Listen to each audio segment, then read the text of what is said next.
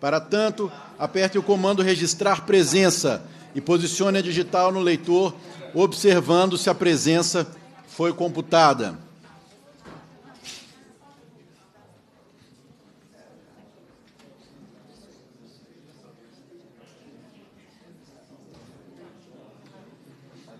A presidência informa que não há ata a ser lida por se tratar de primeira reunião dessa comissão nessa sessão legislativa. Essa reunião se destina a debater o processo de licitação e privatização da BR-135 através da concessão CETOP número 004 de 2018 e o início de cobrança das taxas de pedágio nos postos localizados entre BH e Montes Claros, e a discutir e votar proposição das comissões. Cleitinho. Não veio, não? Chegou, não? Ligaram para ele. Passa-se a primeira fase da terceira pa parte da reunião, que compreende a audiência pública. Essa audiência tem a finalidade de debater o processo de licitação e privatização da BR-135 através da concessão CETOP 004-2018, início da cobrança de taxa de pedágio pós-localizado BH e Montes Claros. A presidência convida a tomar assento à mesa os seguintes convidados. Cadê a lista dos convidados?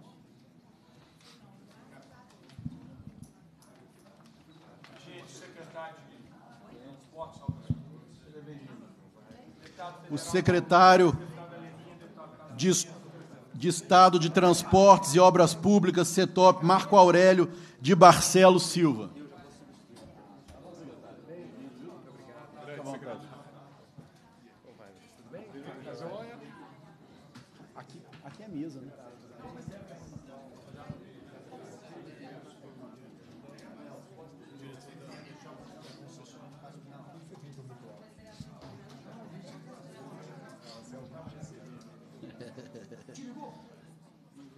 O deputado federal, nosso amigo Paulo Guedes, representando a Câmara dos Deputados e a Comissão de Viação e Transportes da Câmara Federal.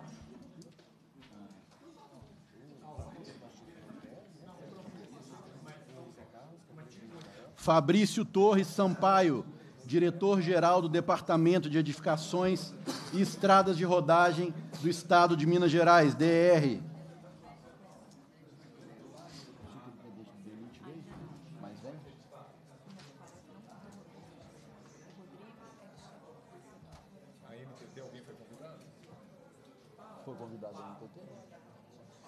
José Carlos Caçaninga, Caçaniga, diretor executivo de concessões rodoviárias da ECO 135, concessionária de rodovias SA.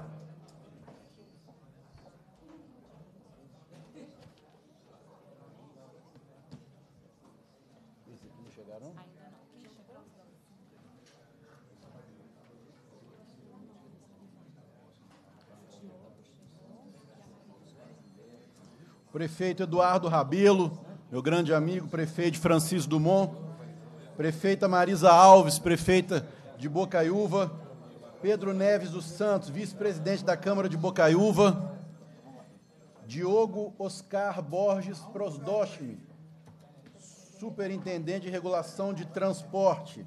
Tem alguém representando o né? Aqui.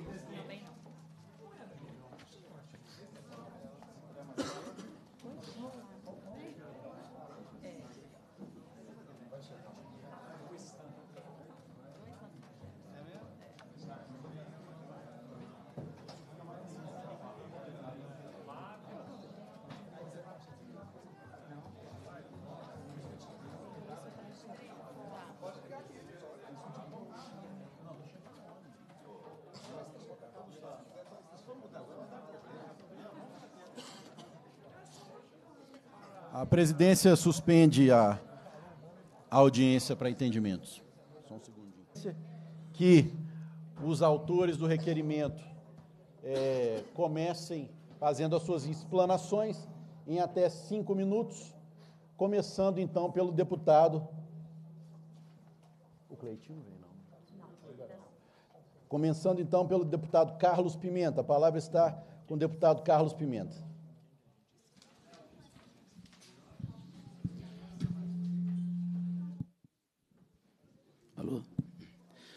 Bom, senhoras e senhores, boa tarde.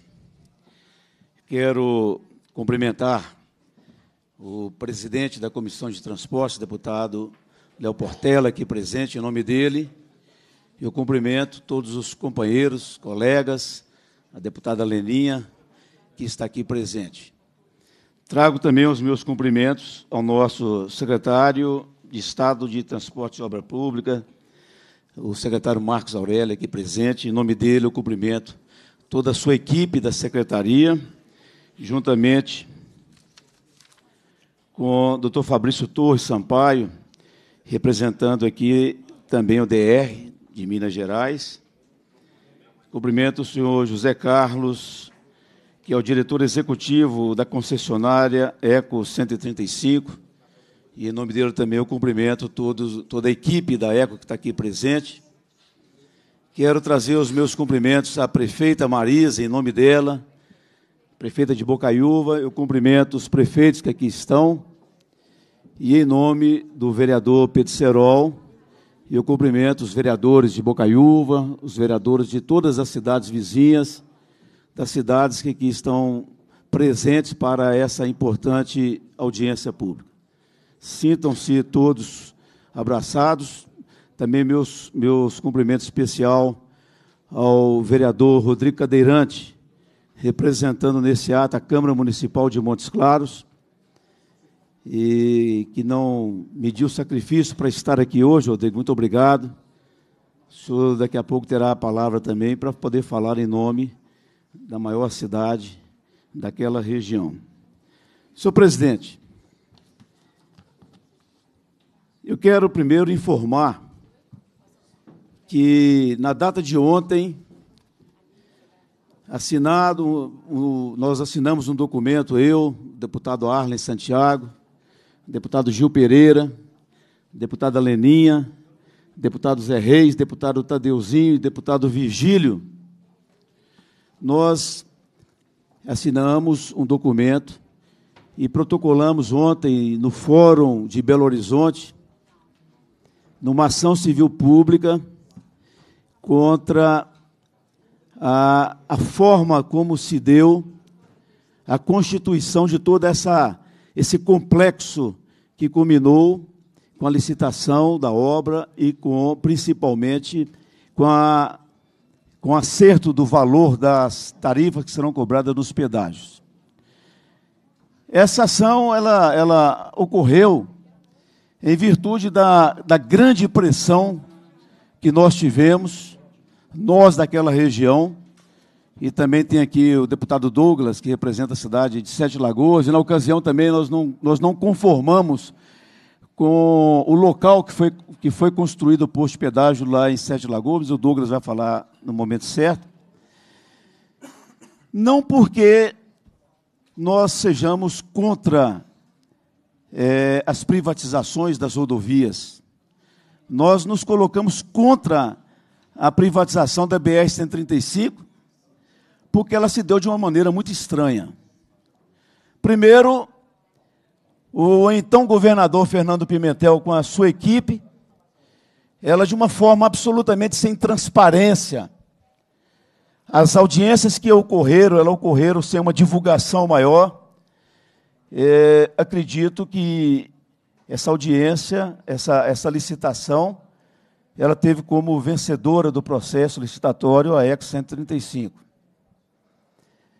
E, em segundo lugar, porque nós entendemos que para fazer uma concessão de uma estrada, e uma estrada que foi muito cara para nós, a maioria dos senhores que aqui estão conhece a história da BR-135, quando essa casa ela tomou as suas dores e nós tivemos naquela ocasião de fazer uma movimentação, uma mobilização muito grande para que o governo federal pudesse recuperar quase mais de 300 quilômetros que estava praticamente é, é, era só um buraco puro daqui até o Trevão, de Montes Claros até o Trevão. Uma estrada que custou mais de um bilhão e meio de reais. E uma estrada que faltou na verdade, o apoio e o cuidado, o zelo do governo federal para poder mantê-la. E ela hoje, pelo menos, se encontrava numa situação quase que intransitável. Então, nós entendemos que para se ocorrer uma, uma concessão de qualquer serviço público ou de qualquer concessão pública, é necessário investimentos. Eu transito, meu caro secretário, de, é, todos os meses pela 381, em direção ao sul de Minas, e ali a gente passa por uma estrada totalmente duplicada, uma estrada que tem todas as condições de trânsito, uma estrada importante que liga né, Belo Horizonte, que liga Minas Gerais a São Paulo, e aquela estrada, mesmo com todos os investimentos que acontecem, ela tem o preço de uma tarifa de R$ 2,40. E, essa, e a, e a BR-135, ela não teve nenhuma intervenção de, de grande vulto que pudesse justificar um preço exorbitante de R$ 7,20. Não estou falando que a constituição desse preço se deu de forma ilícita. Eu estou dizendo que ela se deu de forma, primeiro, sem transparência e sem divulgação, para que a gente possa ter uma noção de como se deu, de como se chegou ao maior preço de pedágio cobrado em Minas Gerais, de uma estrada que foram investidos muito recurso do, do povo brasileiro, do povo mineiro, e não teve nenhuma intervenção. Ela não foi duplicada, não foi, não foi construída sequer a, a terceira pista, e de repente a gente é surpreendido né, por esse preço. E mais ainda, o preço inicial era de R$ 66,40. Antes de se cobrar os pedágios, antes de se fazer as intervenções, ela passou para R$ 7,20. Então foi esse o motivo.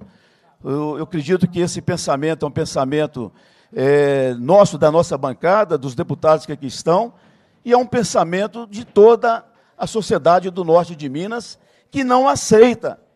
Haja visto que no primeiro dia de pedágio as filas elas ocorreram em mais de 2 quilômetros e mais de 3 quilômetros. Então há uma indignação, há um clamor do povo de, de, do norte de Minas, que é a região mais carente que nós temos no nosso estado, e que se cobra o maior preço de pedágio naquela região. Então, nós entramos com a nossa ação judicial, pedimos a suspensão do preço né, que está sendo cobrado, pedimos esclarecimento como se deu esse preço e pedimos que a firma que venceu a licitação, que primeiro ela faça as intervenções que devem ser feitas, porque para mim, no meu conceito, e acredito que no conceito da maioria dos, do povo do Brasil, do povo de Minas Gerais, para se chegar a um preço desse, a estrada ela tem que estar duplicada primeiro, ela tem que estar é, toda absolutamente sinalizada com os, os, os, serviços de resgate, o serviço de ambulância, o serviço de telefonia, enfim, são os critérios mínimos para se fazer uma licitação e, e, dessa maneira nós agimos dessa forma. Então, presidente, é apenas a introdução, nós queremos ouvir, nós estamos aqui mais é para ouvir, mas deixo bem claro esse sentimento que está aqui no meu peito, que está no peito de milhões de pessoas que passam por ela. É uma estrada que vai ter um movimento muito grande. Salvo engano, são mais de 20 mil carretas por dia, porque toda a ligação do Sudeste brasileiro com o Nordeste se faz pela BR-135. E nós já ficamos sabendo que o governo, é, dentro dessa, desse presente de grego que foi dado ao norte de Minas, ele já é, pensava já na, na licitação da, da, da, 251, que liga Montes Claros a Rio Bahia, da 365, 369, é, hein? 3, 365, que liga também Montes Claros ao Triângulo Mineiro. É as nossas considerações, nós queremos ouvir aqui, e nós esperamos que daqui saiam né, algumas propostas, que haja um entendimento, porque doeu e dói. Muito obrigado.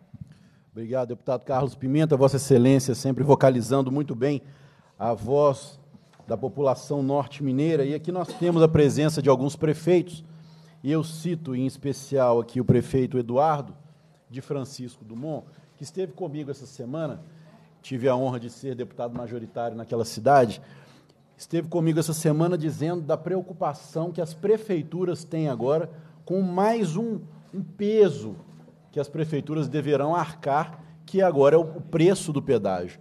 Não bastasse as prefeituras já terem aí todos os problemas a serem enfrentados. Com a crise que Minas Gerais enfrenta, agora precisam arcar também com o preço dos pedágios. Então, eu cito aqui o prefeito Eduardo, que esteve comigo nessa semana, justamente falando sobre esse tema, um tema de extrema importância, que eu sei que os secretários e os demais deputados certamente visitarão aqui durante a nossa audiência pública.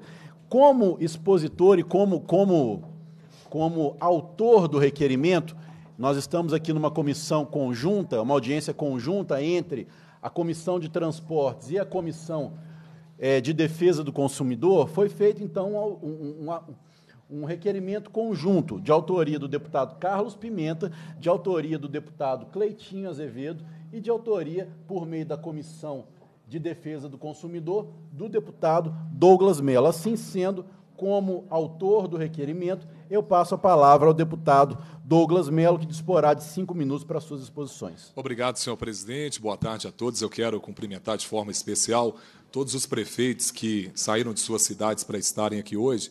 Quero cumprimentar também todos os vereadores, em especial vereadores Diego Braga, Edmar Ligeirinho, da cidade de Paraupeba, todos os deputados que estão conosco, devido à importância dessa audiência pública. Nós podemos ver o número de parlamentares que aqui estão, inclusive deputados federais, cumprimentar todo o público presente e todos os telespectadores da nossa TV Assembleia. Bom, serei muito breve aqui no meu primeiro encaminhamento, mas o que nos chama a atenção nessa concessão, no ano passado, eu fui um dos grandes defensores de uma concessão para a MG 424, que liga Sete Lagoas a Pedro Leopoldo. Mas é uma situação completamente diferente da 135 e também da, da LMG 754, quando nós solicitamos lá a duplicação da via já que hoje nós gastamos de Sete Lagoas até Matozinhos 25 quilômetros, cerca de uma hora. Então, em minha opinião, né, eu tenho isso muito consolidado aqui na minha cabeça, que ali realmente é uma concessão que deve acontecer, já que a empresa vencedora ela deve investir um bilhão de reais para construir dois anéis, um em Matozinhos e um em Prudente de Moraes, o que vai realmente fazer com que o trânsito lá ele seja um trânsito mais tranquilo e rápido para se chegar ao aeroporto de Confins. Houve, na verdade, um impasse. O governo do estado criou uma polêmica muito grande naquela ocasião, quando propôs um pedágio após a cidade de Pedro Leopoldo, algo que eu sou contrário também, já que muita gente que trabalha em Belo Horizonte sairia de Pedro Leopoldo e teria que pagar o seu pedágio talvez né, o governo não fez um estudo adequado. Nessa questão, logo que eu tive ciência da cobrança do pedágio, nós que somos da Comissão do Consumidor, eu também, eu, o deputado Bartô, que estava aqui conosco também, o deputado, deputado Cleitinho. Por que, que nós fizemos esse alerta?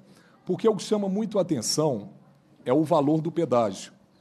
Nós sabemos que o governo federal e muito menos o governo estadual, até pela crise que nós passamos, eles não reúnem condições financeiras para fazer a manutenção das estradas. Algo que é claro que a gente tem que discutir em outra audiência pública, já que o valor do IPVA no Brasil é muito alto. Se fosse né, revertido para a manutenção das estradas e principalmente as multas que são cobradas, esse valor daria. Mas não vou entrar nesse mérito nesse momento.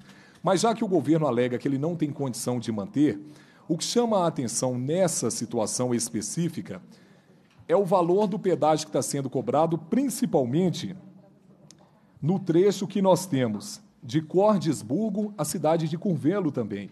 Deputado Tadeu, tem coisas que acontecem no Brasil que são só no Brasil. A NTT está presente? Alguém da NTT? Não, né? Da Agência Nacional de Transportes Terrestres. A NTT também, se ela estivesse aqui, pouco ela acrescentaria.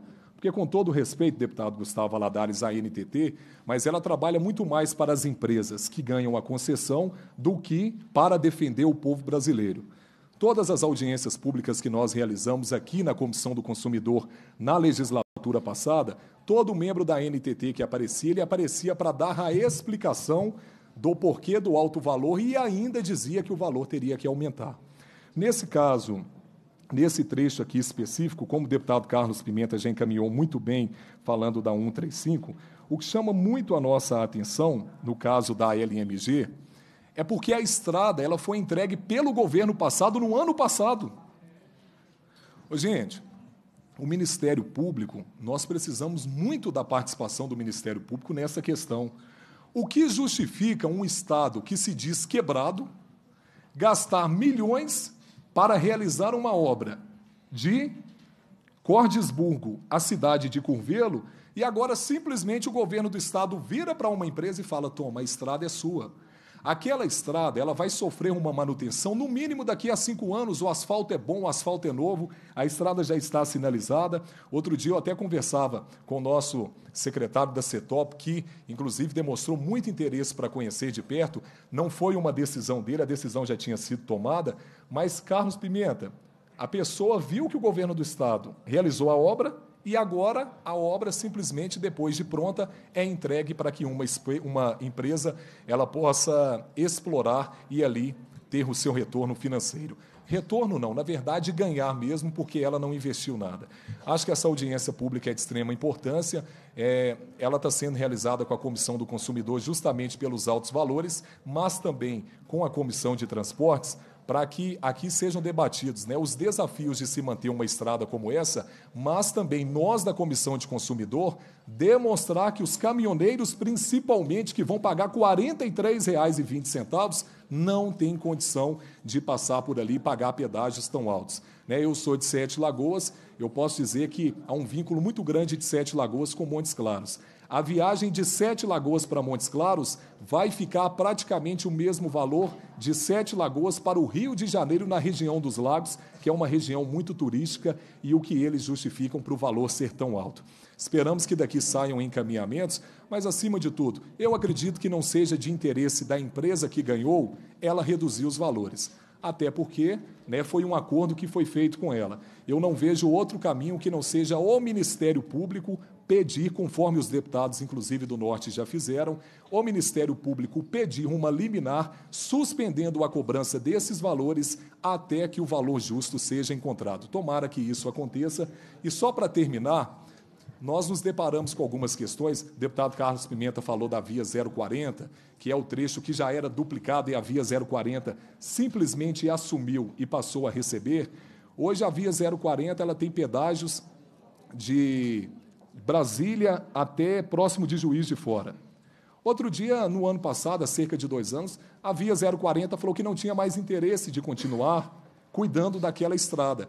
E aí é muito fácil. Esses contratos que são realizados, com todo o respeito à empresa que ganhou, mas daqui a pouco, deputado Arlen Santiago, ela vai falar que ela não tem mais interesse de continuar com aquele pedágio ela entrega sem realizar os investimentos necessários e tudo aquilo que foi pago simplesmente fica por terra. E ainda tem o problema ambiental. Nós sabemos que tem uma lei lá em Brasília que diz que a empresa tem até cinco anos para conseguir a licença, a licença ambiental. E aí eu pergunto, de quem que é o interesse de conseguir a licença ambiental? Será que a empresa que ganha é interesse dela? Não, o interesse tem que ser do governo federal. Mas vai saber, nós vivemos em um Brasil completamente corrupto se alguém não está segurando essa licença para o povo ficar cinco anos pagando e só depois começar a cobrança. É o meu encaminhamento inicial. Espero que o Ministério Público e o Judiciário nos ajudem nessa questão. Obrigado, deputado Léo Portela. Obrigado por presidir e entender que o nosso requerimento deveria ser anexado ao, deputado, ao do deputado Carlos Pimenta. Obrigado, deputado Douglas Mello. Seguindo aqui uma lógica democrática, é, nós achamos por bem passar a palavra de maneira coordenada, uma vez ao convidado e outra vez ao deputado. Então, na ordem que os, que os deputados fizeram as suas inscrições comigo, nós faremos então a exposição inicial de cada deputado e passaremos então à exposição dos convidados. Fizeram agora suas considerações iniciais os deputados autores do requerimento. Então, seguindo essa, essa lógica, eu passo a palavra. Pois não, deputado. Questão de ordem. Eu acho que, quem sabe, se já passar a palavra para o pessoal da Ecovia, talvez ele já tenha até uma solução né, para isso aí e possa até nos esclarecer e a gente não ficar reprisando tanto para ele resolver depois. Acho que seria melhor para o bom andamento da, re, da reunião. Eu penso que, até por uma questão é, de, de oportunidade para essa casa. Nós estamos aqui com o secretário de, de Transportes e secretário da CETOP, secretário Marco Aurélio de Barcelos Silva, estamos também aqui com o diretor do DR. Então, deputado Arlen, eu peço que Vossa Excelência então entenda que essa presidência decide por passar primeiro a palavra ao secretário, para depois, então, de maneira coordenada, nós fazermos as participações é, de acordo com a, a linha de raciocínio aqui dos deputados e dos convidados. Então, a presidência passa a palavra ao secretário Marco Aurélio de Barcelos Silva, secretário de Estado de Transportes e Obras Públicas da CETOP.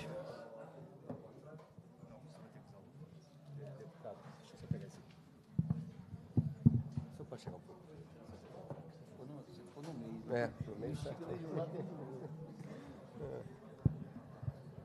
Muito bem, muito boa tarde a todos. Queria cumprimentar a todos os deputados dessa casa e faço, né, na, na figura do presidente da nossa comissão, deputado Léo Portela, cumprimentar todas as lideranças, a todos os vereadores, a todos os prefeitos, a todos os usuários da via, a todos os cidadãos, enfim, e as demais autoridades aqui do Poder Executivo, fazendo aqui em nome do doutor Fabrício, também aos representantes da empresa concessionária da BR-135.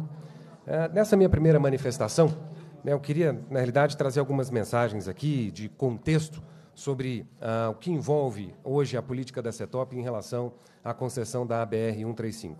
E eu queria começar aqui enaltecendo e agradecendo pelo convite de estar aqui. Ah, nós temos vivenciado, ah, na atualidade, uma certa polarização, uma antagonização entre o Executivo e o Legislativo em nível nacional. Né? Não me refiro aqui ao Estado de Minas Gerais. E eu entendo que essas oportunidades elas servem exatamente para que nós contradigamos essa, essa perspectiva, esse cenário, ou eventualmente esse mito que possa estar ocorrendo.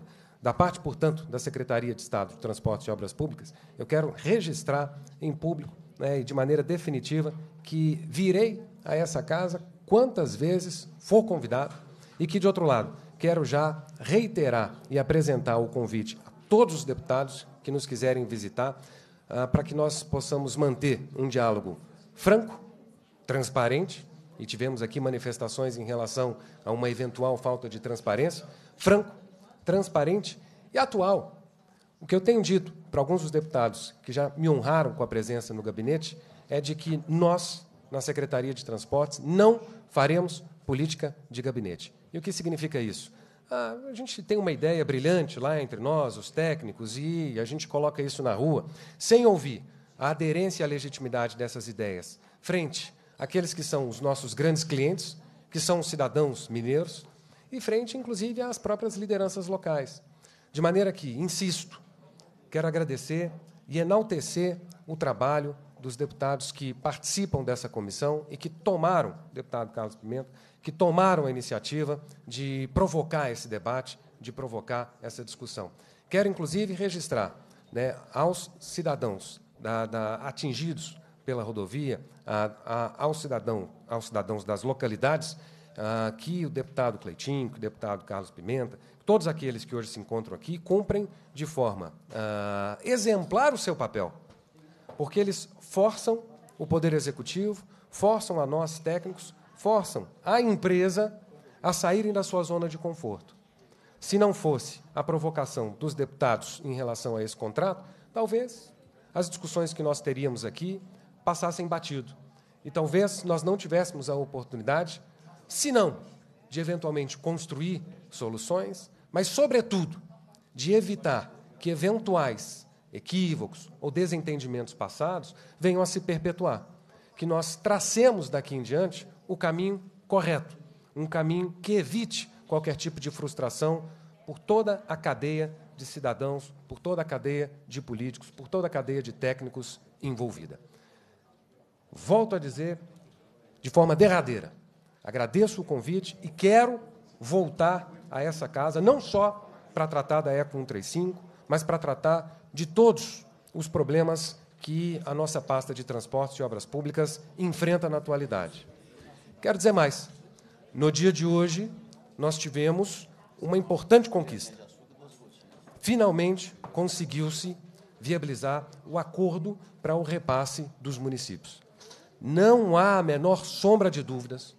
O governador Romeu Zema tem deixado isso nítido em todas as ocasiões.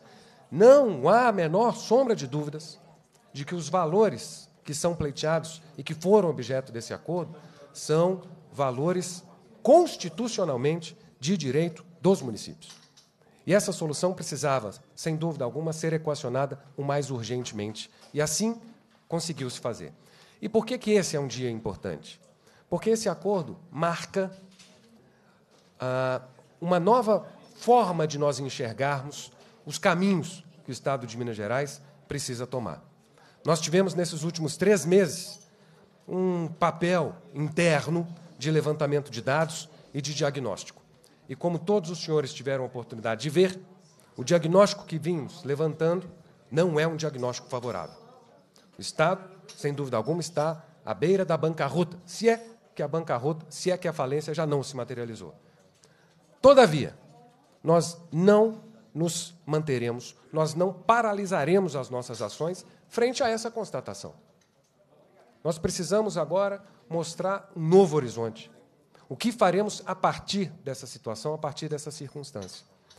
E eu insisto, o acordo hoje ele é um sinal desses novos tempos, é um sinal da agenda de prosperidade que nós temos a obrigação, todos nós, do executivo, o governador Romeu Zema e todo o secretariado e os parlamentares, que todos nós temos obrigação de buscar. Nós não cruzaremos os braços frente às adversidades. E, portanto, quero dizer aqui que no âmbito dos transportes, nós estamos montando a nossa agenda de investimentos. O que faz com que a discussão sobre a BR-135 seja de extrema relevância. Diante da escassez de recursos que não só o Estado de Minas Gerais passa, mas todo o Estado brasileiro passa, foi-se criado, já há algumas décadas, o mecanismo da concessão. A concessão de rodovias, a concessão de aeroportos, a concessão de portos, de todo o sistema de transporte, a concessão no âmbito do setor de energia, concessão de linhas de transmissão, das distribuidoras. E qual é a vantagem que advém desse mecanismo? Nós temos condições de fazer com que o usuário dos serviços possa, ele mesmo, ah, ah, conseguir viabilizar a sua prestação. Isso aconteceu com a telefonia, isso acontece com a água, isso acontece com a luz e vem acontecendo com as nossas rodovias. Pois bem, por que a BR-135 é importante diante da situação de escassez fiscal por que passa o Estado brasileiro como um todo? Porque nós vamos dar seguimento, no âmbito da Secretaria de Transportes, a uma política de concessões de rodovias. Onde eu quero chegar com isso? Não pararemos com a 135, mas nós não queremos repetir nessas próximas concessões esses ruídos ou essas eventuais falhas que tenham ocorrido em relação a 135 e outras concessões pretéritas. Nós queremos finalmente acertar e finalmente fazer com que o programa de concessões ele não seja fruto de um secretário, que ele não seja fruto de um governador, mas ele seja fruto de um trabalho conjunto da população mineira representada pelos seus parlamentares. O programa de concessões que nós estamos construindo passará por essa casa. E nós faremos tantas audiências quanto forem necessárias para esclarecer quaisquer pontos. E para trazer uh, uh, um, uma gestão bem sucedida dos ativos rodoviários que nós temos no estado de Minas Gerais. Para encerrar essa primeira parte, o que eu quero dizer é: nós estamos focalizando para frente. Nós já temos um diagnóstico contundente do esfacelamento do Estado, mas nós não podemos paralisar nesse discurso. E seria muito cômodo para mim vir até essa audiência hoje e dizer: bom, o contrato de concessão da BR-135 foi celebrado pelo governo passado.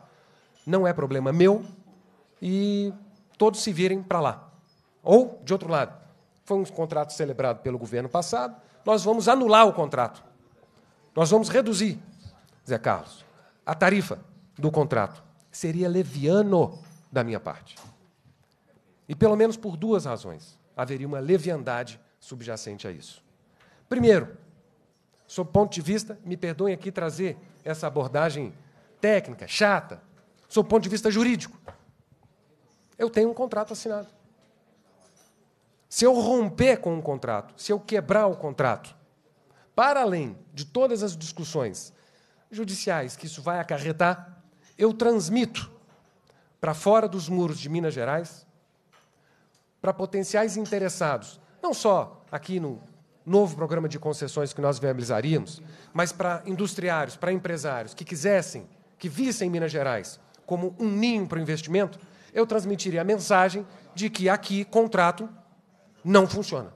Contrato não é observado. Eu tenho, portanto, esse primeiro desafio que me, me eh, impede de adotar essa postura confortável de dizer: isso é do governo passado, começamos de agora em diante. Eu tenho um contrato assinado. Essa é uma dificuldade. E, de outro lado, seria demagógico, e eu imagino que tanto o Zé Carlos quanto o Luiz Salvador terão a oportunidade de mostrar para todos que seria demagógico se nós, também de forma unilateral, disséssemos: vamos reduzir o pedágio. O fato é que o contrato de concessão, e eu trabalho com isso, pelo bem ou pelo mal, há 15 anos. Não sou político, não sou empresário, sempre trabalhei na administração pública como técnico. E o contrato de concessão, eu dizia, ele é um sistema. De maneira que, para cada um real que se diminui em uma praça de pedágio, eu tenho, por consequência, uma redução inevitável dos investimentos previstos para aquele empreendimento, para todo, uh, para todo aquele projeto. Nós poderíamos passar para R$ reais o pedágio? Poderíamos. Assinamos amanhã o aditivo contratual. Mas precisaríamos todos de estar atentos ao sacrifício que isso imporia. Qual seja? Nós precisaríamos reequilibrar o contrato.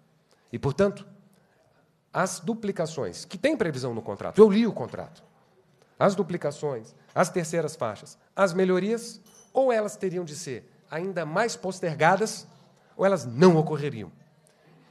E por uma razão simples: a composição do valor do pedágio ela é resultante do número de veículos que passa na estrada, dos investimentos que são ah, previstos e mais ainda ah, do cronograma desses investimentos. Então, nós não podemos ser levianos e nem demagógicos. Eu não me permito estar aqui, na condição de secretário de Estado de um outro governo, e simplesmente dizer rasguemos o contrato. Simplesmente dizer ignoremos as condições do contrato, vamos baixar os valores. O fato é, houve um procedimento licitatório. Um procedimento Fizemos nosso dever de casa de colher as informações a respeito desse procedimento, um procedimento que teve ah, o, seu, ah, o seu corrimento regular.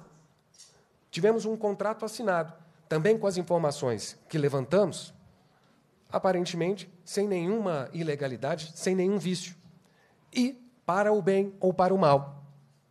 Hoje, juridicamente, eu estou amarrado a esse contrato. Mas insisto, também, isso não é um salvo-conduto para que nem eu, nem para que o diretor-geral do DR, nem para que os deputados aqui virem as costas para esse contrato. Na primeira oportunidade que eu tive de conversar com os técnicos e os representantes da rodovia, eu disse a eles: eu não vou interferir politicamente no contrato no sentido demagógico, que é o que acaba acontecendo em diversos estados no país.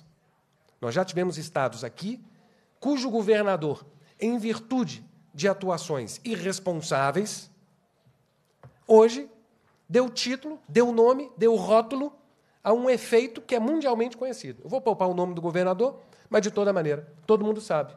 O efeito do governador tal, que fez o quê? Rompeu com os contratos. Nós não vamos investir naquele estado. Eu disse isso para a concessionária. Mas qual foi a contrapartida que também deixei registrado? Eu não vou aliviar a barra da concessionária. Nós vamos fazer com que a E135 seja uma rodovia exemplar nacionalmente, que crie um novo benchmark. Nós tivemos no passado, e veja a ironia da vida, eu tive a oportunidade de participar aqui no governo de Minas Gerais das discussões a respeito desse projeto. O deputado Cleitinho já esteve conosco para tratar desse projeto da rodovia MG 050. Nós tivemos no passado uma experiência desagradável, mas que foi contornada em alguma medida por técnicos que estão hoje aqui e que trabalham comigo hoje. Subsecretário Diogo, nosso superintendente Felipe Melo, que foram implacáveis na aplicação de sanções em relação àquela concessionária. A despeito da aplicação das sanções, tive também a oportunidade de já estar com essa concessionária e disse: ou vocês mudam a forma por meio da qual vocês têm conduzido esse contrato, ou nós vamos tomar a mais drástica de todas as decisões. Nós vamos retirá-los desse contrato. Eles têm um voto de confiança meu. E nós estamos em cima, com lupa, para verificar a quantas anda o cronograma de execuções daquele empreendimento. Pois bem, faço aqui, replico aqui o discurso que deixei consignado com Luiz Salvador, com Zé Carlos Caçaniga, que são os representantes, os executivos da empresa. Nós não perdoaremos falhas neste contrato. Não perdoaremos falhas. E, evidentemente, estaremos abertos a entender o que pode ser melhorado em relação às futuras oportunidades de negócio, à política que vem sendo construída de concessões no âmbito da Secretaria de Transportes e Obras Públicas. Volto a dizer que sem transparência, sem diálogo, sem conhecimento dos dados, nós não vamos longe.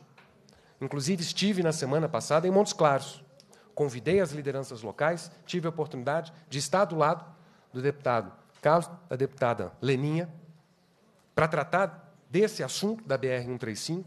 Percorri de carro, ouvi da concessionária qual é o cronograma de investimentos e disse, conforme os levantamentos técnicos que fizemos, a leitura do contrato, a visitação em loco, esse instrumento jurídico, ele é válido. E eu sou obrigado a observá-lo. Essas são as considerações iniciais que eu queria fazer. Imagino que, especialmente no que diz respeito aos cronogramas, aos investimentos, ambos representantes da empresa terão a condição de ah, pormenorizar de forma muito mais contundente os detalhes. E quero Talvez como uma última passagem nessa minha primeira intervenção, vou responder a todas as perguntas que me forem dirigidas aqui, dure o tempo que durar, mas nessa minha última colocação na primeira manifestação é dizer: eu entendo a questão dos prefeitos, eu entendo a questão do pagamento das tarifas nas praças de pedágio, mas é o valor que decorre dos investimentos previstos e talvez como uma contramedida, com um mínimo conforto que eu teria condições de compartilhar agora, eu diria que, em virtude dessa concessão, todos os municípios lindeiros à rodovia serão beneficiados com o incremento de ISS. No limite, portanto, é possível que nós trabalhemos. Eu entendo que pode ser um conforto paliativo, mas no limite, que nós trabalhemos com algum tipo de compensação entre a arrecadação incremental do imposto que cada município poderá ter, vis-à-vis -vis o custo que está envolvido por passar pela praça de pedágio. Conversávamos na terça-feira com o ministro de, de Infraestrutura a respeito do nosso programa de concessões, visualizando aqui novas oportunidades, e perguntávamos para ele qual é o preço de tarifa de pedágio que tem sido praticado pelo governo federal. E ele nos trouxe um apontamento interessante. Tanto no que diz respeito ao governo federal, quanto no que diz respeito a outros estados, e destaco aqui o estado de São Paulo, que talvez é um dos mais, uh, um dos mais proeminentes no que diz respeito à qualidade das suas respectivas rodovias, a maioria delas hoje concedidas. O ministro dizia: é equivocado pensar em valor de pedágio pela praça. Talvez o mundo ideal é que nós pensássemos em valor de pedágio pelo quilômetro percorrido. E ele me disse que uma das políticas que vem sendo estudadas junto com a ANTT, que é a Agência Nacional de Transportes Terrestres, e em especial com o Tribunal de Contas da União, é a ideia de convergência tarifária. O que significa criar patamares de rodovias que orbitem em torno de um preço médio de ah, de valor a ser pago pelo usuário por quilômetro. E quando nós levantamos os valores de praça de pedágio das rodovias feitas no país e dividimos esses valores pelos quilômetros, a gente chega a um valor médio de 13 centavos por quilômetro. O que significa dizer, em média, no Brasil, o usuário de uma rodovia concedida, para cada quilômetro que percorresse, é como se ele tirasse da carteira 13 centavos e colocasse numa praça de pedágio virtual. No futuro é possível que isso aconteça, né, com aquelas cobranças que são feitas por, ah, por georreferenciamento, e é coisa de tecnologia, ainda se vê. Mas hoje isso tudo se acumula naqueles portais a que a gente dá o nome de praças de pedágio. Mas eu dizia, na média, nacionalmente, nós temos um valor de 13 centavos por quilômetro. Quando nós fazemos, e aí eu pedi para que a equipe técnica fizesse esse cálculo na secretaria, nós temos por praça de pedágio na BR-135 7,20. 7,20. É caro ou barato? Depende. É caro se nós considerarmos, por exemplo, os pedágios praticados em outras concessões de Minas Gerais. Mas na praça, que é o caso da MG 050, já falaram aqui da 040 e da 262. Mas quando nós dividimos o valor de todas as praças de pedágio pela quilometragem, e os técnicos até me chamavam a atenção. Quanto custa uma viagem de Belo Horizonte a Montes Claros? Por quantas praças de pedágio o usuário ele teria de passar? Na verdade, são cinco. Embora a concessão ela tenha seis praças, uma delas é numa bifurcação. Pois bem, cinco praças. Cinco vezes 7,20, a gente chega em torno de R$ reais. Quando nós dividimos pela correspondente extensão da distância, a gente chega a um valor próximo de 10 centavos por quilômetro. Menor do que. Mas acho que são as seis praças, não, deputado? Isso, mas é, é, Mas se o senhor pega a extensão BH, Montes Claros, e divide pelas cinco praças. Porque, isso, Trevo de Curvelo. Isso, a gente chega, pelo menos foi o valor que me colocaram aí, próximo a 10 centavos, que estaria abaixo da média nacional. E o que, que significa 10 centavos para concluir? O que, que significaria 10 centavos? E é a ideia que vem sendo difundida pela Agência Nacional de Transportes Terrestres e pelo Tribunal de Contas da União. 10 centavos tem de estar embutido, e esse é um raciocínio importante para fazermos em relação à BR-135 e em relação às demais que viremos a colocar no programa de concessões. Em 10 centavos tem que estar incluído tais e tais investimentos, tais e tais serviços. No limite, isso fará com que nacionalmente, se nós trabalharmos sob essa perspectiva, não o valor da praça, mas o valor por quilômetro, nós conseguiremos dar aos usuários de todo o estado de Minas Gerais, aos usuários em termos nacional, uma perspectiva, aí sim, se o pedágio é caro ou barato. Porque se numa rodovia em que estiver sendo cobrado 10, 15, 20, 9, 5 centavos o quilômetro, a pergunta que tem de se fazer é: qual é o nível de serviço que eu tenho nessa rodovia? Se o nível de serviço for aquém daquilo que se tem nas demais rodovias em que há outros patamares de pedágio por quilômetro, aí sim a gente tem condições técnicas mais verdadeiras, mais fidedignas, de dizer que há um eventual abuso. Essas são as minhas considerações preliminares. Obrigado, deputado Léo, e peço desculpas aqui por acabar tendo excedido dos cinco minutos que eu pedi para a minha fala original. Obrigado, secretário. Dando andamento aos trabalhos dessa comissão, eu passo a palavra ao deputado Arlen Santiago. Senhor presidente Léo, senhores deputados, senhores prefeitos, vereadores, pessoas que nos assistem na TV Assembleia, secretário Marco Aurélio, secretário é, diretor-geral do DR, amigo Fabrício, membros do executivo. É, como já foi falado aqui, nós lá do norte de Minas tivemos que entrar na justiça e esperamos realmente que a justiça faça justiça aqui no norte de Minas. E também, eu pessoalmente já mandei uma correspondência ao Ministério Público Estadual e ao Ministério Público Federal para que eles tomem alguma atitude. E o que acontece aqui, secretário Marco Aurélio, entendemos muito bem a sua colocação. E nós vimos aqui 13 centavos por quilômetro. É lógico que tem estradas que vão ser muito superavitárias, porque ela tem um fluxo muito grande. É lógico que outras que têm um fluxo muito pequeno, quem andar nela vai ter é, uma dificuldade da manutenção. Mas o que o senhor acabou, viu e acabou não se referindo adequadamente, é que nós temos aqui o conjunto da obra. Principalmente o conjunto da obra do governo federal e depois do governo desastroso, terrível, que nós tivemos aqui em Minas Gerais nesses últimos quatro anos. Um governo que ele não paga os municípios o que está na Constituição, porque na Constituição é claro, como diz aí o prefeito Humberto Soto, pertence ao município 25% do ICMS e 50% do IPVA. Pertence.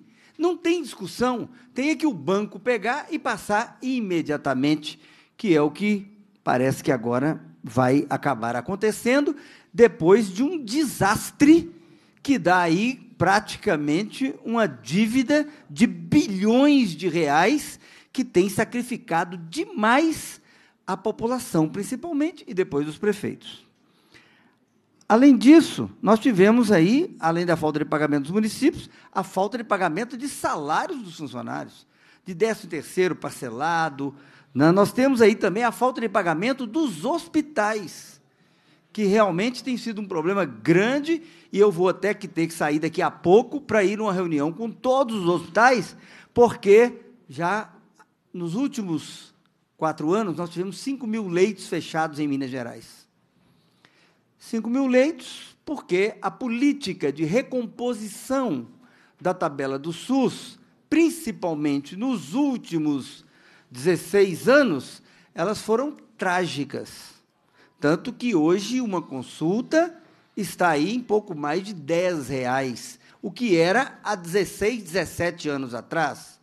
Uma criança que precisa de operar da garganta são R$ 306,57 que os governos federais não recompuseram de maneira nenhuma. Além disso, nós tivemos no conjunto da obra a falta de pagamento dos hospitais. Agora mesmo, o atual governo deve, porque tem contrato assinado com os hospitais, 300 milhões reais do IPSENG. O deputado Douglas hoje me abordou. Arlen, ah, o hospital de lá parou de atender o IPSENG. É lógico, desde julho que não paga. Ficou seis meses do ano passado e já estamos inteirando agora o quarto mês, sem nenhuma orientação. Fala assim, ó, vai receber um dia. E a gente vê também a paralisia total, a letargia do governo passado, que praticamente, principalmente no norte de Minas, no norte, não é no centro nem outra região que eu quero olhar, no norte de Minas, é um governo que passou para a história como o governo que não fez nenhuma obra asfaltada no norte de Minas. Promessas foram muitas. Quem lembra? Tenda caríssima, avião descendo, helicóptero descendo, para falar que vamos ter uma ponte em cima do Rio São Francisco, para falar que vamos fazer uma estrada só lá de Pintópolis a Urucuia. De falar, Fabrício, por exemplo, na MG 479, também importantíssima, em que, no governo do Aécio da Anastasia, foram feitos 90 quilômetros asfaltados, ligando Arinos a Chapada Gaúcha, mas tem mais 160 quilômetros para ligar a Januária. Então, nesse conjunto da obra, a gente vê o seguinte: nós temos aqui, Marco Aurélio, a Via 040 que é a concessionária de Paracatu até Juiz de Fora. Eu tive estudando um pouco o contrato. O contrato é muito bacana para a Via 040. Ela começa a botar pedágio e receber do jeito que a estrada se encontra. E ela tem a obrigação, a obrigação de duplicar depois que tiver a licença ambiental que ela tem que apanhar, Caçanica ela tem que conseguir a licença ambiental. E depois disso, ela tem quatro anos para duplicar. Gente, por mais que os empresários brasileiros sejam ótimos, fantásticos, qual empresa que, sabendo que se conseguir a licença ambiental, vai se esforçar tremendamente para que ela possa ser conseguida, porque aí ele só tem quatro anos mais. Quantos anos tem que a Via 040 está aí? E panhando o dinheirinho dos coitados que andam lá, e botaram algumas ambulâncias bacanas. E quando essas ambulâncias pegam e levam para um hospital que está quebrado, sucateado, que vai receber 10 reais por aquele atendimento, a Via 040 não tem mais nenhuma obrigação com o hospital de comprar um tomógrafo, de ajudar a comprar um gesso, qualquer coisa, ela não tem nenhuma obrigação, porque teve um acidente na estrada que, teoricamente, não era para ter acidente. Além disso, dessa duplicação dela sem licença ambiental, essa aí está né, tá sendo considerado como Inês é morta. Mas eu quero pedir um pouco da sensibilidade do governo, que eu tenho certeza que vai ter. Além disso, eu quero saber, essa empresa dona da privatização aí da BR-135, ela vai tomar empréstimo no BDMG ou no BNDES? Porque uma das alegações da Via 040 de não ter feito a, a, a duplicação é porque ela ia tomar um empréstimo para fazer as obras no BNDES e como uma empresa que está envolvida na Lava Jato era sócia delas, o BNDES é proibido de emprestar. Então eu quero saber, vai tomar empréstimo? Quais são o consórcio que estão por trás da Ecovias? O que, que vai acontecer? Então, nós vimos que, praticamente lá no norte de Minas, do governo passado, do governo do senhor Fernando Pimentel, a obra que nós vimos inaugurada foi agora, dia 1 de abril, o pedágio da BR-135. Não vimos reforma de escolas, quadras e isso aí. Vimos sim, muita gente ser contratada demais e criação demais de órgãos que foram contratados e que levaram o Estado a essa situação falimentar. O que eu quero colocar aqui, para finalizar a, a minha breve interlocução é o seguinte: eu tenho certeza que se essa empresa não tiver, e ontem eu quero agradecer Marco Aurélio e Fabrício, porque eu pedi na parte da manhã para me mandar o contrato e vocês me mandaram no mesmo dia. Uma situação muito interessante que não é costume dos governos fazerem isso. Fabrício a gente já conhece há mais tempo, Marco Aurélio, né? é uma pessoa que realmente tem uma história no transporte de Minas Gerais. E você está chegando aí agora. Então, a primeira pegadinha que tem sempre é o seguinte: só vai fazer alguma obra depois que tiver licença ambiental. É lógico, eles não são doidos de fazer a, a obra sem licença ambiental. O Ministério Público coloca na cadeia imediatamente, eles não vão fazer, mas é uma pegadinha, porque aí não tem obrigação de fazer a obra. Eu acho que se mudássemos a situação, por exemplo, é 720, vamos reduzir para metade. Marco Aurélio, mesmo que aumente, não, com cinco anos a duplicação tem que estar pronta. Não, vamos passar para metade e vamos fazer o seguinte: na hora que ele duplicar os primeiros 50 quilômetros, vai para 4,20. Na hora que duplicar os primeiros outros 100 quilômetros, vai para 5. Na hora que duplicar os 300 quilômetros da estrada todo, aí, quem sabe, até chega no 720. E se fosse para fazer a obra em apenas cinco anos, a duplicação toda da estrada, né, ou talvez dos trechos principais, eu não tive como ler ainda o contrato, eu acredito que nós do Norte de Minas aguentamos esperar dois anos a mais para o pedágio abaixar. Sempre tem jeito.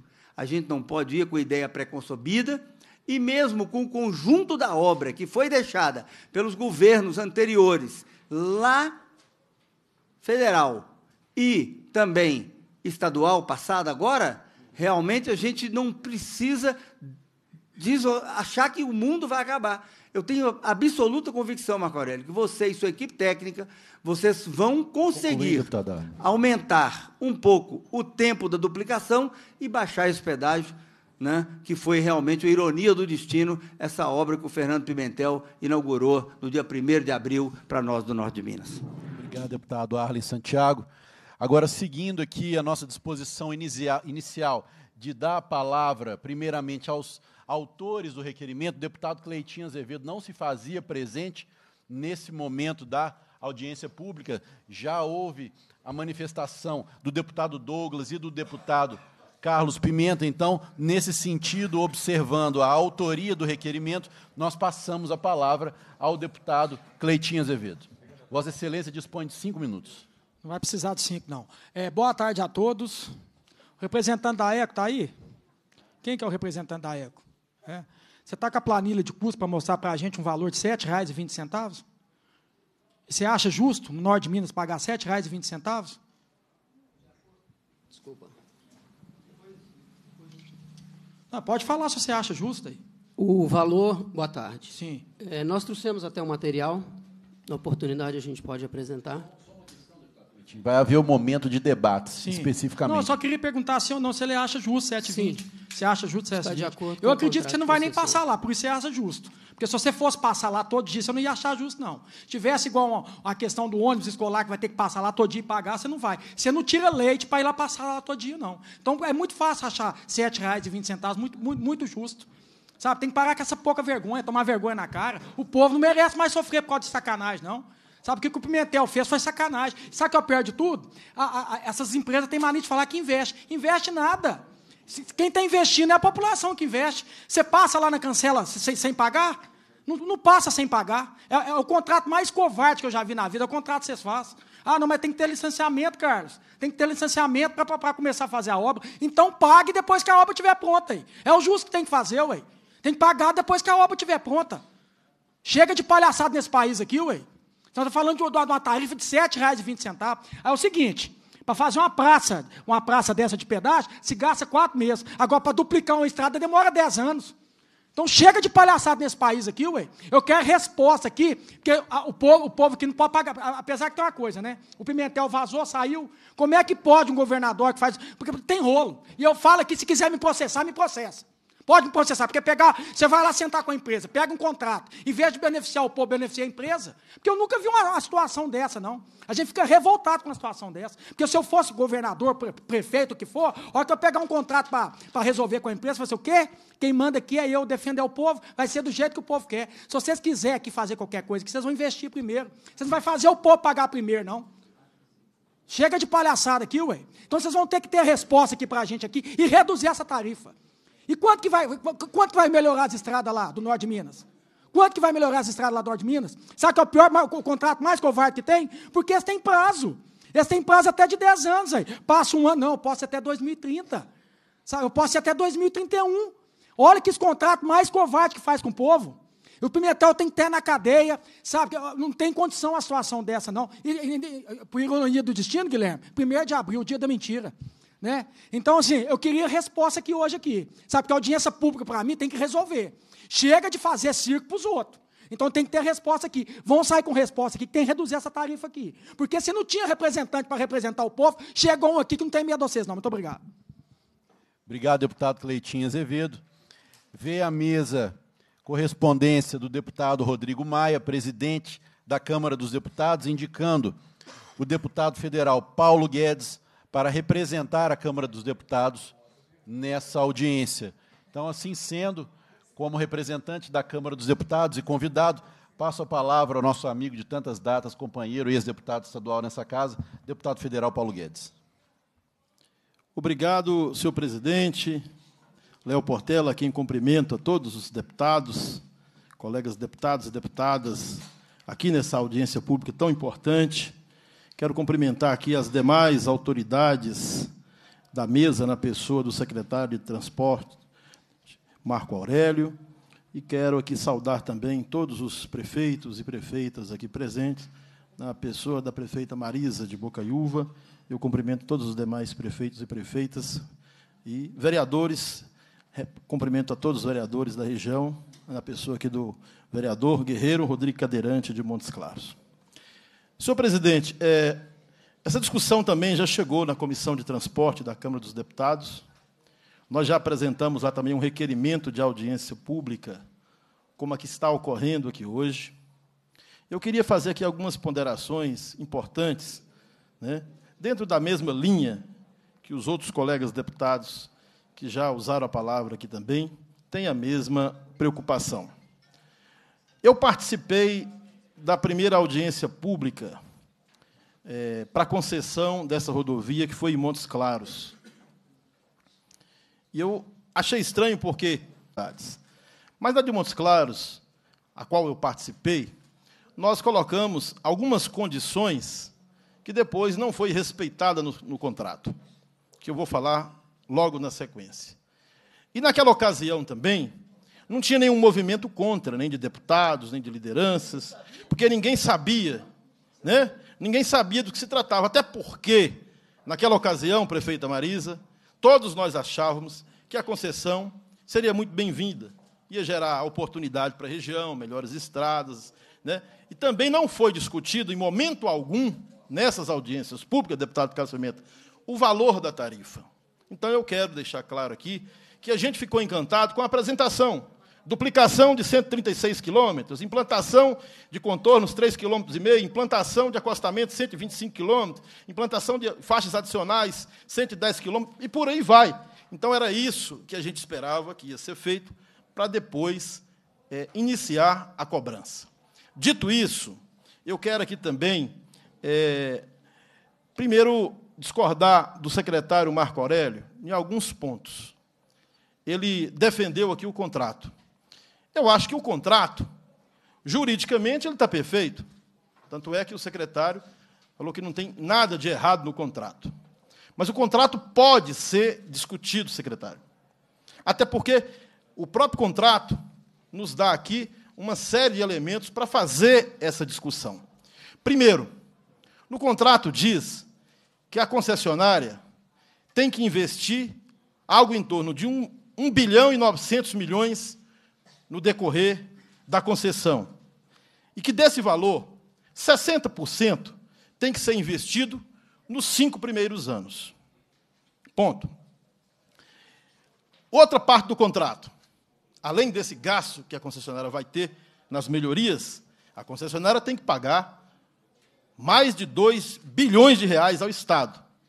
Uma prestação de algo em torno de 70, já corrigido, é 71, mas como já teve um, um, um aumento aí de 15%, algo de 75 a 76 milhões de reais por ano ao Estado. Aí, dito isso, eu vou no artigo, para ser bem mais claro e objetivo, no ponto 29.6 do contrato. Vocês podem abrir aí que eu vou ler aqui, que ele deixa muito bem claro que o contrato pode ser discutido e pode ser revista algumas cláusulas do contrato. Vamos lá, sobre o equilíbrio do contrato. A recomposição do equilíbrio econômico e financeiro será implementada de comum acordo entre as partes através das seguintes modalidades: A. Prorrogação ou redução ou redução do prazo de concessão. B. Revisão do cronograma de implantação das intervenções obrigatórias. C. Aumento ou redução da ortoga paga pela concessionária a CETOP, ou seja, ao Estado de Minas Gerais. Revisão da, da tarifa, revisão da tarifa básica do pedágio para mais ou para menos. Aqui está a parte do contrato que deixa bem claro que a tarifa pode ser reduzida. Como, por exemplo, o Estado pode abrir mão de parte dessa arrecadação, ou seja, dos 2 bilhões de reais, já corrigido hoje, mais de 2 bilhões e 300 bilhões de reais, e esse, essa parte que for é, é, que, o, que o Estado possa abrir mão pode ser reduzido na tarifa. Não estou aqui querendo inviabilizar o empreendimento, nem fazer nenhum tipo de campanha contra a empresa ou contra quem quer que seja. Mas há, dentro do contrato, de forma muito clara e sucinta, a possibilidade de revisão da tarifa. Nós sabemos, a nossa região, já disse aqui Carlos Pimenta, já disse Arlen, todos os deputados que falaram aqui antes, é a região mais pobre do Estado. Nós não podemos pagar uma conta de 2 bilhões para o Estado e mais de, toda, de todo o instrumento que a, a concessionária vai ganhar de dividendos para fazer as melhorias e também o seu lucro, tudo sairá do valor do pedágio pago pelo cidadão. Ou seja, essa obra não vai custar mais nenhum tostão ao Estado. Daqui para frente, tudo será pago pelo povo. Ou seja, não é justo que esses 2 bilhões vá para o caixa único do Estado e que nada se reverta para a nossa região. Aí, voltando no início da minha fala, no dia da audiência de Montes Claros, ficou acertado com a equipe do DR e do CETOP que uma das compensações para a concessão da rodovia seria a conclusão do término da 135 no trecho de Manga e Itacarambi, 30 e poucos quilômetros, que está totalmente abandonado dessa rodovia. Foi colocado na audiência pública de Montes Claros essa condição que foi retirada do consórcio. Por isso, eu pedi ao deputado Virgílio Guimarães e peço aos, aos demais colegas deputados aqui do Norte de Minas para que apresente em conjunto aqui um requerimento a esta comissão, solicitando cópia das atas das audiências públicas, bem como as gravações, para a gente aferir se o que foi discutido com a sociedade nas audiências públicas, de fato, está contemplado aqui no contrato de concessão. Por isso, já concluindo aqui, presidente, eu quero agradecer imensamente a essa casa. Foi uma alegria rever aqui os amigos e quero aqui já fazer esse apelo, fazer também um pedido. Ontem eu estive com o ministro dos Transportes, que foi na comissão de transporte ontem, ficou lá por seis horas e meia.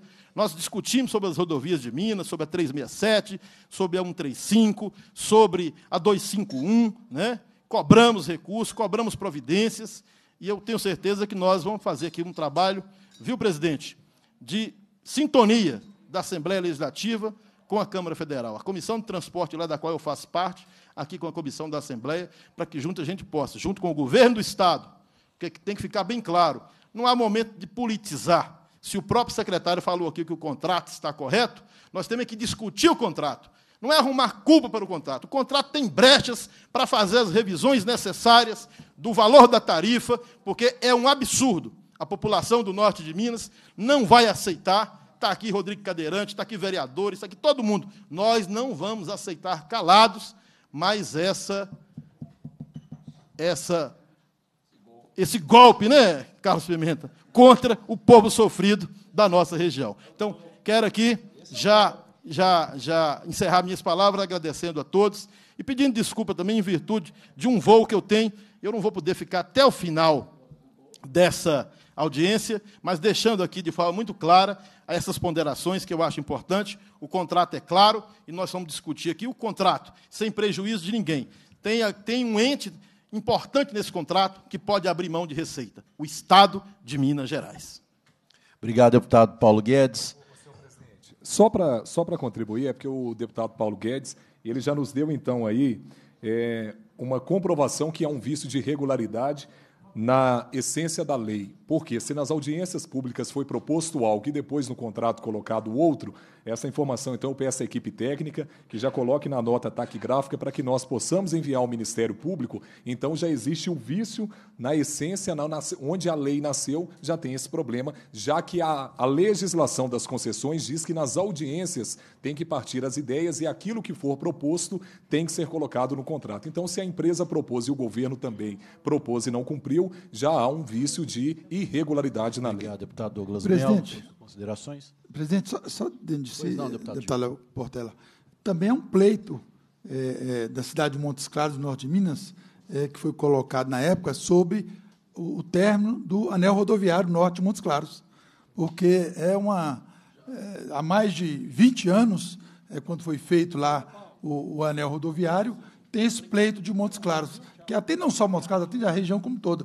Então, é, a interseção da 135, da ISOCUM e da, da 136 também, da 365, para colocar também o anel rodoviário de Montes Claros. Não é isso, vereador é, Rodrigo Aderante? Obrigado, deputado Gil Pereira.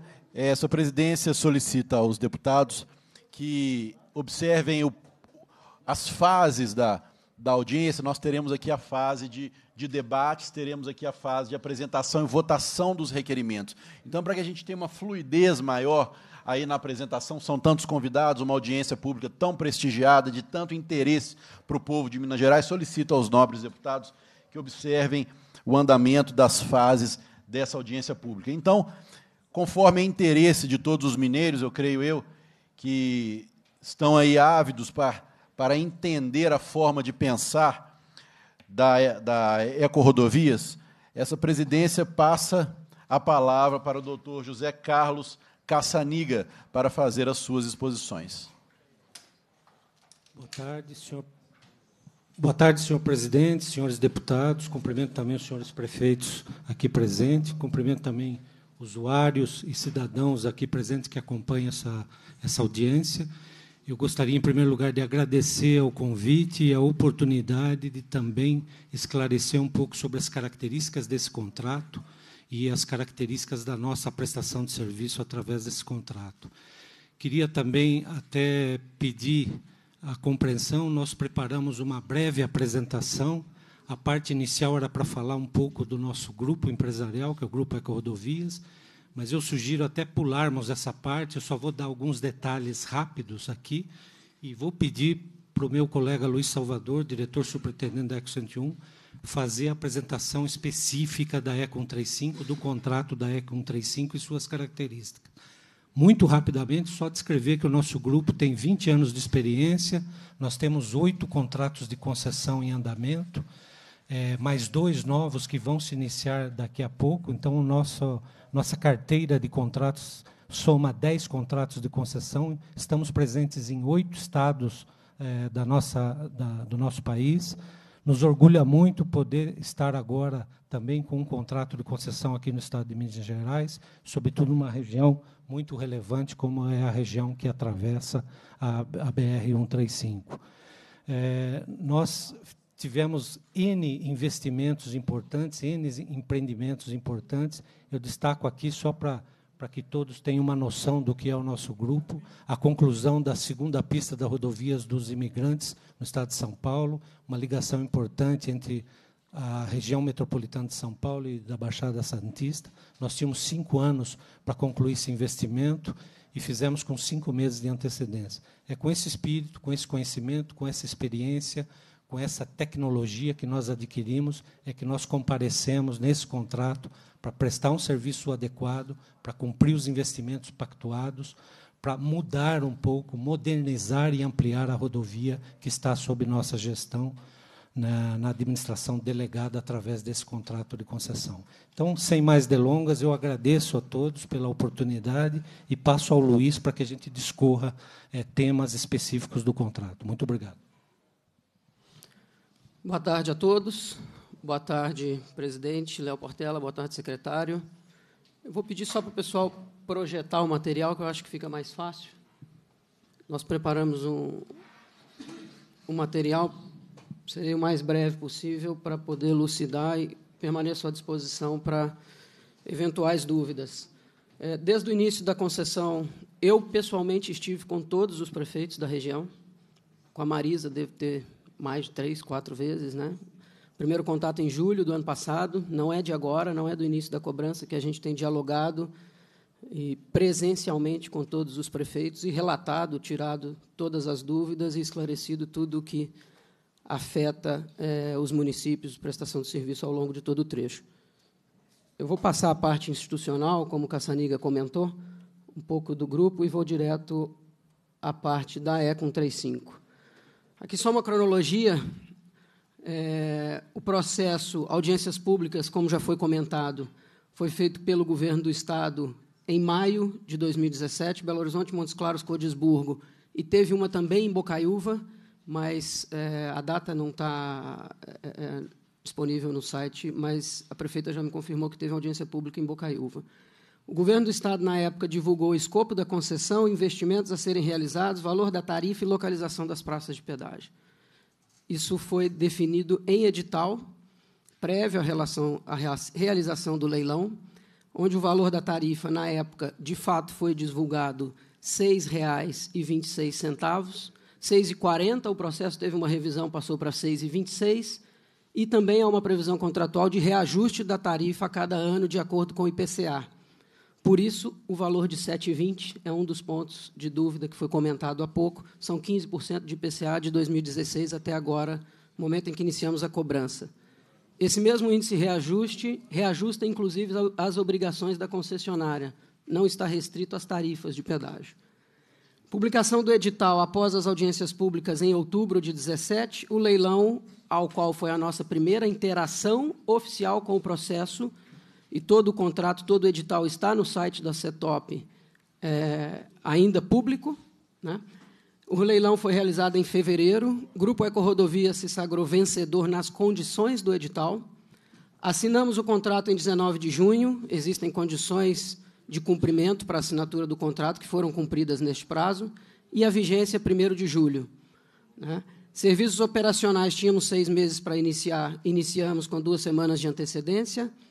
Início da operação das praças de pedágio com nove meses, 1 de abril, que começou agora na última semana e também o edital definia, é, divulgado na época da audiência pública, a conclusão dos trechos de duplicação até 2023. Bom, os principais pilares do contrato de concessão, é, obrigações da concessionária, recuperação, manutenção e conservação de todo o trecho, prestação de serviço aos usuários, ambulâncias, guinchos, é, atendimento mecânico, realização das obras de ampliação, com destaque nas duplicações, pagamento da outorga e tributo, e origem dos recursos que sustentam a realização de todos os investimentos. Capital do acionista, financiamentos, respondendo a uma pergunta que foi feita anteriormente, e arrecadação de pedágio. Essas são as origens dos recursos para a realização desses investimentos, os principais pilares. Modalidade do leilão. Seria vencedora a empresa que oferecesse a maior outorga. No caso, a Ecorodovias, em fevereiro de 2018, como eu comentei, foi a vencedora, junto concorrendo com outros dois proponentes, foi 2 bilhões e 60 milhões, valor base janeiro de 2016, esse valor a cada ano, à medida em que forem realizados os pagamentos, eles serão atualizados pelo IPCA. O segundo colocado, 1 bilhão e 200, terceiro colocado, 858 milhões. Isso são materiais disponíveis, inclusive, no site do Governo do Estado, da época do leilão. O pagamento da outorga são 348 prestações, 29 anos, Base de janeiro de 16, 5 milhões e 900 e 6 milhões e 800 base atual, corrigindo pelos 15% que eu mencionei anteriormente. Em julho, iniciamos o pagamento dessa outorga. Um pouco da 135, a região, acho que todo mundo já conhece, é uma rodovia muito importante para o estado de Minas e para o Brasil, o país.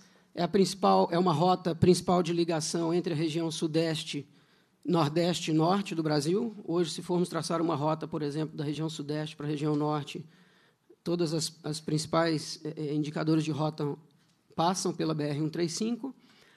Como eu disse, foi assinado em 19 de junho, com vigência a partir de 1 de julho de 2018, ao qual passam a ser contados todos os prazos de 30 anos de concessão. Os principais dados da concessão, vou passar um pouco mais rápido, 300 quilômetros na 301 quilômetros na BR 135, mais 63 quilômetros no trecho da rodovia estadual que liga Curvelo ao, à BR 040. Atendimento ao usuário nós iniciamos dia 17 de dezembro, o prazo era 30. Eu peço só que o senhor observe o tempo que nós temos para cada convidado, cinco minutos, já se excedeu um pouquinho, que haja uma celeridade okay. maior na okay. apresentação dos dados de maneira mais, mais efetiva, de maneira mais eficiente. Está entendido, deputado. Os dados básicos eu vou passar, então. Investimentos em obras de ampliação, esses são os principais marcos da concessão, primeiro ano, segundo ano, recuperação inicial da rodovia, início da realização de terceiras faixas, início da duplicação, término da duplicação. Eu vou falar um pouco mais adiante, detalhadamente. Como estamos hoje? Trabalhos iniciais de recuperação da rodovia concluído, restabelecimento das condições mínimas de segurança e atendimento às normas de engenharia, serviço de atendimento ao usuário em plena prestação aos usuários da rodovia e estamos iniciando a fase de recuperação e obras de ampliação ao longo de todo o trecho. Projeto executivo de duplicação, no próximo mês a gente já vai começar a submeter para as prefeituras é, dos trechos que serão duplicados. Eu já tive com os prefeitos e já abordamos esse tema. Licenciamento ambiental é conjunto, é, obrigação da concessionária em conjunto com o governo do Estado, justamente para que possa não possa ser um entrave para a realização das obras, assim como as realizações das desapropriações. O que já fizemos? Condições prévias estabelecidas em contrato para início da cobrança de pedágio. está bem, está bem descrito no contrato de concessão. Disponibilização de serviços aos usuários, iniciamos em dezembro, com 14 dias de antecedência. E realizações das intervenções dos trabalhos iniciais, concluímos agora em março, com atestação técnica em campo e verificação de engenharia. Aqui eu vou passar rapidamente, ilustração da nossa estrutura operacional, das bases que estão localizadas ao longo de todo o trecho. Só alguns fatos interessantes. 3.500 atendimentos é o que já realizamos até agora, entre médico, mecânico e de emergência. 8 mil ligações recebidas. Essa é a estrutura operacional nossa. Estão todos convidados a conhecer. Nosso escritório fica em Curvelo. E todas as instalações ao longo de todo o trecho. 17 veículos de apoio, torres de radiocomunicação, nós temos uma central, o Centro de Controle Operacional, que fica em Curvelo, monitorando todas as demandas ao longo do trecho. Temos 24 câmeras, vários números operacionais. A gente realizou, por prática do grupo, como o Caçaniga comentou anteriormente, nós realizamos em índices, inclusive superiores ao que tem é, previstos no contrato de concessão. Só um exemplo: as câmeras de monitoramento são seis, de obrigação, nós temos 24. Ambulâncias são cinco, nós temos seis. Guinchos são é, quatro guinchos, nós temos seis. Isso tudo depois eu posso compartilhar com um pouco mais de detalhe. Um pouco do resultado em nove meses. É, esse é o trecho urbano de Bocaiúva, o prefeito deve conhecer bem, onde a gente já trabalhou antes e depois da concessão. Em nove meses, o que já foi feito ao longo de todo o trecho. Ilustrativo. Contenção na Serra de Bocaiúva, existia é, ocasiões até de interrupção de tráfego, nós já fizemos uma contenção que elimina esse risco de interrupção de tráfego com deslocamento de rocha, recuperação de passarela, conservação de trecho. Eu vou passar um pouquinho mais rápido. E o que vamos fazer daqui para frente? Duplicação do trecho de Montes Claros Bocaiúva, duplicação do trecho de Corinto ao Trevão de Curvelo. Realização de terceiras faixas no trecho central de Bocaiúva a Augusto de Lima, além de implantação de faixas adicionais, acostamento, passarela, melhoria de interseções e acessos. E essa é a configuração da rodovia, acho que esse é o, o, o principal, talvez, material de como é a rodovia hoje e como ela vai ficar agora, já no, principalmente no quinto ano que foi definido no edital. Hoje nós temos a rodovia, é, toda ela em pista simples, teremos boa parte do trecho com duplicação, além do trecho central com a realização de terceiras faixas. Destaque para o trecho Montes Claros Bocaiúva e para o trecho de Corinto Curvelo. Como eu disse, todas essas obras serão iniciadas já no próximo ano. A gente já está com os projetos executivos bem avançados, assim como o processo de licença ambiental, ao qual vamos protocolar em conjunto com a CETOP, na Secretaria do Meio Ambiente, com um ano de antecedência, justamente para evitar que tenhamos é, um entrave de prazo que nos possibilite o início das obras. Aqui é só uma ilustração, eu vou passar mais rápido, por exemplo, do trecho Montes Claros Bocaiúva, da duplicação que vai ser realizada já iniciada no próximo ano. Além da duplicação, faixa adicional, quatro trevos em desnível, quatro passarelas de pedestre. Esse é o trecho de Montes Claros, onde terão os trevos. Na chamada Avenida do Exército e no Rodoanel de Montes Claros terão trevos em desnível, já com a rodovia duplicada. Trecho urbano de Bocaiúva também, trevos em desnível. Esses, esses projetos, em breve, agora a gente vai compartilhar com a Prefeitura e implantação de faixas adicionais. Quanto aos benefícios para a região, como disse o secretário, apenas com a arrecadação de pedágio já iniciada, teremos aproximadamente 10 milhões por ano de repasse de ISS aos municípios. Isso já foi relatado, inclusive, para todos os prefeitos. A gente já tem o percentual de cobertura de cada prefeitura. Estes são os principais, todos os municípios, aliás, todos os municípios abrangidos pelo nosso trecho e que terão a proporcionalidade de recolhimento desse ISS. Total de investimento, 5,9 bilhões, dividido dessa forma entre outorga, serviços operacionais e investimentos em obras de ampliação e restauração. O deputado Paulo Guedes mencionou, de fato, as, os investimentos em obras e restaurações, mais de 50% serão realizados nos cinco primeiros anos. Estamos preparados para isso. Estamos com os projetos avançados, parte disso já foi realizado na recuperação inicial, mas as principais obras serão iniciadas no próximo ano, com conclusão até o quinto ano. Hoje já temos mais de 200 empregos diretos na concessionária e mais de 1.300 empregos indiretos em toda a região gerada é, exclusivamente pela prestação de serviços da concessionária. Bom, de forma breve, presidente, eu acelerei um pouco a apresentação. Estamos à disposição para qualquer esclarecimento complementar à apresentação. Muito obrigado. Obrigado, Luiz Carlos. Essa presidência passa a palavra ao deputado Gil Pereira, também representante do povo norte-mineiro. Boa tarde, presidente Léo Portela. Quero saudar o nosso secretário Marco Aurélio, o nosso amigo Fabrício, né, os representantes da empresa, saudar os nossos é, amigos deputados que estão aqui nesse debate, os prefeitos, a pessoa da prefeita Marisa de Bocaiúva, o vereador Rodrigo Cadeirante e o Pedro, né, todos os vereadores aqui da nossa, da nossa região. Presidente, é, já falamos por diversas vezes, né, e ontem já foi consumada aqui pelo deputado Casmenta falou, entramos na justiça, é, porque real, realmente achamos inadequado né, o que vem acontecendo. Primeiro, é, foi colocado aqui muito bem, e eu lembro é, também a demora da questão ambiental. Hoje, o nosso Estado, é, diferente dos outros estados da federação, demora muito da licença ambiental. Eu lembro da 040, ali perto do Trevão. Tinha uma, questão da minhoca lá, né? ficou, o Sul ficou lá uns três, quatro anos para liberar, né, Carlos Pimenta? Tadeuzinho, é, Vigílio, que sempre passou nesses caras, o nosso Zé Reis, o nosso Douglas, o Cleitinho, né, é, a Leninha. Então, ficamos é, premente da duplicação por vários anos e vários acidentes ocorreram porque né, o Fabrício, já de muitos anos do DR, na CETOP, sabe disso. Então, a preocupação nossa vai duplicar, mas vai começar o ano que vem. É no final do ano que vem que vai começar? Né? Será que até lá o Estado vai liberar, é, Bardot, a licença para iniciar essa duplicação? Dizer, o questionamento é por que não é, é, só começar a pagar os 7,20 depois que realmente é, iniciar essa duplicação.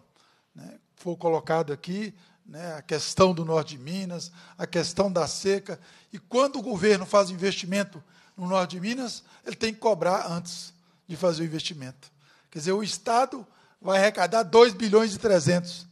Por que não repassar isso para os municípios do norte de Minas? Por que não repassar isso para as prefeituras que estão sendo é, é, prejudicadas? No caso de Bocaiúva, já falei com, com, com o secretário, quer dizer, se a ambulância for levar uma pessoa em Montes Claros, por exemplo, ela vai levar é, e não vai pagar o pedágio. Mas se voltar só o motorista, vai cobrar o pedágio.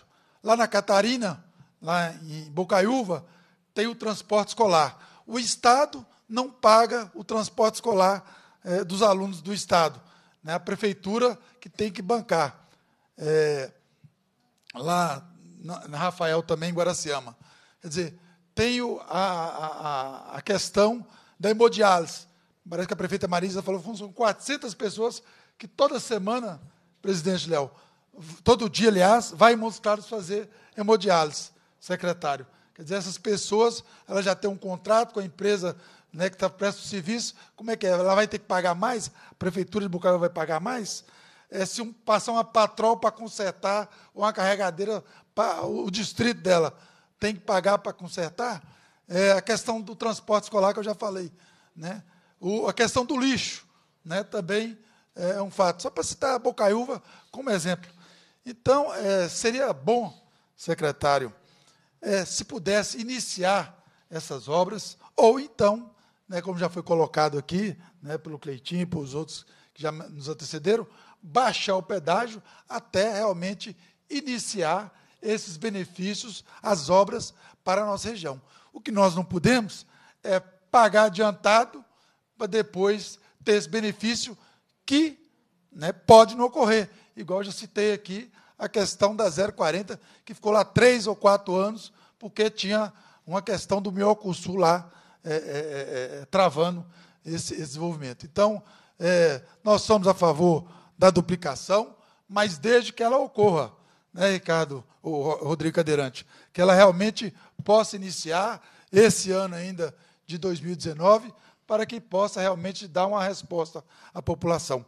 Só para concluir, senhor presidente, é, falou aqui da BR 262, a 0,50, que o Cleitinho conhece muito bem, a 381, falando do, do, do 0,13 centavos, mas é, a 381, por exemplo, ela é 100% duplicada.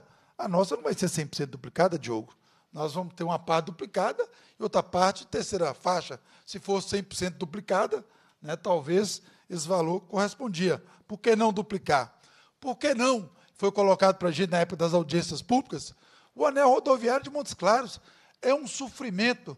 Eu já fui dezenas de vezes no DR, era uma obra federal, fui dezenas de vezes no DENIT, um ficava empurrando para o outro, e infelizmente não foi feito o anel.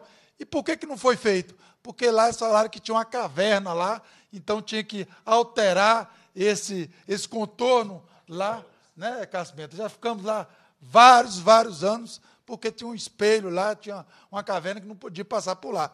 Aí, quando faz o, contorno, já está dentro da cidade. Então, realmente, é uma reivindicação que eu faço aqui, em nome do povo de Montes Claros, em nome do povo norte de Minas, que possa incluir, secretário Marco Aurélio, também o anel rodoviário de Montes Claros nessa, nessa planilha e nessa execução dessa obra, cobrando essa tarifa, que já falamos uma vez, já falamos duas vezes, nós achamos muito alta e queremos que ela seja um valor justo para que o cidadão norte-mineiro possa trafegar e pagar esse valor. Muito obrigado, senhor presidente. Obrigado, deputado Gil Pereira. Seguindo a ordem de exposição, passo a palavra para o doutor Fabrício Sampaio, diretor-geral do DR Minas Gerais. Boa tarde a todos. O deputado Léo Portela aqui em cumprimento os demais parlamentares presentes. É, nada, não tem muito a acrescentar ao que já foi dito aqui pelo secretário, uma vez que a concessão é uma atividade da própria secretaria. O DR tem atividade executiva em todas as rodovias do Estado, são cerca de 28 mil, dos quais 21 mil pavimentados, à exceção das rodovias concessionadas, que são de responsabilidade da Secretaria. E o nosso trabalho, junto com a Secretaria, é um trabalho de delegação da Secretaria para o DR, no sentido de que nós exercemos a fiscalização sobre a empresa contratada. Ou seja, nós temos os parâmetros a seguir previstos no contrato, e esses parâmetros, através de uma equipe é, montada lá no DR, são acompanhados e informados à secretaria. Então, não há necessidade de tomar mais o tempo de todos, porque as questões todas aqui levantadas dizem respeito a questões contratuais que já foram e estão sendo respondidas diretamente pelo secretário. Mas muito obrigado. Obrigado, doutor Fabrício. Passo a palavra à deputada Leninha. Na ausência, passa a palavra ao deputado Tadeuzinho. Ah, a deputada Leninha retornou. Chegou a tempo, deputada Leninha. Com a palavra.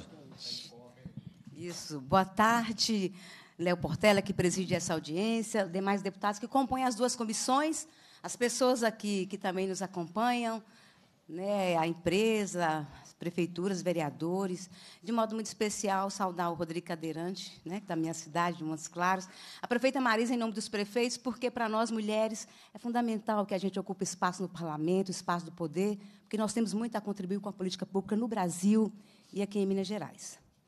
Eu queria começar trazendo três questões, né, Queria cumprimentar o que o secretário também, Marco Aurélio, a gente já esteve junto tratando desse assunto, né?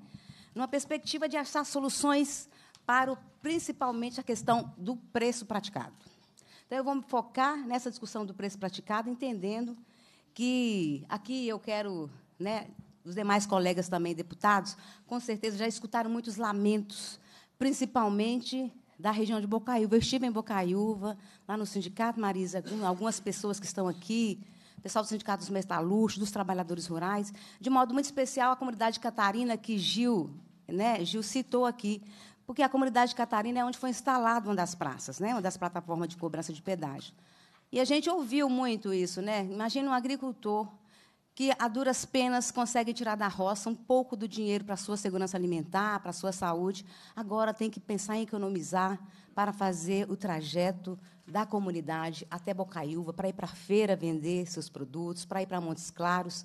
Nós estamos falando da questão do preço, porque é, para a gente é, é assim, um profundo pesar de que comece com um preço tão caro. E aí, em nenhum momento, essas pessoas colocaram a importância da praça de pedágio, a questão da segurança, uma série de fatores positivos que vêm com esse processo, que é um processo de futuro. Né? Nós estamos vendo que o secretário anunciar que no Brasil, isso não é só Minas Gerais, as parcerias privadas elas vão acontecer e isso é uma realidade. Então, nós não estamos discutindo né, essencialmente a instalação do pedágio, mas essencialmente os preços praticados. Então, ouvimos muitas queixas, muitas, e aí a gente tem algumas críticas a fazer e é uma solução que o Paulo Guedes, inclusive, falou, mas eu li o contrato, tentando entender onde é que nós poderíamos achar alguma solução. E eu espero que essa audiência, além dessa ação que a gente judicializou, que essa audiência possa sinalizar algumas possibilidades para rever as tarifas que está colocada.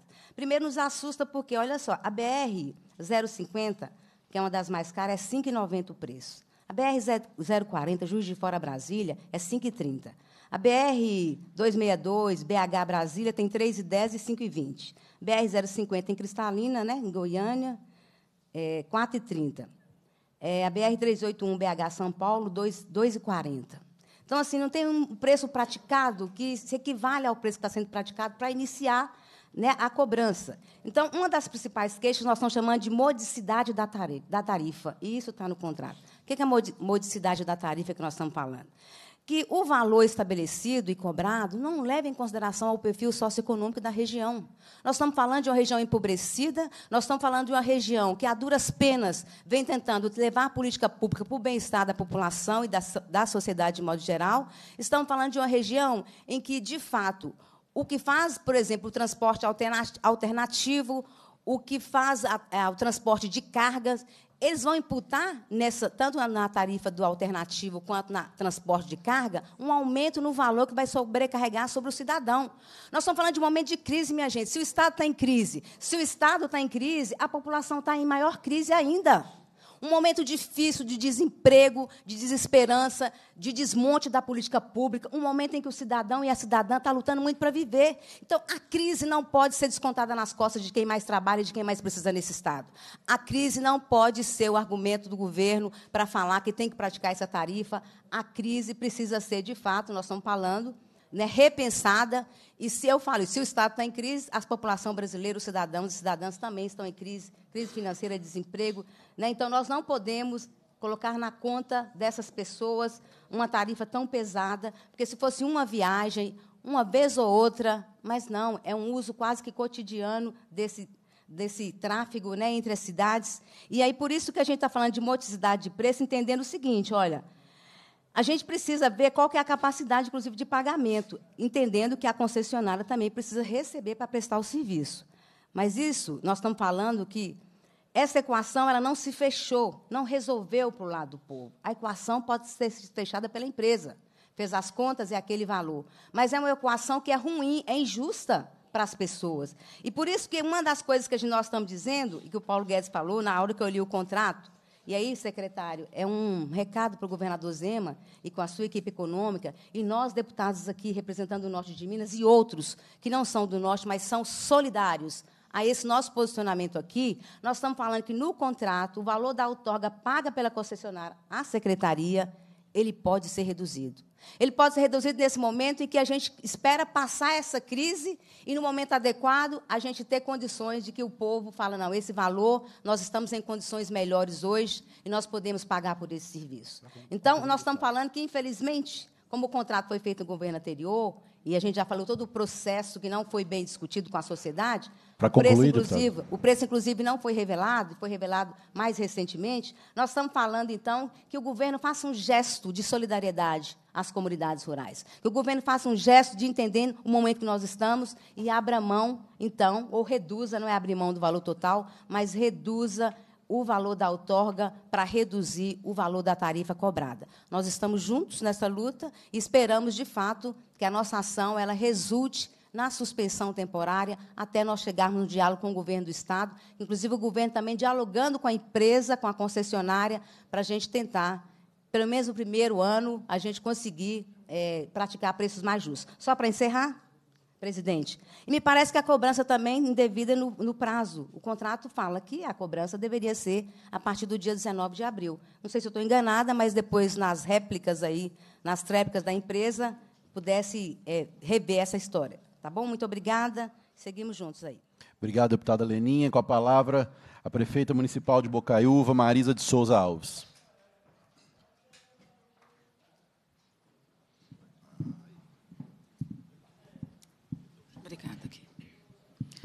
Boa tarde a todos, boa tarde a todas. Cumprimentar em especial os vereadores da cidade de Bocaiúva que compareceram hoje aqui, quase que na sua totalidade, para acompanhar esse importante momento junto com a nossa comunidade.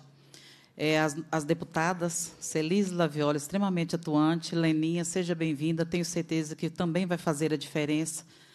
Nós sabemos o quanto nos custa é, atuar nesse, é, nesse meio tão machista. Né? Machista é mais de homem, não é machista de nenhum preconceito, mais há, não é? Mas é um meio mais masculino. Pessoal, é, se eu fosse filtrar tudo, eu quero muito ser sucinta nas minhas palavras. Pastor Cidevaldo de eu te mando um abraço. É, eu gostaria aqui, primeiramente, de agradecer aos deputados que se movimentaram nesse sentido, viu? É, nós precisamos de voz. A gente está aqui, ó. Nós estamos sufocados, nós estamos quase que sem rumo. São milhares de pessoas que dependem de cada um, de cada uma liderança que aqui está. E a gente viveu momentos de terror nesses anos. E o que eu acho, acredito que é o mais importante aqui, a todos nós, ao pessoal da ECO, que a gente tem um bom relacionamento de informação, inclusive, o que é mais importante para nós? É, chegarmos no consenso que é possível. É possível chegar nesse consenso. É, eu quero crer que todos aqui nessa sala, independente do ambiente que se está, à direita ou à esquerda, aqui na frente ou aqui sentado na assistência, temos nós o mesmo objetivo, que é cuidar dessas pessoas que esperam muito da gente. Passar por esses momentos de extrema dificuldade, e, ao mesmo tempo, lidar com todas as nuances de um governo estadual e federal que ainda não se mostrou muito é, ao que veio. E hoje o Estado deu aquela sinalização através do governador de diálogo, de responsabilidade, de encarar é, os prefeitos e dar uma resposta. É, eu faço aqui, Marco Antônio, você portador dos cumprimentos, porque eu já dei pessoalmente ao governador, eu estava na audiência. Muito importante, não fugir do embate. E como a gente precisa aqui, é embate, é diálogo, é conversa, somos nós que vamos apontar os caminhos. Os nossos deputados da região, Deus lhes abençoe pela palavra que a gente precisa dessa voz, muito aqui. Olha, quero agradecer também ao subsecretário Diogo, é, que nos recebeu de pronto, com toda a demanda, como diz ele, hoje eu vou para casa, mas eu acho que eu não vou dormir preocupado. Pessoal, olha para vocês verem.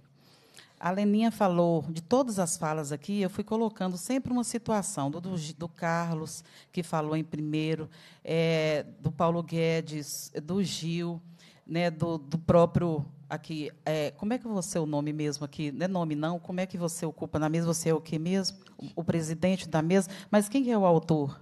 Autor? São três autores do São três autores. Douglas Melo, deputado Cleitinho Azevedo, Douglas Cleitinho Pimenta. e Carlos Pimenta. Carlos faz nos seus, nos seus, no palanque aqui, no seu, no, na hora que ele pega a palavra, ele é um defensor de Bocaiúva, né, que nos dá muito orgulho de ter do nosso lado, assim como o Gil, que já é de muito tempo. Gente, Bocaiúva, cidade de 50 mil habitantes, ela, tá, ela é responsável pelo atendimento médico no hospital 100% SUS e municipal, por oito cidades. Nós atendemos 120 mil pessoas e o Estado hoje nos deve, só para a saúde, 11 milhões de reais. Quando falou-se que é, Salvador, só vou fazer uma correção, eu, foi eu até que te dei uma informação acerca da audiência pública, Bocaiúva não teve audiência pública. Bocaiúva teve o que foi se chamado, em 2017, foi chamado de Fórum Rodoviário, dia 25 de setembro de 2017, onde esteve presentes é, representantes dos fóruns e, e o secretário Murilo. Claro que naquela época os pontos polêmicos não foram abordados nas audiências, porque assim é, já mostraria para o povo tudo aquilo que o povo precisaria de estar é, consciente daquilo. Paulo Guedes falou o seguinte: nós enxergamos as melhorias. Por um povo largado, que é o pessoal do norte, nós não somos vistos, não. A gente só é lembrado naqueles momentos necessários e a gente só é visto por isso. Um povo que parece que todo mundo acha que é um povo pobre, o pessoal acha que o povo do norte é um povo é, com dificuldades extremas. Nós não somos esse povo, não. Nós somos um povo guerreiro que, enquanto tudo é desenvolvido, o norte de Minas ainda fica com pires na mão, dependendo de cana e caixa d'água para sobreviver. Esse povo merece respeito e não pode pagar a conta por aquilo que não é dele. Nossa cidade está pagando hoje, passando pelo pedágio, e eu estive na, na ECO, eu estive na Secretaria de Fazenda com, com o doutor Gustavo, é, eu tive nos senadores, eu falei, só não tive com o Bolsonaro, porque eu ainda não tive a oportunidade. Não é? Mas eu estive em todos os nossos deputados, nas subsecretarias, implorando para aquilo que a gente acha que é direito. Acho não, tenho certeza. Como que se faz uma concessão e não se coloca os veículos do município, placa branca, isentos? Bocaiúva transporta 120 mil pessoas diariamente para Montes Claros. Diariamente, não. É responsável pelo transporte de 120 mil pessoas quando adoecem. A nossa oncologia, quimioterapia, radioterapia, é toda feita em Montes Claros. A gente transporta em ônibus e esses ônibus estão pagando. Não estão pagando só 7,20. Estão pagando 14 e alguma coisa. O lixo da nossa cidade é transportado todo para Montes Claros, porque é um TAC que foi feito. São quatro caminhões fazendo quatro viagens por dia, passando e pagando. Quem está pagando essa conta? Mais uma vez nas costas do povo, porque a empresa eh, já exigiu reajuste e nós precisamos conceder. De onde que sai esse recurso? Do bolso do povo, dos cofres de uma prefeitura que ainda não recebeu nada por isso. Para concluir, prefeito. Concluo. Eu quero concluir dizendo que, além do transporte escolar, que a gente agora, graças a Deus, o governador assinalou hoje, dividindo em parcelas e vai quitar é, as parcelas de 2018, fracionadas agora nesse, nesse, dentro dessas parcelas, é, nós pagamos para transportar a saúde, o nosso lixo, é, as nossas crianças para o próprio Estado e adolescentes, os nossos agricultores é, familiares na pessoa do seu Antônio, que eu tenho muito respeito pela luta, e todos os demais aqui que levantam essa bandeira, senhores, revisar a tarefa é necessário. Eu acredito que se pode chegar num acordo, o Estado revisar isso. Nós sabemos que nós não podemos, quando assina um contrato, prefeitura ou Estado, a gente não pode abrir mão da receita. A gente comete crime, descumprir um contrato. Mas olha aqui, está na mão hoje do Estado, mais uma de todas as heranças que o Estado recebeu, está nas mãos desse governo atual agora. A empresa ela ganhou legitimamente. O Estado fez o contrato, mas é o Estado, a CETOP, vai precisar de rever isso com a máxima urgência. O povo de toda a região, de todas as cidades vizinhas da Bocaiúva que passam pela 135, precisam urgentemente da ação de vocês. Muito obrigada. Obrigado, prefeita. Com a palavra, o deputado Tadeuzinho. Boa tarde a todos, boa tarde a todas. Eu não vou demorar, presidente, Léo Portela, agradecendo a oportunidade. Cumprimentar aqui todos os meus colegas presentes, não só os autores do requerimento, mas todos os outros parlamentares aqui presentes, estão todos imbuídos numa mesma causa, que é fazer a discussão desse pedágio, dessa concessão na BR-135. Saudar aqui todos os prefeitos e prefeitas, através do meu amigo prefeito de Guaraciama, Rafael, que está aqui se encontra presente todos os vereadores e vereadoras através da Fátima de Francisco Dumont, enfim, comentar todos os amigos e amigas aqui, comentar de forma especial o nosso secretário Marco Aurélio e já o cumprimentar por, pelo início da sua fala, quando ele deixa à disposição e diz que sempre que for convidado estará presente nesta casa. É através do diálogo, secretário, exatamente que nós vamos conseguir construir melhores rumos para o nosso estado de Minas Gerais. Mas quero aqui, de forma breve, primeiro trazer aqui a informação, e todos nós estamos acompanhando, de que essa audiência pública, ela nada mais é do que, de fato, um sentimento que todos os representantes do norte de Minas, do estado de Minas Gerais, talvez posso dizer assim, cara amigo Fabrício, diretor DR, quero comentá-lo também, estão trazendo, através dos seus representantes, a população para essa audiência pública. E falo isso porque, obviamente, nós não podemos, aqui num primeiro momento, condenar o governo atual por essa concessão, porque todos nós sabemos que essa foi uma concessão feita ainda na gestão passada. Mas nós podemos aqui, nesta Casa Legislativa, cobrar sim explicações e, mais do que isso, cobrar um posicionamento do governo atual sobre a, o, as informações e o conteúdo do contrato, até porque quem está gerenciando o contrato hoje é o governo do Estado, independente de quem é o governador ou secretário de Estado. Eu acho que é isso que essa comissão faz nesse momento.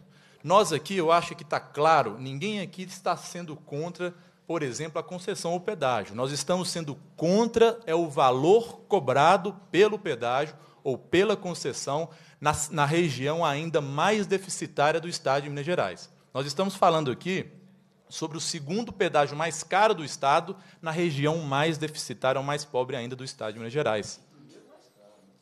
É o segundo? Primeiro mais caro? Eu tenho informação que é o segundo, mas vamos colocar entre os dois mais caros, então, é, mas falando sobre tarifas na região mais pobre do Estado de Minas Gerais. Então, é por isso, por essas e outras, que nós, primeiro, confiamos e acho que é uma sugestão aqui dessa casa, dessa comissão, secretária e todos que aqui estão presentes, para que o governo, de fato, como Vossa Excelência mesmo, secretário, disse, vocês têm, se quiser, autonomia de fazer uma rediscussão. Eu acho que essa rediscussão é fundamental em cima, obviamente, das cláusulas contratuais para que nós não possamos fugir aí do contrato.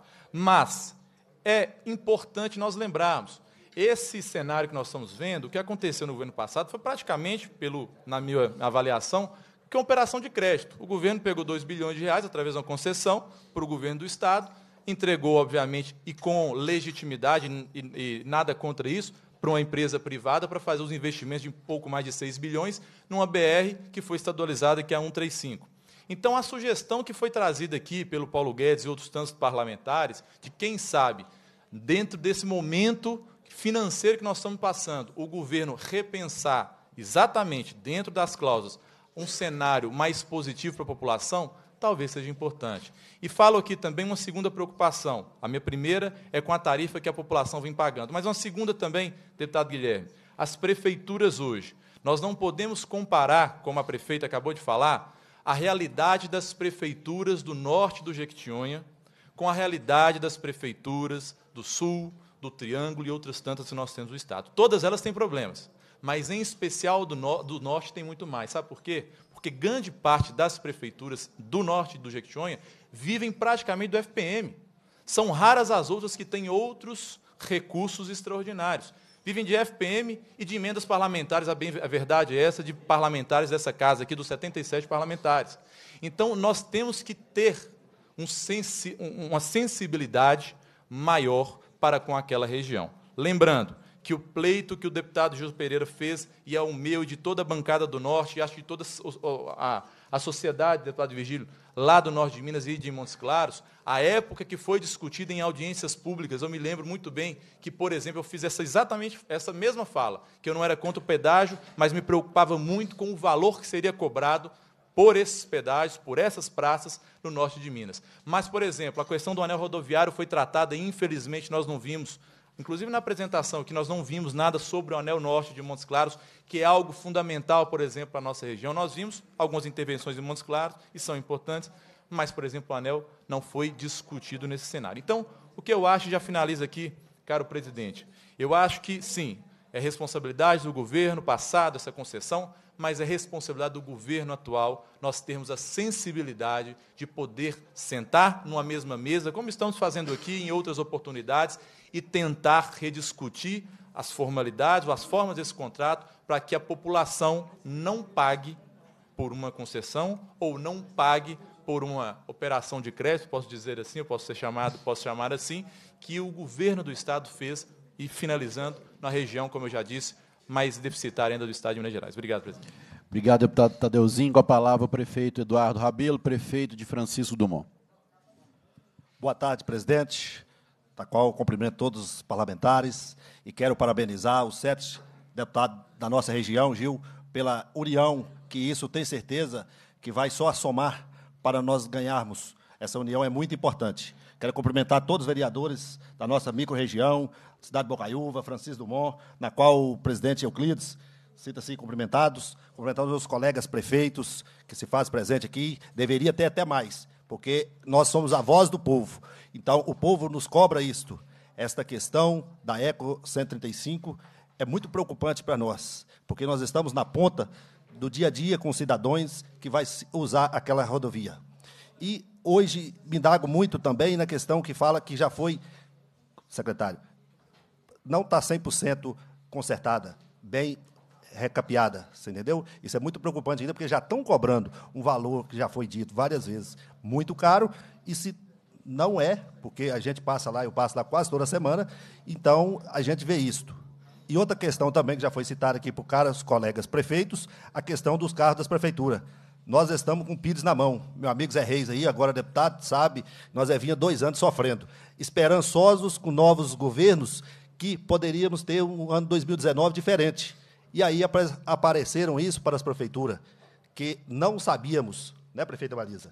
Não sabíamos, fomos pegos de surpresa, é tanto que estamos tendo uma maior dificuldade, porque a prefeitura não tem moeda.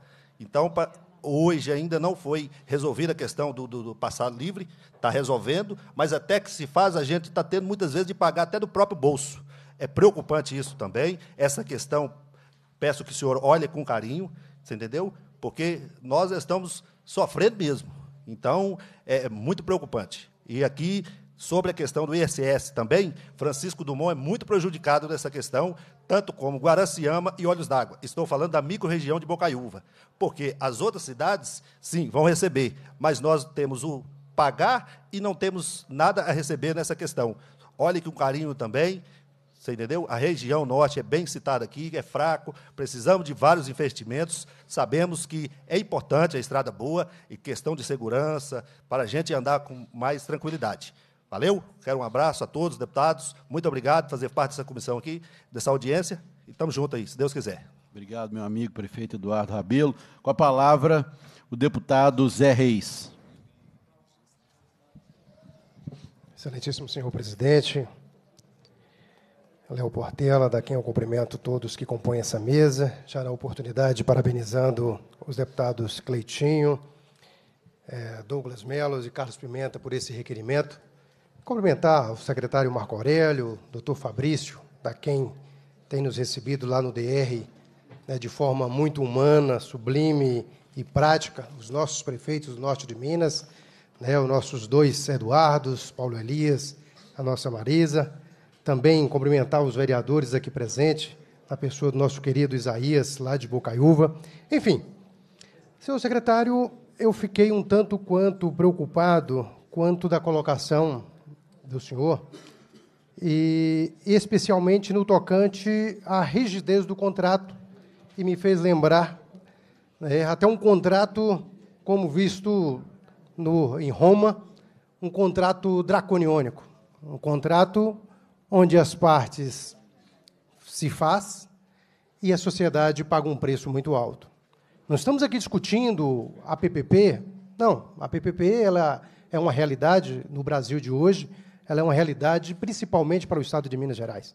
Mas não podemos tolerar, admitir que um contrato antes mesmo de nascer já seja reajustado.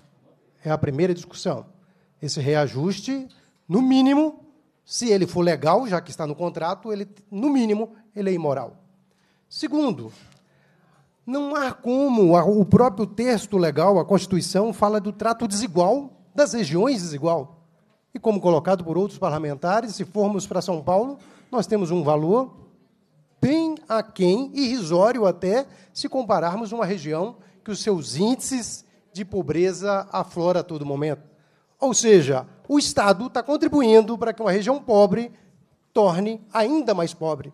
Significa dizer que Dona Mariazinha, que foi na feira, lá em Montes Claros, na semana passada, e comprou lá uma caixa de tomates, no valor de 65 reais.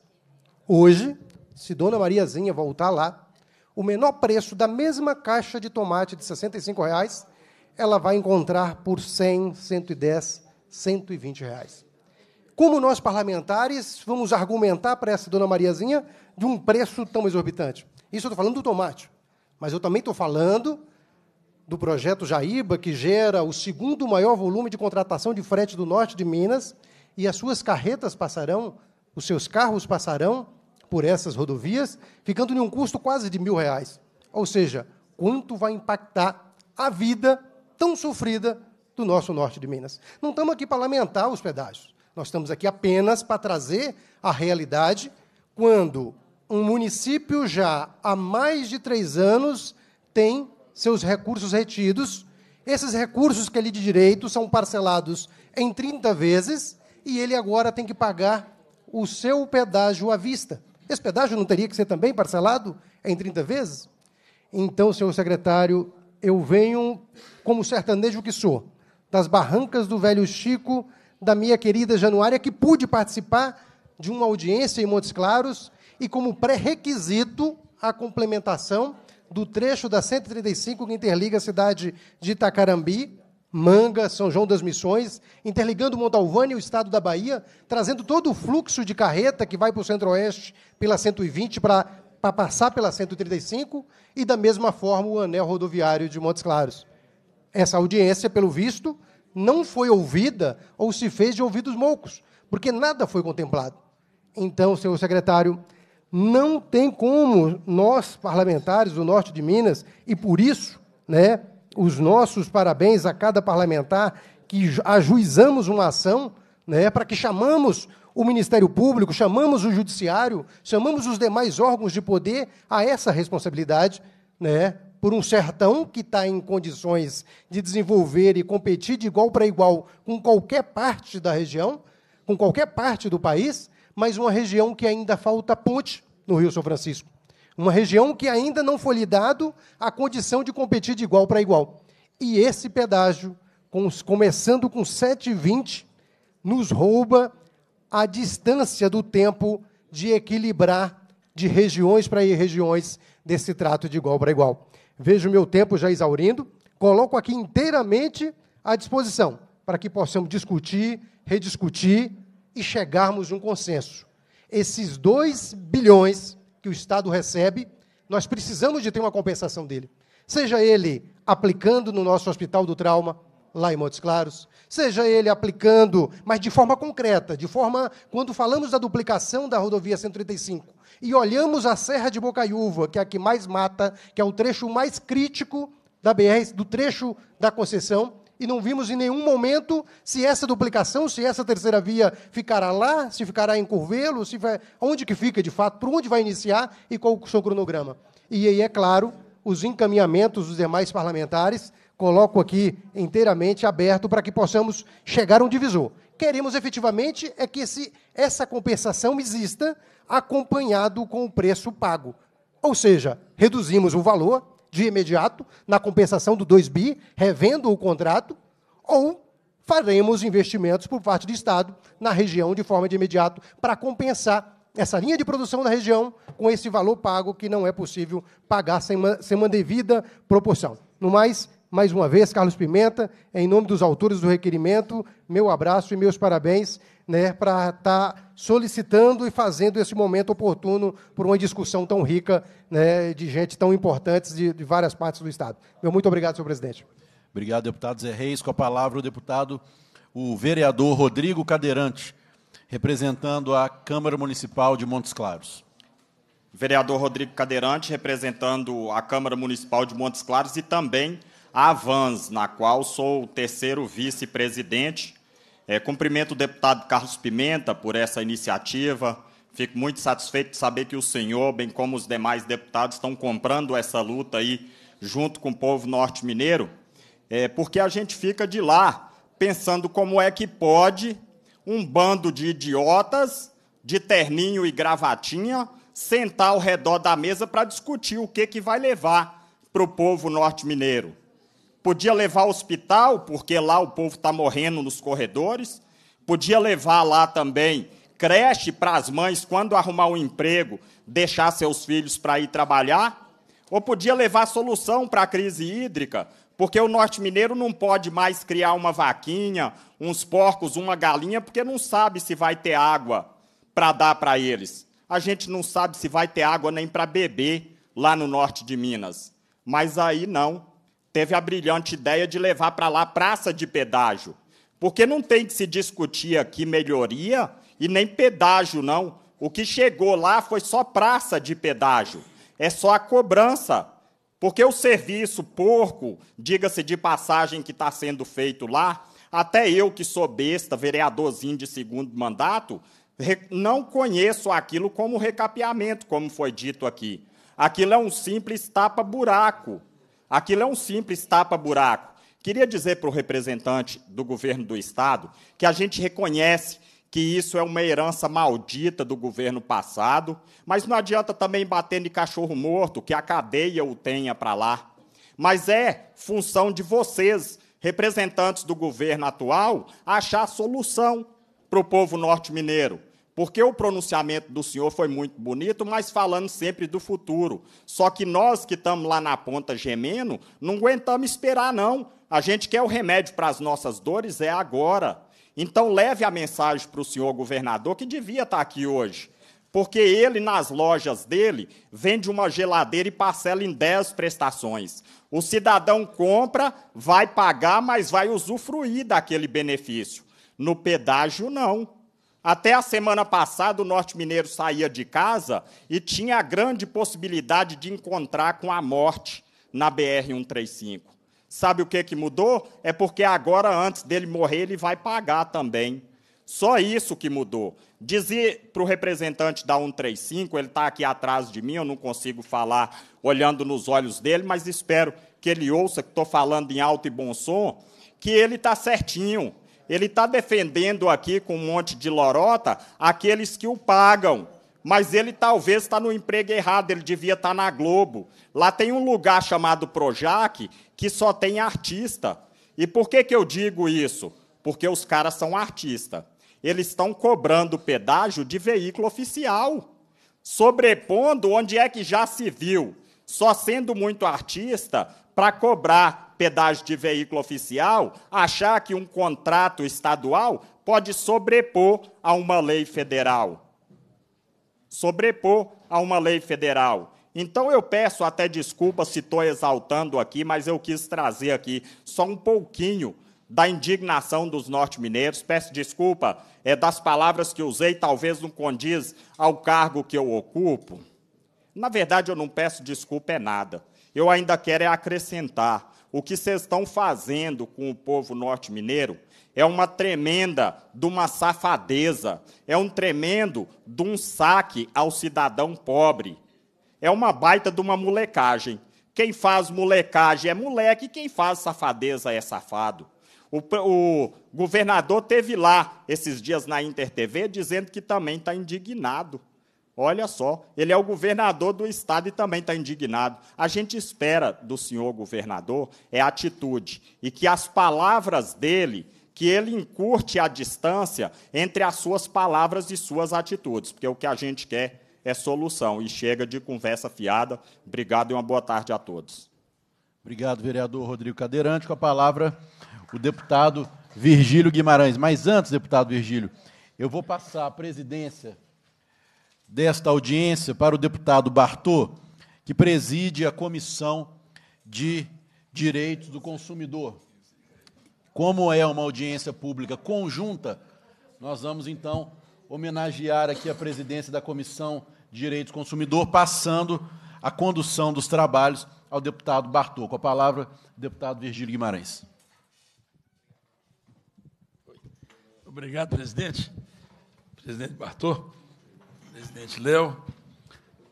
Cumprimento a todos os colegas, todos os convidados, a pessoa do meu amigo ali, vereador Rodrigo, com a sua sinceridade aí, fez justiça ao bairro do Maracanã, onde tem os embates ali mais pesados. Viu, Rodrigo? Meus cumprimentos em seu nome, cumprimento a todos. Eu é, queria começar, secretário, é, dizendo que é, também concordo, eu sou economista e me conhece, sabe. Eu detesto questão de demagogia. Eu discuto a questão da Previdência com base em estudos. A questão do ajuste fiscal, está aqui as pessoas do governo atual que me conhecem. A minha abordagem qual é? E não podemos discutir nada com base em demagogia, nada. Mas tem alguns pontos que têm que ser muito acentuados. Primeiro, primeiro, se esse contrato é leonino, se esse contrato é nocivo ao interesse público, ele pode ser cancelado sim. Não adianta falar que ele é responsabilidade do governo passado. Se ele tem essas características, a empresa deve ser considerada inidônea, tem instrumentos para isso. Isso não afeta a credibilidade. Quando se cancelou vários contratos que estavam em vigor, alvo das investigações que estão na imprensa nacional ou internacional, isso não afetou as condições de credibilidade do país. Eu acredito que, o, se o, o, o contrato for adequado, ele, ele coloca, inclusive, as condições de ter preços módicos. Se ele fugir a isso que está no contrato, ele deve e pode ser cancelado. O governo atual pode fazer isso. O governo atual. Não é que pode, tem obrigação de fazê-lo. Não adianta dizer que, como ele é do passado, não poder mexer. Isso não existe. E eu estou disposto a mexer sim. Se o preço for exorbitante, ele tem que ser cancelado. Se, se houver subpreço, ele tem que ser afetado sim. Até porque o contrato ele é claro quando fala que as partes, no plural, quando nós falamos de, de reequilíbrio econômico, o pensamento remete à empresa, que na tradição pede o reequilíbrio econômico. Mas esse contrato coloca no plural as partes. Se não há equilíbrio, se há desequilíbrio econômico, o governo pode pedir o reequilíbrio. Pode. Se, como disse o Rodrigo, eu acredito muito no Rodrigo. Ele é a pessoa que eu mais me relaciono na Câmara de, de Montes Claros, com certeza. Oi, Rodrigo. Sou lá todo dia com ele, amigo pessoal dele. Se ele diz que o que foi entregue é uma porcaria, Rodrigo, se é uma porcaria, quem recebeu e deu o atestado de recebimento foi o governo atual. Porque se ele não desse o recibo, não iniciaria a cobrança. A cobrança só se iniciou porque o, o que o vereador Rodrigo chamou de uma porcaria foi recebido como adequado. Então, é, é, essas coisas têm que ser vistas de uma maneira muito. Eu, eu me considero aqui como parceiro. Me dirijo aqui não só à empresa, como também ao governo. Eu sou um deputado que dialogo permanentemente com pessoas do governo. Não tenho nenhum problema com isso. Mas é preciso ver, afinal de contas, esse contrato é leonino, ele é superfaturado ou não? Inclusive, no que se refere à questão dos prefeitos, eu quero dizer que uma coisa tem que ficar clara. E ISS não é para pagar despesa nenhuma da prefeitura com isso. Não é.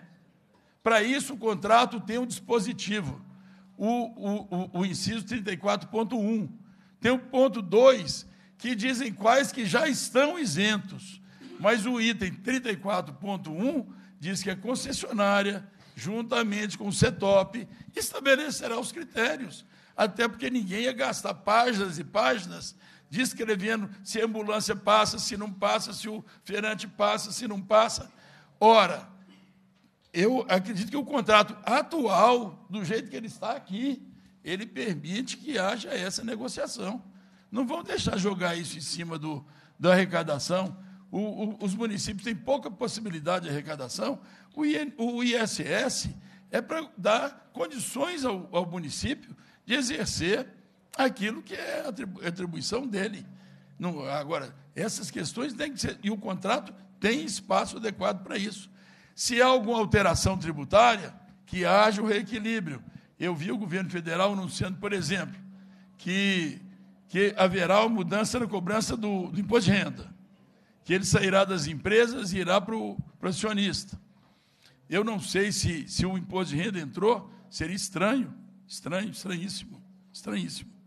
Não podemos transformar o imposto de renda em imposto indireto, que vai entrar como custo para formar a tarifa. Isso seria um equívoco, se é que existe. Na, eu vi no site da empresa, está lá. Nos custos inclui imposto de renda, CLSS e o adicional de imposto de renda. Não sei se é apenas um demonstrativo, ou se isso está na planilha. Se tiver na planilha, é algo a ser verificado. Se não, também o governo já anunciou que vai. Mas eu queria apenas para tentar encerrar aqui, presidente, é que o, o falou-se muito na questão da outorga, aquela contribuição que, que ficará para o Estado fazer as obras adequadas. Se nós zerarmos, como foi sugerido aqui, foi o meu primeiro pensamento. Como eu sou do ramo, eu trabalhei minha vida profissional com custo, com estruturação de empreendimentos de empresa privada. Fiz isso até três meses atrás, antes de vir para cá. Tenho empresa para isso. Só trabalhava com iniciativa privada.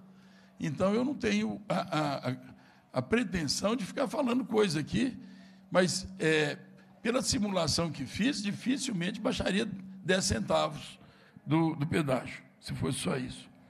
Poderia até pegar a planilha, mas se fosse só zerar essa parte, um impacto sobre o total dos pedágios, de todo o pedágio, será que alguém estaria satisfeito de deixar pagar 7,20 para pagar 7,10?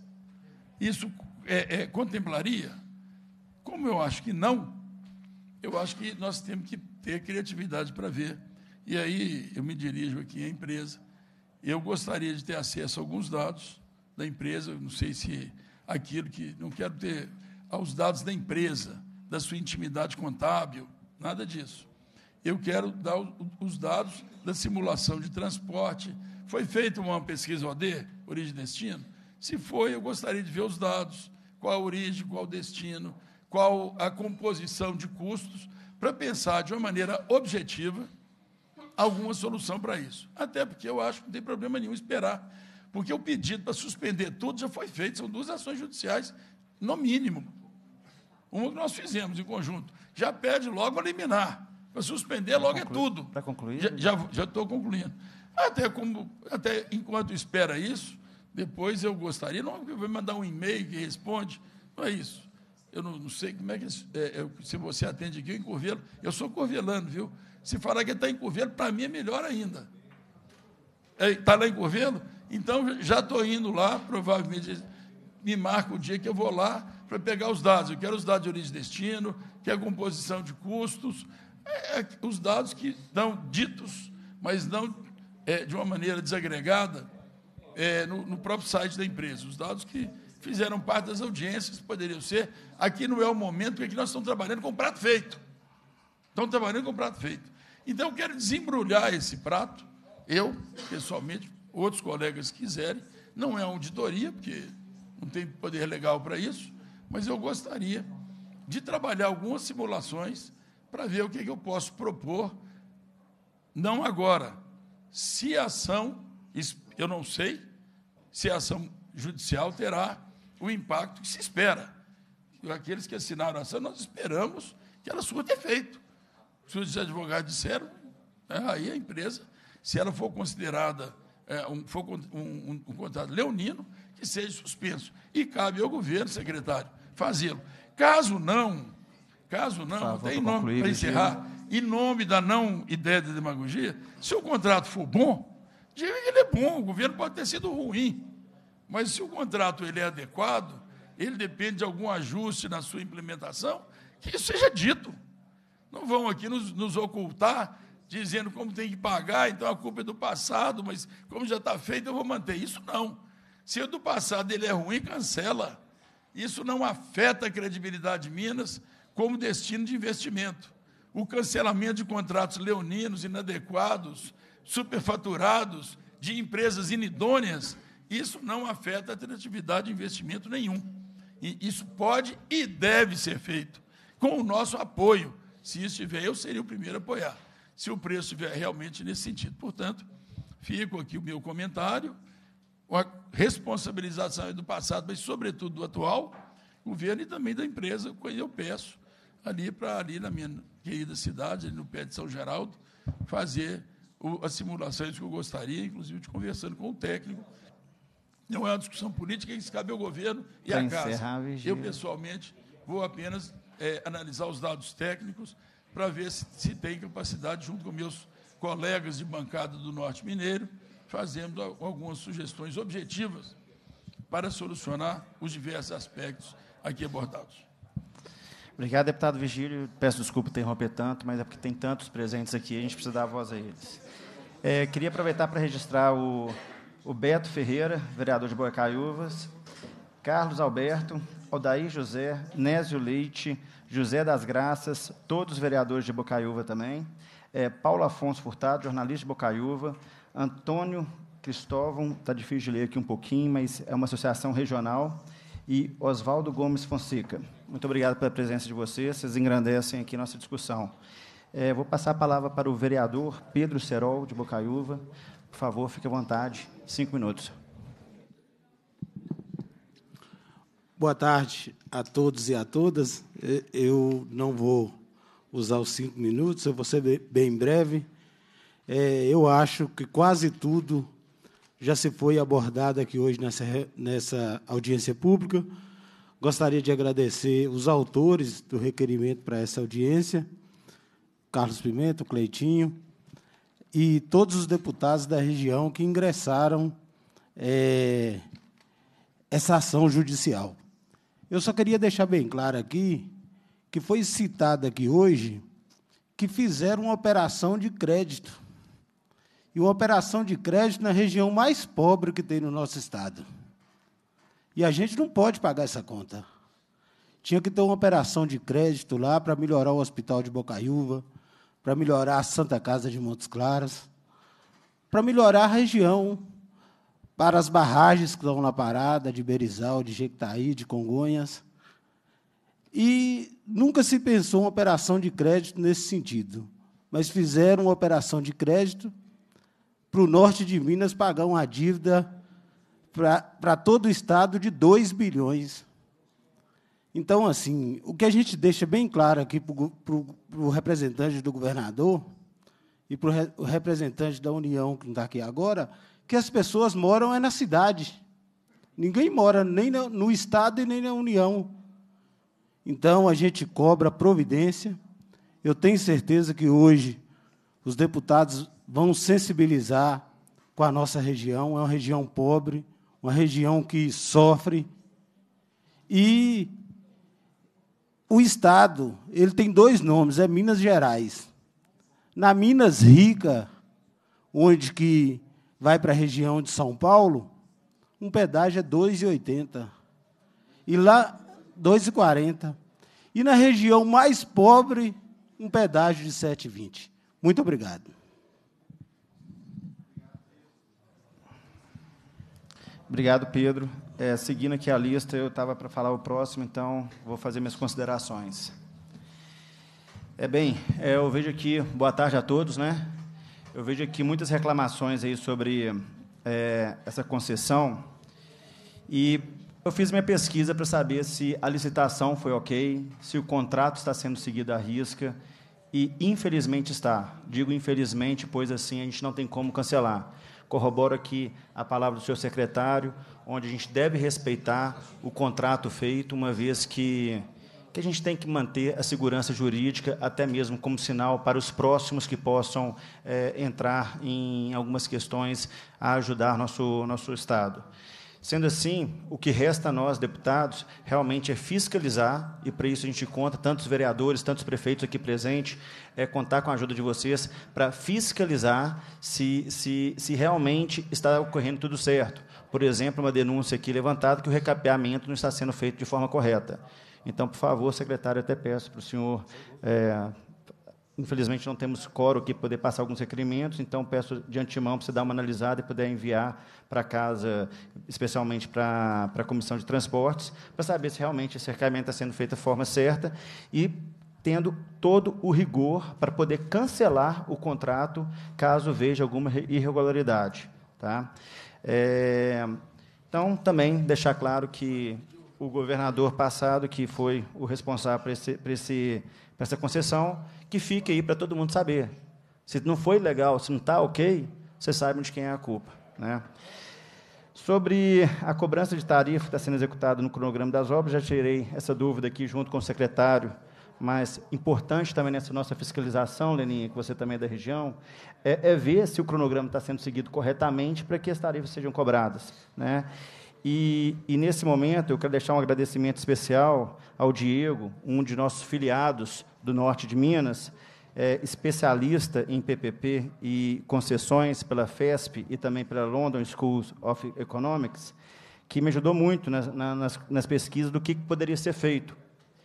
E, e, uma, e uma das, é, aqui eu falo até com a Eco Rodovias, que possam ajudar a gente nisso e com o senhor secretário, uma das, das questões que eu acho que pode ajudar bastante é aumentar um trecho, que seria o trecho de Corinto para Pirapora e Pirapora para Montes Claros, por dois motivos. Primeiro, corre o risco de ter fuga de carros ali nessa região e assim cair o orçamento de vocês e implicar mas se acontecer isso, mas se acontecer isso, o contrato implica em aumentar o pedágio. Mas, mas esse que é o problema, porque tendo a rota de fuga, isso aumenta aumenta o preço do pedágio, porque o contrato pode ser revisto e assim é, aumentando o pedágio.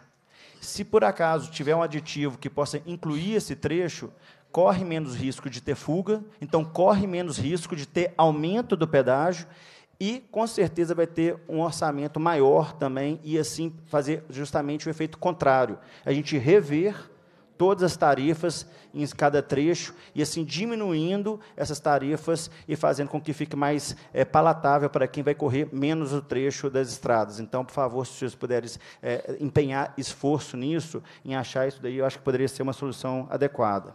Sendo assim, eu encerro aqui minhas colocações e passo a palavra para o próximo da lista, que seria o senhor Antônio Sampori, que é presidente do Sindicato de Transporte de Carga do Nova de Minas. Com palavra, por favor, cinco minutos. Só um segundinho. Só para contribuir, eu quero, é, em respeito até aos nossos vereadores, né, aos prefeitos que estão aqui também, que vieram de longe, eu queria pedir para que nós ouçamos né, as últimas autoridades e para que, a partir daí, nós já possamos ir para o encaminhamento da audiência pública, até para que nós, a partir daí, tenhamos metas a cumprir.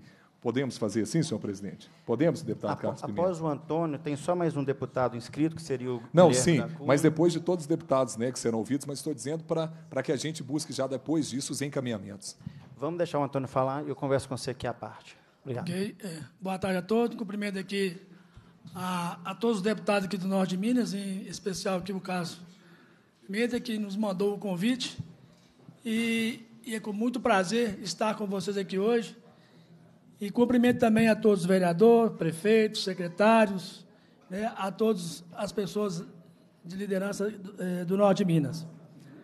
Senhores deputados, é o seguinte: esse sindicato das empresas de carga do Norte de Minas também se fez presente quando a BR-135 estava em frangalhos.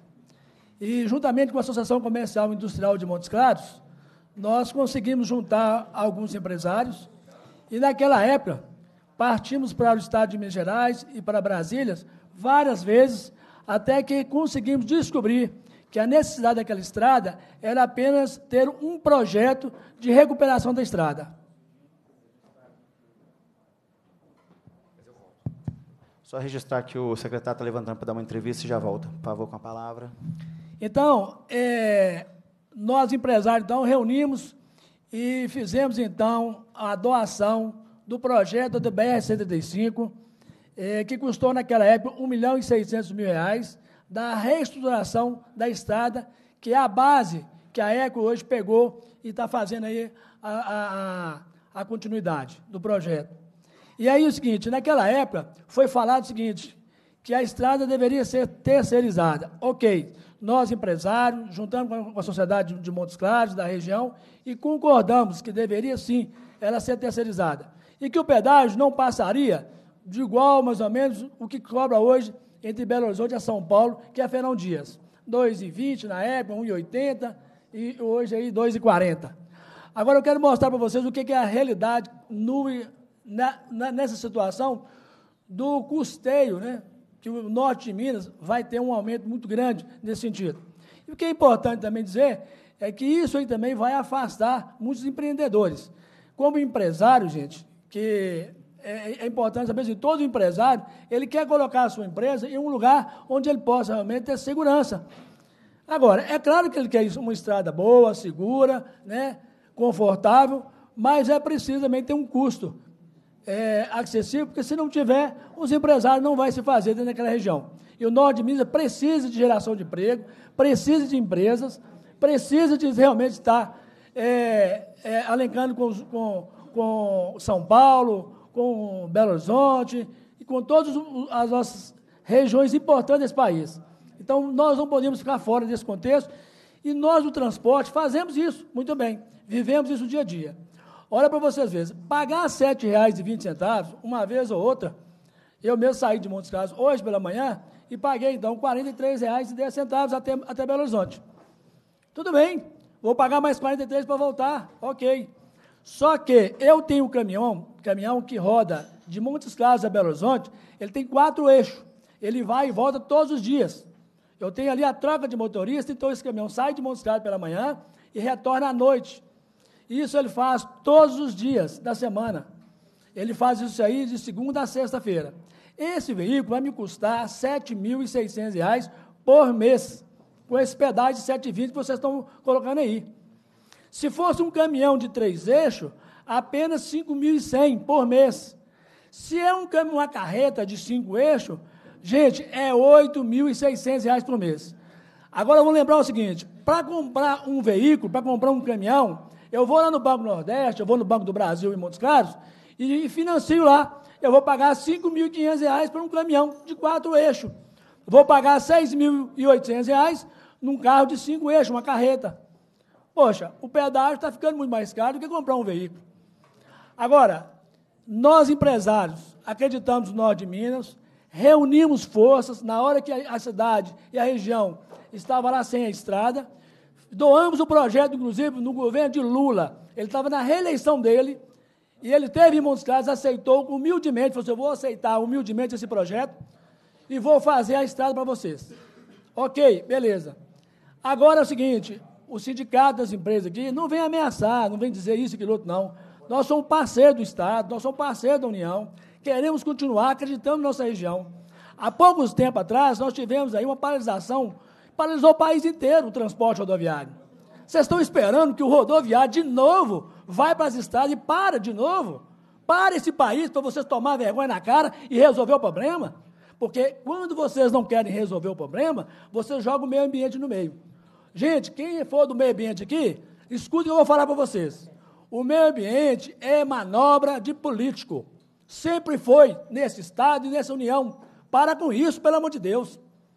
Quando não se quer fazer alguma coisa, quando um secretário não quer fazer nada, um governador não tem dinheiro para fazer nada, joga o problema para o meio ambiente. É assim que se faz. Prefeito e assim vai para fora. Então, veja bem, o que nós estamos falando aqui hoje é coisa séria. Se o governo quiser fazer, o Zema quiser fazer, ele para esse contrato amanhã mesmo. E vamos discutir isso aí conforme tem sido discutido. Sabe qual é o outro problema que está acontecendo nesse contrato? Para concluir, por favor, senhor. As contas que eles vão apresentar para vocês, Virgílio, está errada não. Sabe o que está errado nesse contrato? É porque essa estrada, quando o Lula fez para nós, quando ele fez aqui para nós, ele tirou dos cofres públicos. Ele não tirou do bolso dele, não. Ele tirou o dinheiro que o nosso norte mineiro já pagava os impostos. Senhor Antônio, por favor, para concluir. Eu estou me ausentando porque é o seguinte, eu quero concluir, mas é importante a minha fala aqui. Porque eu trago aqui a classe que usa a estrada todo dia. E é importante você saber disso. É importante vocês ouvirem isso que eu estou falando. Quando ele fez a estrada para nós, ele botou o dinheiro público. Agora ele passa a estrada para o governo do Estado, e o governo do Estado vai lá na ECO e fala assim: eu quero quem me dá mais. Então o governo torna a receber da ECO o dinheiro que nós pagamos imposto e colocamos na estrada. Aí a ECO vai e fala, bom, se vocês vão ganhar, eu também vou ganhar. Eles são empresários, como eu também sou, como muitos aqui tá. Sabe disso que eu estou falando. Senhor Antônio. Qualquer empresário aqui 30 que quiser ganhar, concluir, que der a oportunidade de ganhar, ele vai ganhar. Agora, o que está errado, meus senhores, é essa conta que tem que voltar para o Estado.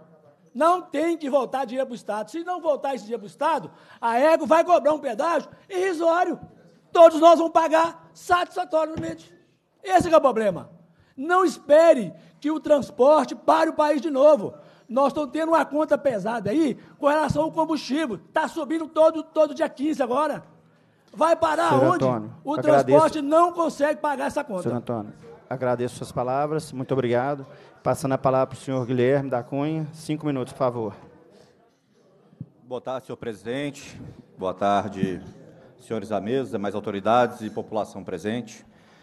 Eu agradeço as ponderações feitas pelo colega Virgílio, que trouxe conhecimentos técnicos de economia, e gostaria de acrescentar da minha parte algumas ponderações jurídicas.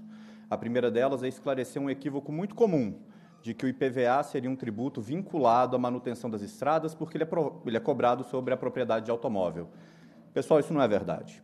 O IPVA ele se agrega ao cofre do Estado e ele serve, entre várias outras coisas, para pagamento de 13º salário de servidores, de salários, despesas da saúde, da educação. Ele não está vinculado às estradas. O pedágio está. O pedágio está vinculado à manutenção da estrada, o pedágio está vinculado a investimentos feitos nas estradas.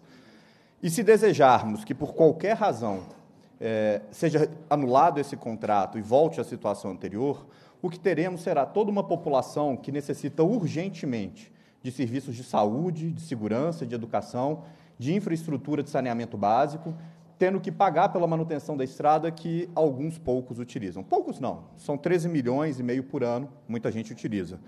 Mas, de toda forma, a gente tem que ter a certeza de que é mais justo que quem paga, pelo, que quem utiliza de fato a estrada, custeie a manutenção da estrada, do que jogar essa conta para quem está na fila do hospital. Por essa razão, a minha opinião é de que a gente não faça o cancelamento desse contrato. Uma segunda razão jurídica, e essa me deixou de cabelo em pé, me gerou muita desconfiança, inclusive pela fonte que a trouxe ao nosso debate, foi de que o Estado abrisse mão da outorga para, com isso, tentar reduzir o valor do pedágio colega Virgílio esclareceu muitíssimo bem que isso reduziria apenas 10 centavos no valor do pedágio, se tanto. Mas me causou espanto porque isso veio de um deputado que é do mesmo partido do ex-governador, que foi quem conduziu essa licitação. E vejam, conduziu essa licitação por uma modalidade muito específica. Conduziu a licitação pela modalidade de maior outorga. O que, é que isso significa? Significa que quem ganhou a licitação foi quem topou pagar mais para o Estado. Essa pessoa ganhou a licitação. É justo que depois de uma determinada empresa ter sido escolhida, precisamente porque pagou mais ao Estado, a gente tirar essa obrigação dela? Concorrência para quê, então? Licitação para quê? Isso seria uma fraude. E seria uma fraude a todo o processo concorrencial que levou à escolha da Eco Rodovias, porque faria com que ela tivesse sido escolhida arbitrariamente sem nenhuma contraparte, porque ela foi escolhida precisamente em razão do valor pago.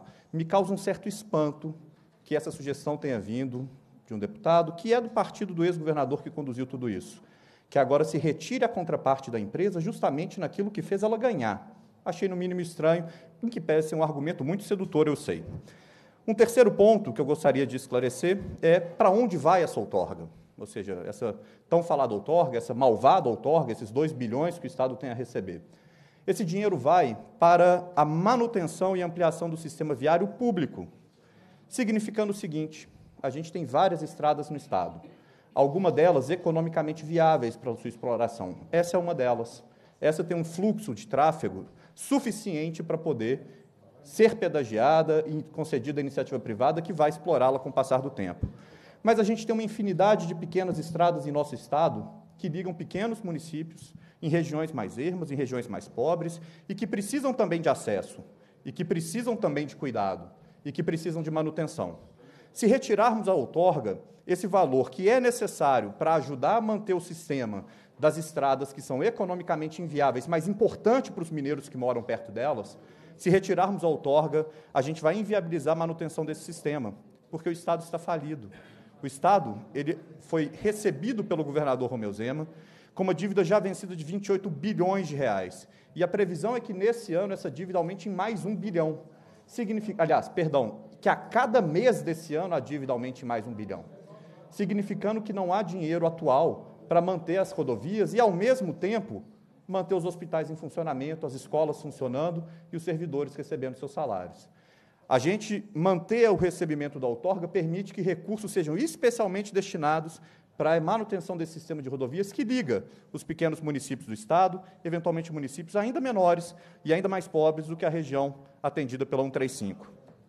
E finalizo com uma última ponderação sobre a questão da gente, na canetada, tentar reduzir a tarifa, eventualmente vinculando a progressão das obras. A tarifa ela não é atribuída aleatoriamente, a tarifa é calculada em cima de uma situação de equilíbrio contratual. Ela é calculada de modo que o investimento realizado, e principalmente a época em que ele é realizado, vá pesar sobre o valor final que vai ser cobrado. A sugestão foi que se prolongasse isso no tempo, que as obras que vão ser de cinco anos, eventualmente fossem de dez. E com isso o valor fosse reduzido. E aí eu gostaria de trazer um elemento diferente, que não é jurídico, mas um elemento diferente aqui para o nosso debate, que é a situação das nossas estradas e a situação de risco das pessoas que trafegam por elas. Nosso colega Rodrigo Cadeirante, parlamentar, também informou que as pessoas que pegam a 135 diariamente temem encontrar-se com a morte.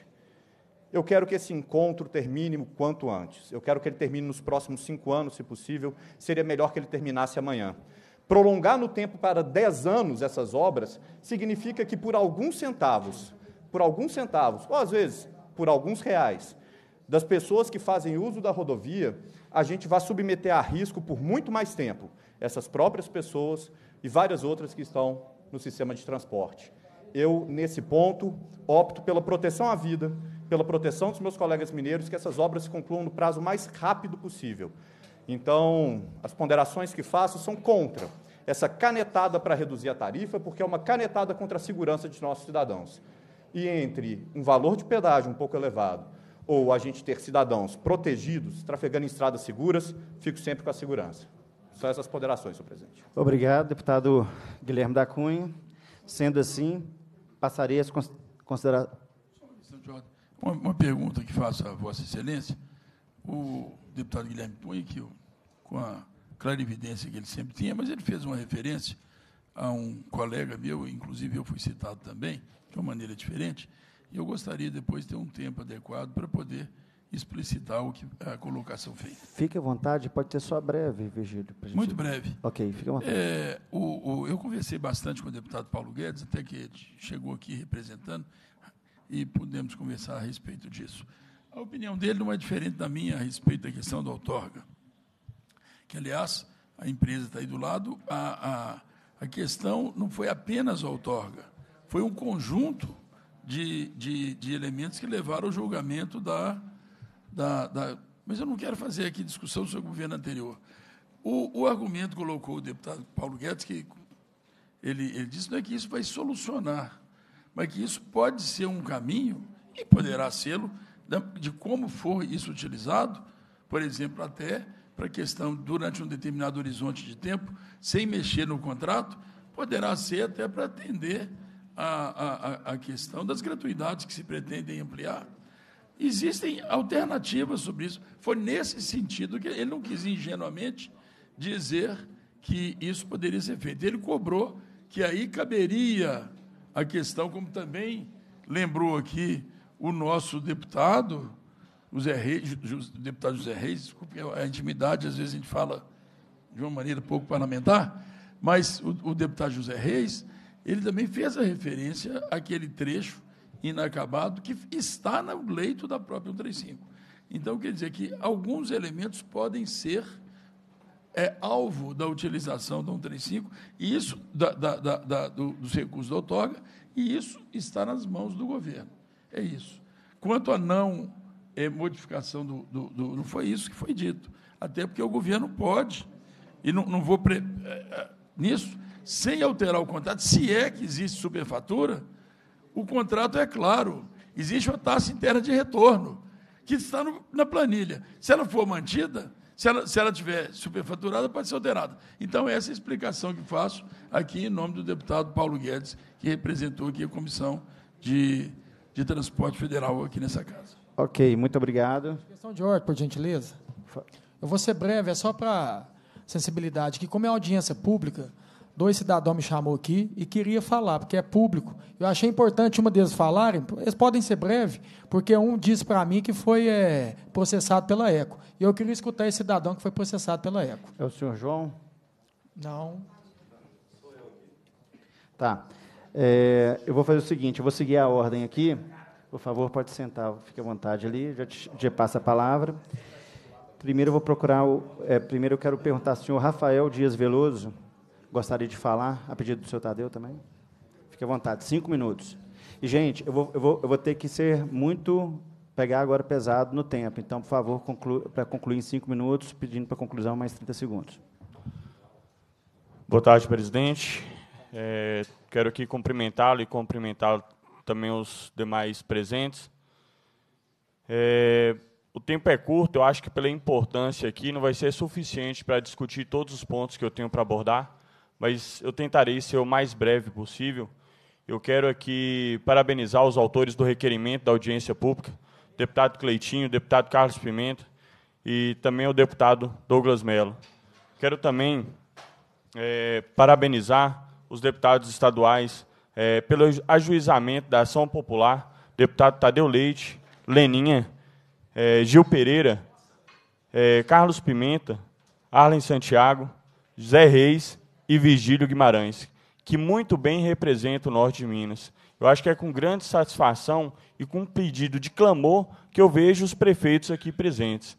É, diante da realidade hoje, que nós estamos vivenciando, eu quero expor a situação de um pequeno município que é Guaraciama. Ele dista 400 quilômetros é, da capital. E está a 20 quilômetros de Bocaiúva e a 70 quilômetros de Montes Claros. É, nessa situação, a principal fonte de renda do município ela advém da administração pública. Não é diferente de nenhum outro município diante da situação de crise. E por nós estarmos situados no sertão mineiro, como foi muito bem colocado por vários aqui dentro, é, nós podemos ver a precariedade. A segunda fonte de renda no nosso município com maior impacto é a agricultura familiar. É, existe, a questão foi até debatida a questão de ilegalidade. Eu acho que propriamente nós não podemos tratar somente de ilegalidade, mas sim de imperfeições na celebração do contrato. É, nessa situação, não existe a previsão de isenção com relação à questão dos veículos oficiais dos municípios, tratando de maneira não isonômica os entes federativos. Então, embora existe legalidade, não existe justiça. Eu acho que é bem diferente, justiça de legalidade. Então, é o que nós estamos clamando. Eu aqui pontuei, eu vou tentar ser bem breve, mas eu acho que é importante para situarmos, porque o nosso município, mesmo fazendo parte dessa malha que vai ser atingida pelo impacto no norte de Minas, é, não houve nenhuma convocação formal a participar de, de audiências públicas, embora foram realizadas, é, houve essa falha com relação a essa situação. É, eu até coloquei algumas situações, eu queria aqui agradecer a presença da prefeita de Bocaiúva, Marisa, parabenizar, igual falou, está muito bem representado pelas mulheres, e nessa situação, olha Bocaiúva, ela tem uma escola logo após o pedágio, ela tem que passar nos quatro vezes por turno para poder fazer o transporte dos alunos. Isso torna inviável, é desumano diante da sobrecarga que existe sobre o município hoje. O município hoje é a linha de frente de impacto diante da população. É... Foi também abordada a situação do aumento de trânsito, igual foi é, discutido pelo deputado Guilherme, Guilherme da Cunha, é, a situação do desvio do trânsito. Existem outras implicações, além da questão de desvio, para não haver arrecadação e o prejuízo naquelas vias pelo desvio de tráfego. O meu município vai sofrer essa situação. Então, é, diante da realidade, hoje o impacto é muito grande com relação às vias também. É, outro detalhe é, que eu gostaria, principalmente relacionado à questão dos veículos da saúde. Foi questionado aqui também, já muito bem exemplificado pelo deputado Gil Pereira, a situação aí do transporte do lixo para o aterro sanitário, que nós também não somos diferentes lá no município de Guaraciama. Pela insuficiência financeira, a gente adere e faz o transporte desses resíduos sólidos para outro município, para poder é, proporcionar adequações legais. Agora, na um saúde, é, existe uma situação que falou que os carros em atendimento de urgência é, vão ser é, liberados. Como que vai ser liberado nessa situação? Qual é a situação? Como é que vai ser o parâmetro? Se existe a cobrança automática, vai ser parar na fila. A pessoa morrendo vai ter que esperar a fila para poder passar e identificar que está morrendo? É, outro detalhe. Para encerrar, tá? Sim. Outro detalhe é com relação à questão do investimento. Está sendo explorado o norte de Minas. É importante a saúde financeira do Estado, eu concordo. Nós não estamos aqui para apresentar empecilhos, mas sim parcerias. Nessa situação, existe a exploração, mas a título de exemplo, falou do IPVA, nós temos o ICMS que vai ser arrecadado pelo Estado, e nessa situação vai ser distribuído para todo o Estado. É outro parâmetro que eu gostaria que fosse observado diante da situação de peculiaridade da região também. Tá ok. Muito obrigado, senhor Rafael tem mais algumas coisas para falar e eu gostaria, inclusive, só de, de pontuá-las, independente da situação do tá, prazo. Infelizmente, não vou poder dar o tempo, porque, como coloquei mais convidados, eu estou sendo rigoroso e avisei isso no começo. E, sendo assim, eu agradeço a participação. Com a palavra, o senhor João Leite Souza. Desculpa, não é o senhor? Não, você não pediu, Leitinho, você pediu para falar. Ah, tá. Então, por favor, senhor João Leite Souza. Boa tarde a todos, a todos os presidentes passaram né, nessa minutos. mesa, aos deputados. Estou aqui para representar. Só, só, lembrar que a gente está sendo bem rigoroso no tempo, assim como eu fui com ele, agora você com os próximos. Serei breve, acredito que todos conseguem acompanhar a minha fala rápida. Estou aqui para representar né, a população rural, onde nós somos local ali da cabeceira, Fazenda Onça, onde nós estamos ali no local do pedágio. Ao nosso secretário aí, para você entender a situação nossa lá. Quando foi tratado do, das audiências na época de 2016, né, foi tratado em Montes Claros. A comunidade ela não teve a participação porque, se você perceber hoje no projeto, no projeto, né, o pedágio P1, onde está localizado no quilômetro 399, ele não é conhecido como pedágio de Bocaiúva, mas o pedágio de Montes Claros. Por isso que não teve uma participação da população rural. Ou seja, o projeto também realizado das vias de acesso à nossa cidade foi tirada. Eu quero dizer aqui para os nossos vereadores e para vocês, deputados, o nosso acesso para a nossa comunidade foi tirado. A empresa, ela tirou o nosso acesso, fazendo nós deslocar para Montes Claros e não para a nossa cidade. Ou seja, aonde foi construído? A minha preocupação, secretário, é o seguinte: se uma obra de 5 mil metros quadrados, que foi o pedágio P1 no quilômetro 390 da BR-135, a Ecovia conseguiu né, deixar nós ilhados, ilhados. Aqui estão representantes ali, tem o presidente da Associação Regional, o seu Antônio. Nós ficamos ilhados no período da parte da obra da ECO 135. Nós tivemos três nascentes, três nascentes, aqui está a prefeita, que é a dificuldade de levar caminhão-pipa de água para nós. Nós tivemos três nascentes que foram, devido aos barramentos ou aterramento, foram inutilizados porque foram degradados com essa obra lá. A nascente do Canabrava, a nascente do Córrego da Onça e a nascente de Espuangicos, as pessoas ficaram sem beber água. Por quê? Porque uma obra de 5 mil metros quadrados né, levaram os resíduos para todo, para todo o leito do rio, onde eles fizeram umas obras que agora mesmo, esses dias, com as poucas chuvas que nós temos de Minas, romperam. Romperam as barraginhas. E eu vi aqui falando das qualidades, da legalidade, nós entendemos, sou engenheiro ambiental. Agora, a licença ambiental para fazer um empreendimento não tem. Mas para a degradação teve. Os resíduos sólidos são dentro das propriedades nossas. E nós temos um público rural lá idoso, acima de 70 anos, que sempre conheceram os limites das suas propriedades, e uma empresa chega e adentra esses limites, coloca uma cerca, afetando a saúde da nossa população, afetando o bem-estar. Eu tenho pessoas lá, eu sou pastor naquela região, eu vim representar, eu respeito todos aqui que nos representaram, mas vocês não sabem o que a nossa população lá está passando. Vocês não sabem, na verdade, o que estão sentindo quando vê as suas propriedades, uma empresa chegar, fazer uma seca dentro do terreno deles, porque declararam pelo Estado que o limite está errado. Uma seca que tem mais de 40 anos, porque só eu tenho 32 anos. E sou o que faço as medições de terras lá. Então eu peço a essa mesa, reavalie o conceito. Eu peço a CETOP, a fiscalize, eu peço a DR, preste atenção as obras estão sendo executadas, mas há dano sendo feito. E eu agradeço a oportunidade. Muito obrigado, senhor João Leite, presidente da IRD, Associação Rural. Muito obrigado. Agora com a palavra o senhor Gival Araújo, presidente de taxistas de Bocaiúva. Cinco minutos, tá? Lembrando mesmo rigor. Boa tarde a todos. É, primeiramente, gostaria de agradecer é, a todos e também pela oportunidade aqui pelo, é, pelo deputado Cleitinho. Muito obrigado pela oportunidade.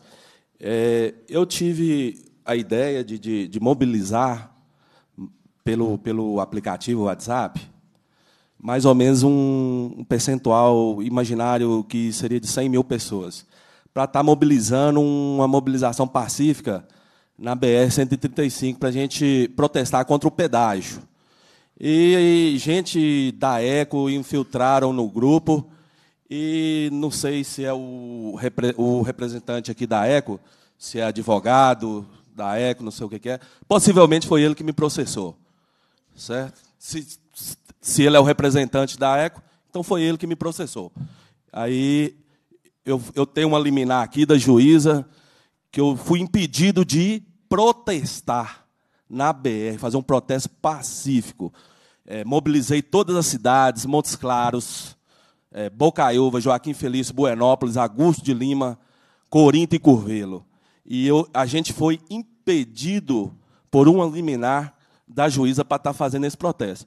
Aí agora estamos aqui pacificamente pedindo a todos, né, que reanalisem essa situação da gente, que o pedágio ele vai afetar muita gente, vai o, o norte de Minas não merece, gente. E o povo não vai calar, o povo não vai regar. Estamos aqui justamente para isso. Tá, gente? Muito obrigado a todos. Obrigado ao senhor, senhor Gilval, pela colaboração. Passando para as considerações finais, a presidência indaga aos membros da comissão, que é o senhor Cleiton, Carlos Pimenta e Douglas Mello, se querem fazer algumas considerações. Senhor presidente, é, eu só quero aqui apresentar aqui uns encaminhamentos, uhum. só para que a audiência pública, né, pela minha participação, para que ela tenha aqui uma efetividade.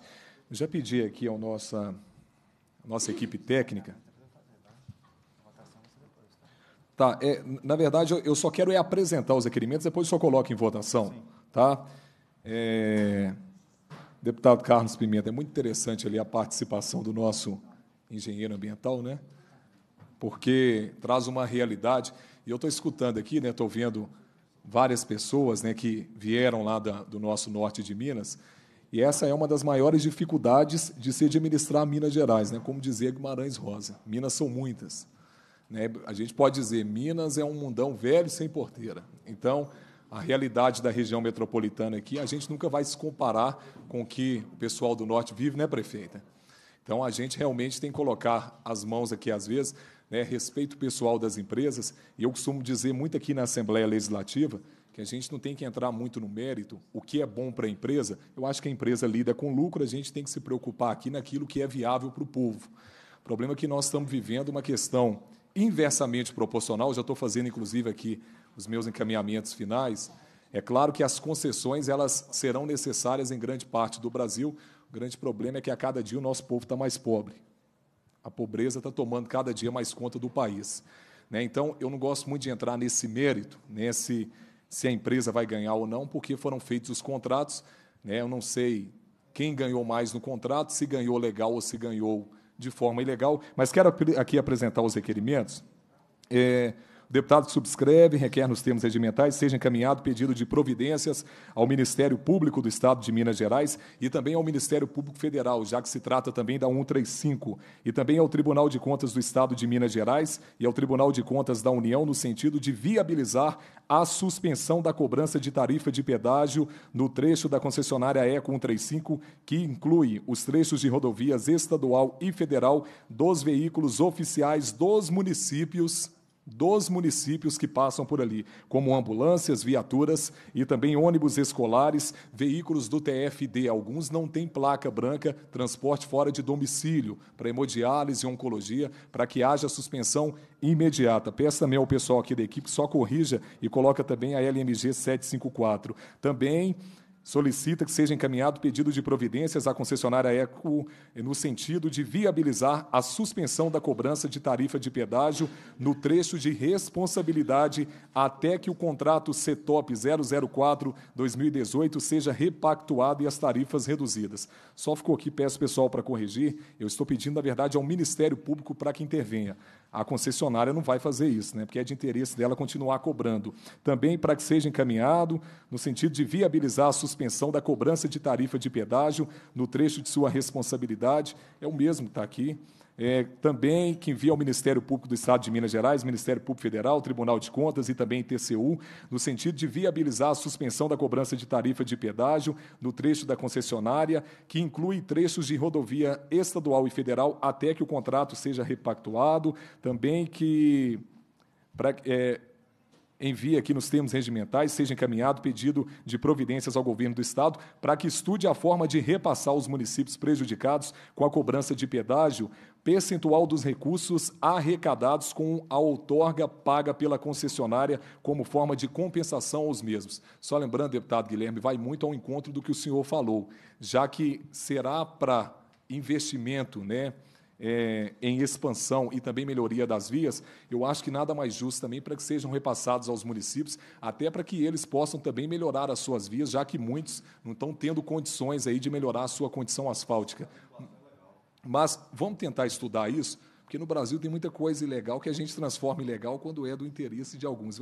Eu acredito que o interesse do senhor é ajudar, sei da sua e também do governador, eu sei que a intenção aqui é resolver. Vamos estudar uma forma de fazer isso ser legal.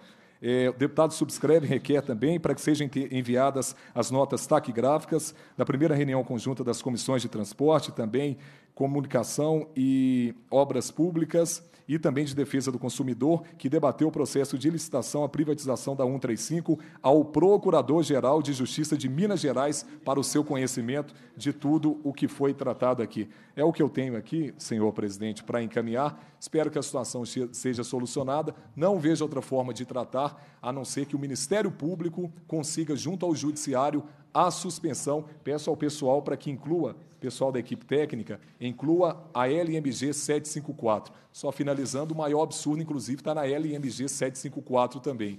O morador de Cordesburgo, aquele que tem o seu caminhão de leite, aquele que tem a sua plantação de abóbora, ele está tendo que sair de Cordesburgo para ir a Curvelha, ele tem que pagar um pedágio. Ah, o pessoal não, não incluiu aqui, tem mais um requerimento meu que eu estou pedindo para que os veículos tenham uma jurisdição um já, tem uma.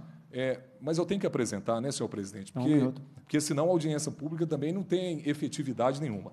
Eu estou solicitando aqui para que seja encaminhado ao Ministério Público, tanto estadual quanto federal, TCU e também TCE, para que os municípios que estão a 50 quilômetros do posto de pedágio para que eles sejam isentos do pagamento de pedágio. Porque nós vamos ter situações que o pedágio está a 5 quilômetros de uma comunidade, a pessoa tem que trabalhar, ela passa pelo pedágio e paga. Lembrando que há uma jurisprudência já no Rio de Janeiro, onde que um desembargador concedeu esse direito aos motoristas, a placa deles, vamos imaginar que era de Magé, e eles atravessavam para ir a Tamboraí. Um exemplo ele era isento de pagar porque ele comprovava que ele tinha que passar por ali. Aí não é justo, o salário todo fica lá. Agradecer ao nosso presidente Bartô, que está realizando um grande trabalho e que foi, inclusive, um dos motivadores para que a gente apresentasse né, esse requerimento. Obrigado a todos os deputados e vamos vencer essa batalha, gente. Muito obrigado, deputado Douglas, pela sua participação. Considerações finais, senhor Cleitinho, deputado. É, cinco minutos. Não vou precisar de cinco minutos, não. Vou ser breve. O que me chama a atenção, que eu acho que a política precisa mudar, principalmente quem é do executivo, é de fazer contrato que é legal, mas é imoral. O que mais tem de contrato hoje são contratos que são legais, mas são imorais. É a mesma coisa, por exemplo, que eu vou dar um exemplo para vocês. Eu mexo com fruta, mexo, mexo com varejão. Aí eu vou lá, faço uma loja para mim, né, e começo a cobrar dos clientes. Me dá o dinheiro, me dá o dinheiro que eu vou ao cliente. Mas não tem nada aqui dentro da loja. Não, vou lá comprar. Aí eu pego, quer dizer, o justo é eu ir lá no Ceasa comprar, trazer a mercadoria para depois o cliente comprar. Né? Igual o caso da hospedagem. Quer dizer, o investimento primeiro é da população. Você tem que acabar primeiro as obras para depois cobrar da população. É o justo e certo. Então está tudo imoral. É isso que a gente precisa é, é, ter mais consciência. Eu até vi aqui, Marco Aurélio, tudo que a gente questionou, você balançou. Eu sou muito observador, você confirmou, concordou. Então está aí o requerimento. Aqui do Legislativo a gente não tem o poder da caneta, a gente não tem como reduzir uma tarifa, mas vocês têm o poder da caneta para reduzir a tarifa. Como eu vi você sempre concordando, eu quero que você olhe para o povo, represente o povo e faça isso. E para para finalizar, é, eu sou do legislativo, que eu posso, da minha competência, eu vou tentar fazer. Então, os agricultores, né, que estão sendo extremamente penalizados com essa situação, eu já protocolei um projeto aqui que já está tramitando nas comissões para isentar vocês um raio de 50 quilômetros para que vocês não paguem esse pedágio. Porque assim, eu queria fazer isso para todos, né, mas me chamou a atenção a questão dos agricultores, da zona rural. Eu acho que é mais merecido vocês não pagarem esse pedágio. Se vai passar, se vai acontecer, a minha parte eu fiz. Espero que as comissões entendam que é legal, porque não é nada imoral, a gente começa a fazer as coisas legais, né? E que seja justa. Então, que, o que eu tenho para oferecer para vocês e contribuir com essa situação, não só de fazer essa audiência pública, mas trazer a solução, é com esse projeto. Eu agradeço vocês pela oportunidade. Muito obrigado. Muito obrigado, deputado Cleitinho. Com a palavra, o senhor deputado Carlos Pimenta. É, eu, eu quero ser também bem, bem sucinto, bem objetivo. Eu, eu tenho três pontos a ser tratados. Vou fazer duas colocações e apresentar algumas propostas. Primeiro, é, em 2015, nós apresentamos um projeto de lei, 1588, que foi votado pela Assembleia de Minas e foi vetado pelo Pimentel. Olha que interessante. O projeto fala, é, altera a lei, não sei o que, não sei o que, dispõe sobre o programa estadual de parcerias público-privada. E no nosso projeto nós, nós estabelecemos, para efeito do disposto do artigo tal, a cobrança das tarifas relativas a contrato de parceria público-privada, que são os pedágios, deveria obedecer os seguintes itens. Primeiro, as estradas teriam que ter acostamento. Segundo, a sinalização horizontal ou vertical. Terceiro, a, a, o pavimento em condições de uso. Quatro, pista dupla ou, na pior das hipóteses, a terceira pista nos aclives. Cinco, serviço socorro me mecânico. Seis, reboque. Sete, ambulância e atendimento médico. E oitavo, telefone de emergência ao longo da via. O senhor Pimentel, com a tremenda cara de pau, vetou o nosso projeto. E depois, na calada da noite, no, numa verdadeira, no verdadeiro golpe. O Paulo Guedes fala muito em golpe, né? É golpe não sei de quê, golpe daqui, golpe contra Dilma, golpe contra isso. Mas ele engasgou quando ele estava ele, ele, ele falando. Eu falei, é golpe. Ele falou, é golpe. Então foi feito um golpe. Na pior das hipóteses, uma teoria de, da conspiração contra o povo do Norte de Minas, e vou explicar por quê. Essa BR ela era federal. Estava lá o posto da BR com a Polícia Rodoviária Federal. Da noite para o dia, os senhores policiais federais vazaram no Bengo, né? E colocaram lá a Polícia Militar, Polícia Rodoviária Militar. Falei, esse trem aí já não está cheirando bem, está acontecendo alguma coisa. Depois veio a concessão para Minas Gerais. Olha bem como é que o golpe foi bem articulado. Veio a concessão para Minas Gerais. E depois veio essa questão da privatização da, da PPP, da BR-135 não teve convite coisa nenhuma. Eu, como deputado da oposição, eu nem sabia dessas, é, dessas audiências que mudaram o nome. Como é que foi, Marisa? Mudaram para Fórum, Fórum do Transporte, Fórum Rodoviário, para não chamar atenção. Né? Eu não fiquei sabendo. Aliás, no meu currículo, graças a Deus, ele não está sendo manchado por apoiar o Pimentel em nenhum momento. Se eu pude fazer, se eu pude contribuir para quem pudesse deixar o, o, o, governo do Estado, viu, é, companheiros? Eu, eu, eu tenho orgulho disso. Sabe? Então fizeram esse golpe todo contra a gente. E outra coisa, eu estava vendo aí as brechas. O, é, o, representante da ECO falou que o projeto foi assinado dia 1 de julho de 2018. Foi quando foi assinado. Então deveria ter começado no preço inicial a passagem, a, a, a, o preço do pedágio, né, nos R$ 6,20. E só mudar depois de um ano. E um ano vai dar no dia 1 de julho de 2019. Então já começaram o golpe em cima da gente lá atrás. Né? Então eu estou eu tô meio chateado com essa, com essa audiência. Eu gostaria muito de contestar o secretário Marco, aqui presente, Marco Aurélio. Eu sei que não é de competência do governo né, Romeu Zema, mas é aquela história, alguém falou que quando casa com a viúva tem que levar os filhos, né? Não tem jeito. Então, o governo Zema, ele tem que fazer alguma coisa, Macarena. Não tem como não fazer alguma coisa. Não há nenhum contrato jurídico, Guilherme, que não tenha as suas brechas. Aliás, o nosso Supremo Tribunal Federal é um exemplo disso. Quando tem qualquer demanda lá, tem cinco para um lado, cinco para outro, e depois vem um desempate com o presidente. Se eles que são o máximo do máximo da justiça, e tem problema, por que, que não vai ter problema um contrato que foi feito né, dessa maneira, com esse golpe que foi feito contra o norte de Minas? Eu termino, eh, presidente, apresentando as propostas. Primeiro, a questão do anel rodoviário de Montes Claros. Guilherme, eu concordo que o governo né, vai receber 2 bilhões, 75 milhões por ano. Mas esse dinheiro, que é fruto do pagamento do povo do norte de Minas, tem que ficar no norte de Minas. E fica a nossa solicitação para que dentro desses 75 milhões que se tire os recursos para a construção do anel rodoviário de lá de Montes Claros. É justo? Termina, são cinco itens. Segundo item, a volta do preço para 6,20. Porque ela, ela, ela, ela, ela tem que permanecer 6,20, 6,26 até 1 de julho, pelo menos aqui desse ano. Depois nós vamos ver, dependendo do que for feito. Terceiro, os veículos oficiais dos municípios. Não é justo, gente. Uma ambulância que sai lá de Guaraciama, que sai lá de Olhos d'Água, que sai de Francisco Dumont, de Bocaiúva, para levar doente, tem que passar ali, tem que ter catraca livre, tem que ter ali o sem parar para poder passar. Isso é coisa mais do que justo. Quarto, o senhor está tá anotando aí, Marcos? Se não tiver, nós conversamos depois. Né? Uma melhor estrutura de urgência e emergência, não basta ambulância, não. Eu quero saber se lá tem um médico, se tiver um acidente, vai esperar o quê? Vai esperar o SAMU? Não, tem que ter ali o médico, tem que ter o enfermeiro, tem que ter o socorrista. Pelo menos naqueles trechos piores, onde historicamente tem os, os maiores acidentes. E questão, por último, a questão do meio ambiente. Né? Nós pregamos, eu queria também fazer a proposta, que enquanto não tiver o projeto votado, projeto não, aprovado, que o governo é que vai aprovar o projeto de meio ambiente, né? enquanto não tiver isso, suspender o repasse para o Estado aí o Estado vai ter interesse, né? Não, vamos correr logo para a gente poder receber os 75 milhões. Aí aprova ligeirinho. Então, enquanto não tiver o projeto aprovado na SEMAD, o Estado não recebe e esse dinheiro seja aplicado para reduzir o preço né, do pedágio. São as nossas, as nossas é, propostas, nós estamos encaminhando o senhor. Muito obrigado, deputado Carlos Pimenta. Como é de grande interesse a gente ouvir o pessoal da Eco Rodovias, o que, que, ele, o que, que fica de toda essa, essa audiência, e também depois o secretário de, de Governo de Transportes, eu, eu, Você quer falar alguma coisa? Por favor. Deputado. Não, o que o Carlos Pimenta eh, colocou ali, nós já tínhamos colocado, né? Quer dizer, eh, volta a falar. Eh, a questão dos municípios, né? Está ali Guaraciama, Bocaiúva, Francisco Dumont, Boinópolis, Engenavá, enfim aquela região. Os carros, coloquei aqui, tem que isentar.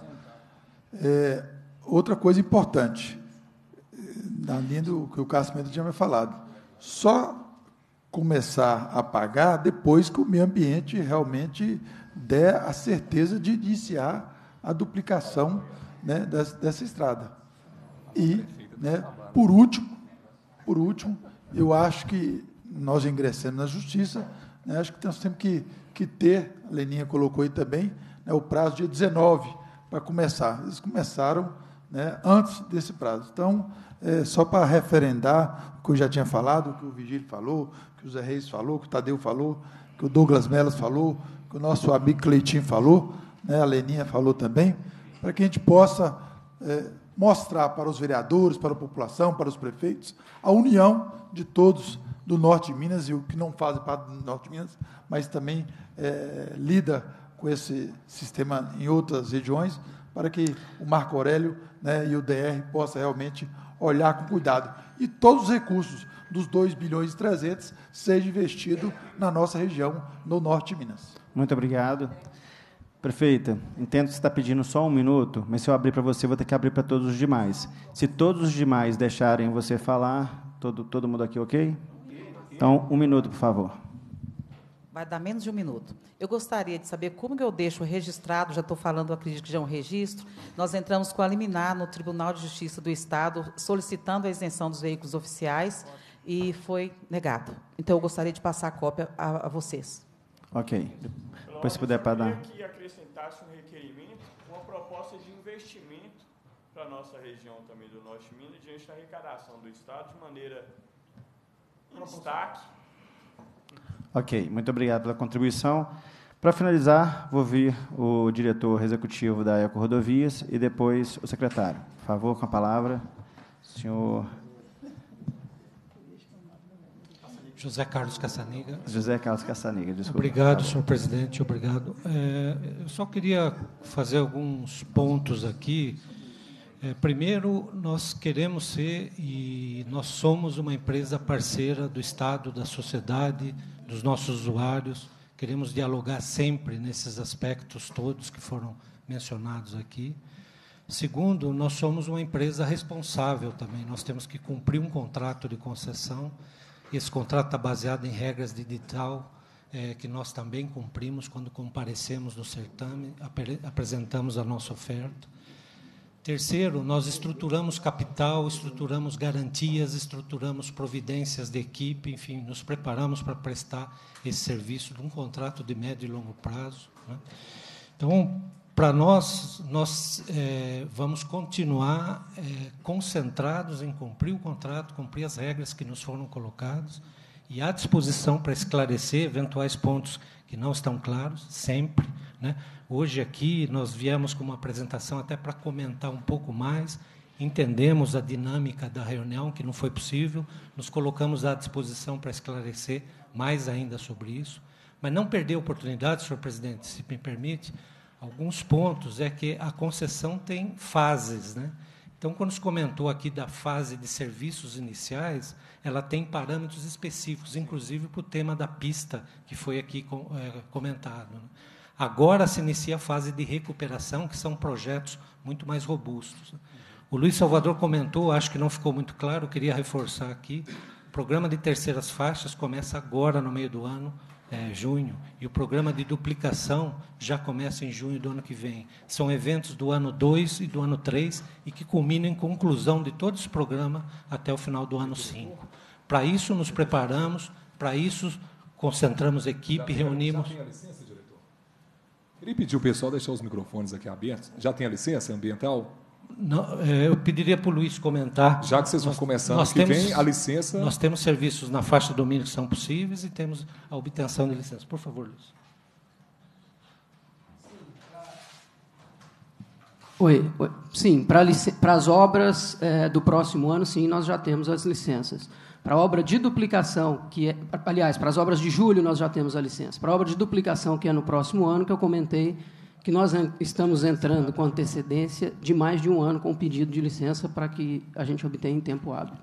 E, senhor deputado, achamos que isso é perfeitamente possível, as tratativas técnicas estão indo muito bem.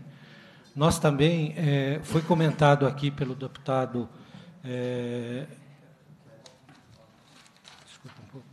Guilherme. Não, não. É, é, do deputado Arlen Santiago, de uma dúvida sobre financiamentos. Nós não temos esse tipo de dúvida. Isso aconteceu realmente em alguns lotes de concessão, que não vem ao caso enumerar, mas aqueles que no edital tinham uma figura onde o edital previa condições de financiamento e esses projetos tiveram problema de variação nessas condições. É isso que é questionado por outras concessionárias.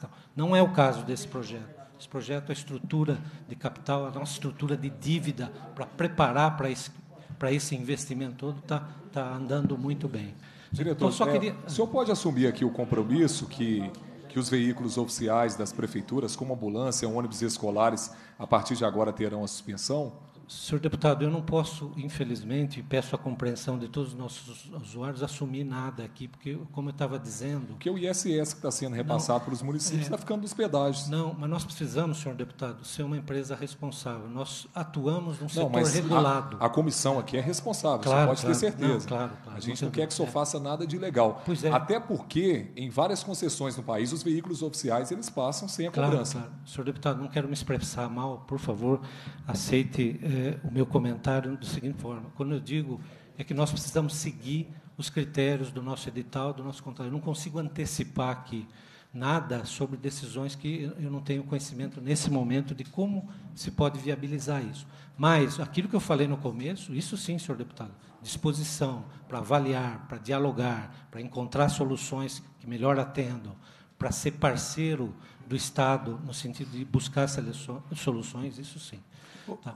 Presidente, só, só uma pergunta rapidinho. É, é, esse financiamento é do Banco do Nordeste, é do FNE, esses recursos? É, não sei se nós temos detalhes aqui para comentar, Luiz. Não, ainda nós estamos tratando com o BNDES. É. BNDES. BNDES. Pois é, mas é, é, eu queria saber se é fundo do, do FNE, porque se for FNE, quer dizer, é só da área mineira da Sudene. Então, se esse dinheiro está vindo da área mineira da Sudene, tem que ficar lá na área mineira da Sudene. Não, não, não. Ok, mais algum comentário? Não, eu, eu, eu anotei vários pontos aqui, mas infelizmente não vai dar tempo. Eu queria só reforçar essa disposição nossa é, da gente estar tá podendo esclarecer Ô, mais Bartô, pontos. Mas aqui, com todo respeito, que eu não sei que disposição, que parceria que é essa, não. Que fala que é uma parceria, mas vai cumprir um contrato.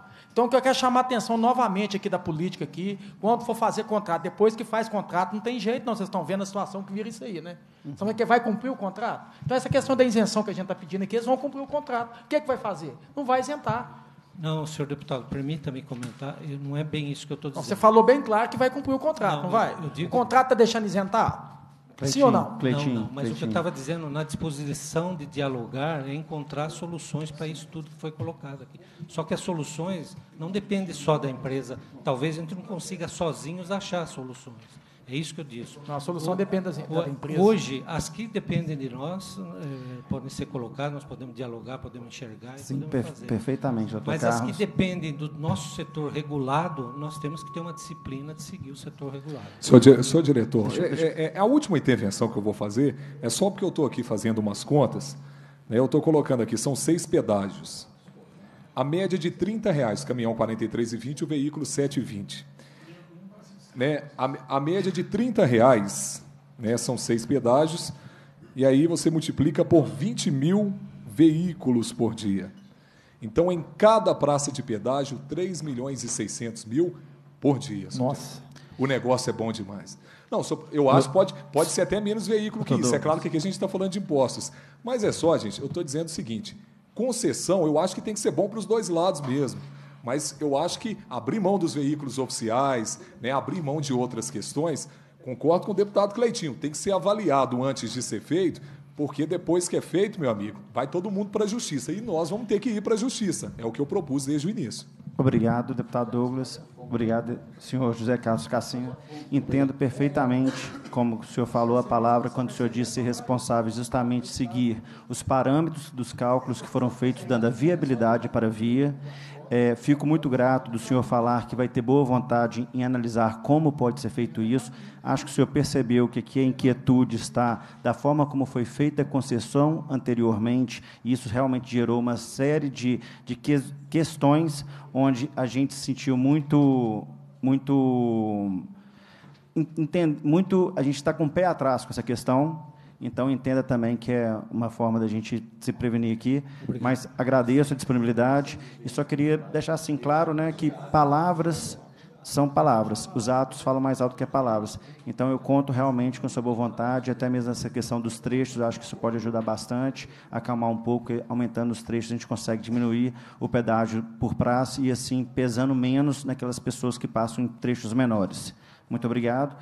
Com a palavra final, o senhor secretário de Secretaria de Transportes. 10 segundos, 10 segundos.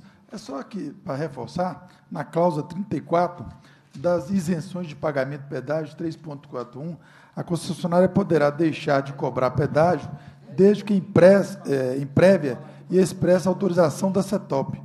Né? Então, realmente, o CETOP pode isentar os municípios né, desse, desse pedágio. É só para dizer que está no contrato. O contrato prevê isso com. Tem requerim- já tem requerimento para isso? A gente pede o requerimento, analisa e vê. Ok. Ok?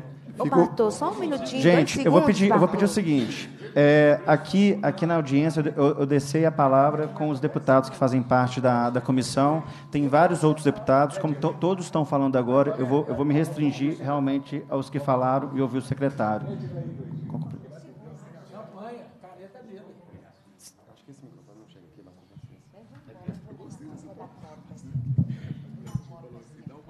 Eu queria usar a caneta ali, mas há dificuldades. Mas, de toda maneira, eu queria fazer alguns apontamentos aqui gerais.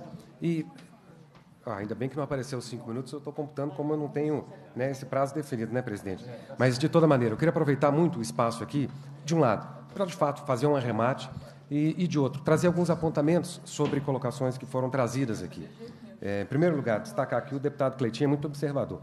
Né? Eu tenho essa mania, esse cacuete, né, de acenar com a cabeça. Já me disseram para eu parar com isso, porque leva a crer que eu concordo com tudo que as pessoas dizem.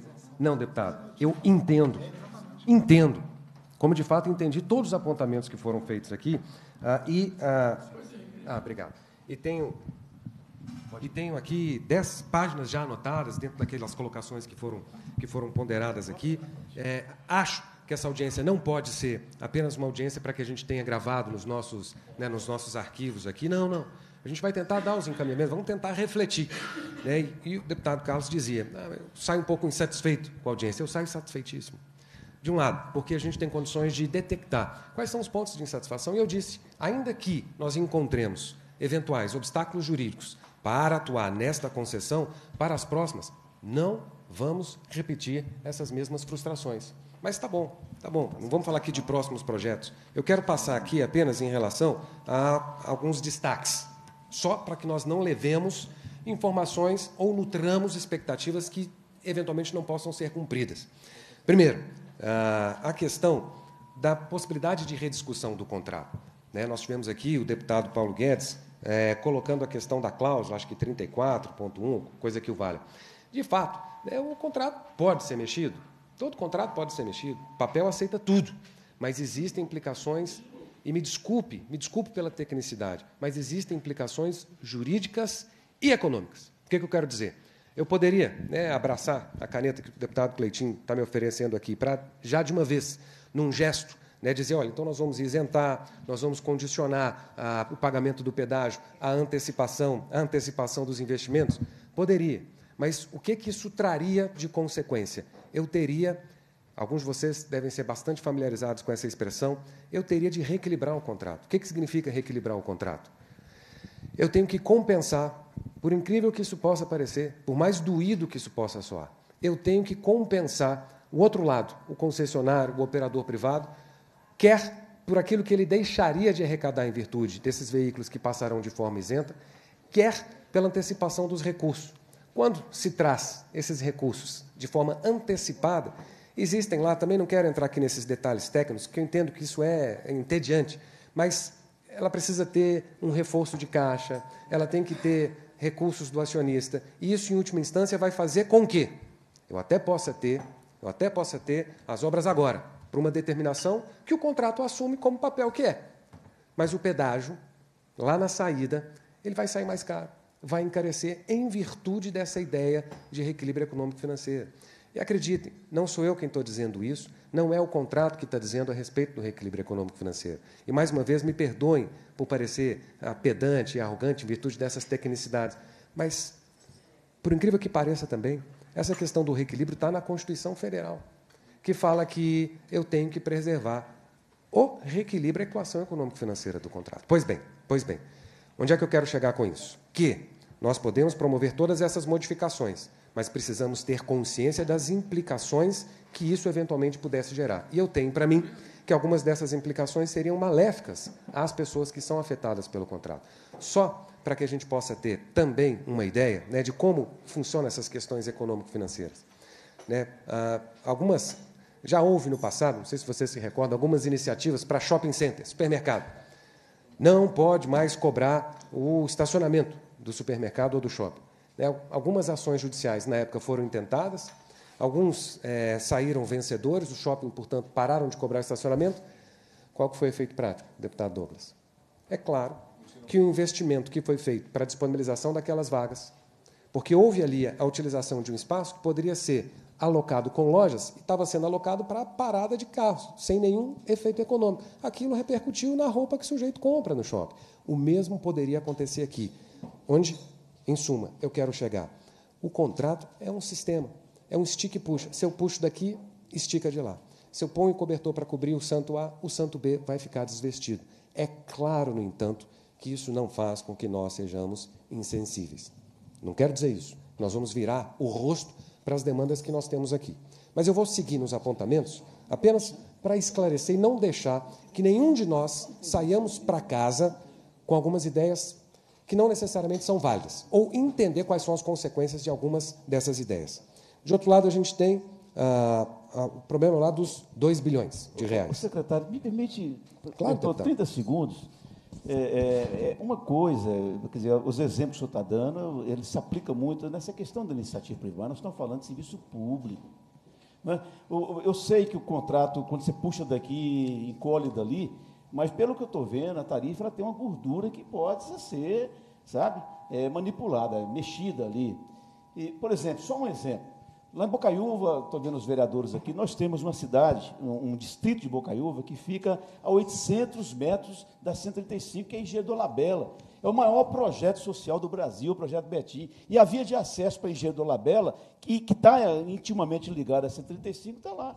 Né? Governos, governos passados aí, todo abandonado. Então, são, são situações que têm que ser analisadas. Eu acho que tem que ter essa sensibilidade da CETOP, falar, olha, peraí, então tá bom, nós não vamos correr no erro do passado.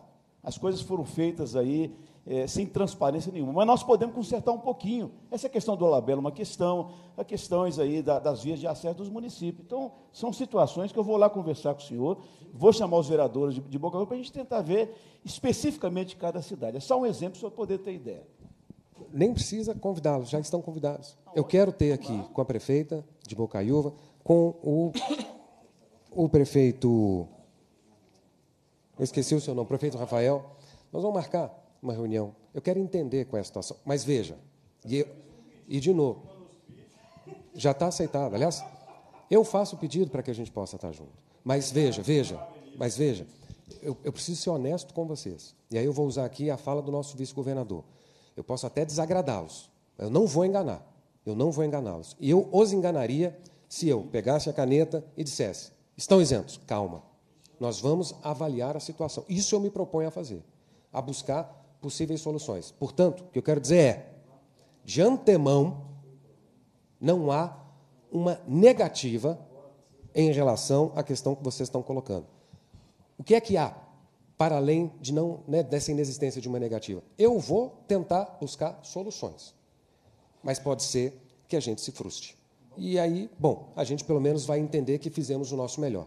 Eu, vocês, a concessionária, mas sem leviandade e sem ah, interferências injurídicas no âmbito do contrato. Então, estejam já de antemão convidados. Nós vamos ter uma agenda técnica na Secretaria Técnica. Eu quero entender quais são os problemas, qual é o número de veículos que passam por lá, ah, quais são os impactos que existem. Mas, só para prosseguir, deputado, eu sei que já estamos todos bastante exaustos, só para prosseguir em alguns apontamentos. A questão de que ah, ah, dos, dos valores envolvidos no pagamento de outorga né, que foi falado que o Estado fez uma operação de crédito. De novo, temos aqui uma escolha. E a escolha quem faz é o povo.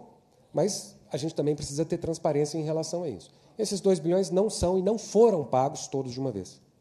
Esses 6 bilhões, eles compõem uma das obrigações da concessionária de pagamento mensal de algo próximo a 6 milhões 800, 6 milhões 900 por mês. O que é feito com esse dinheiro? Ah, é para pagar o salário do secretário, antes fosse, mas não é.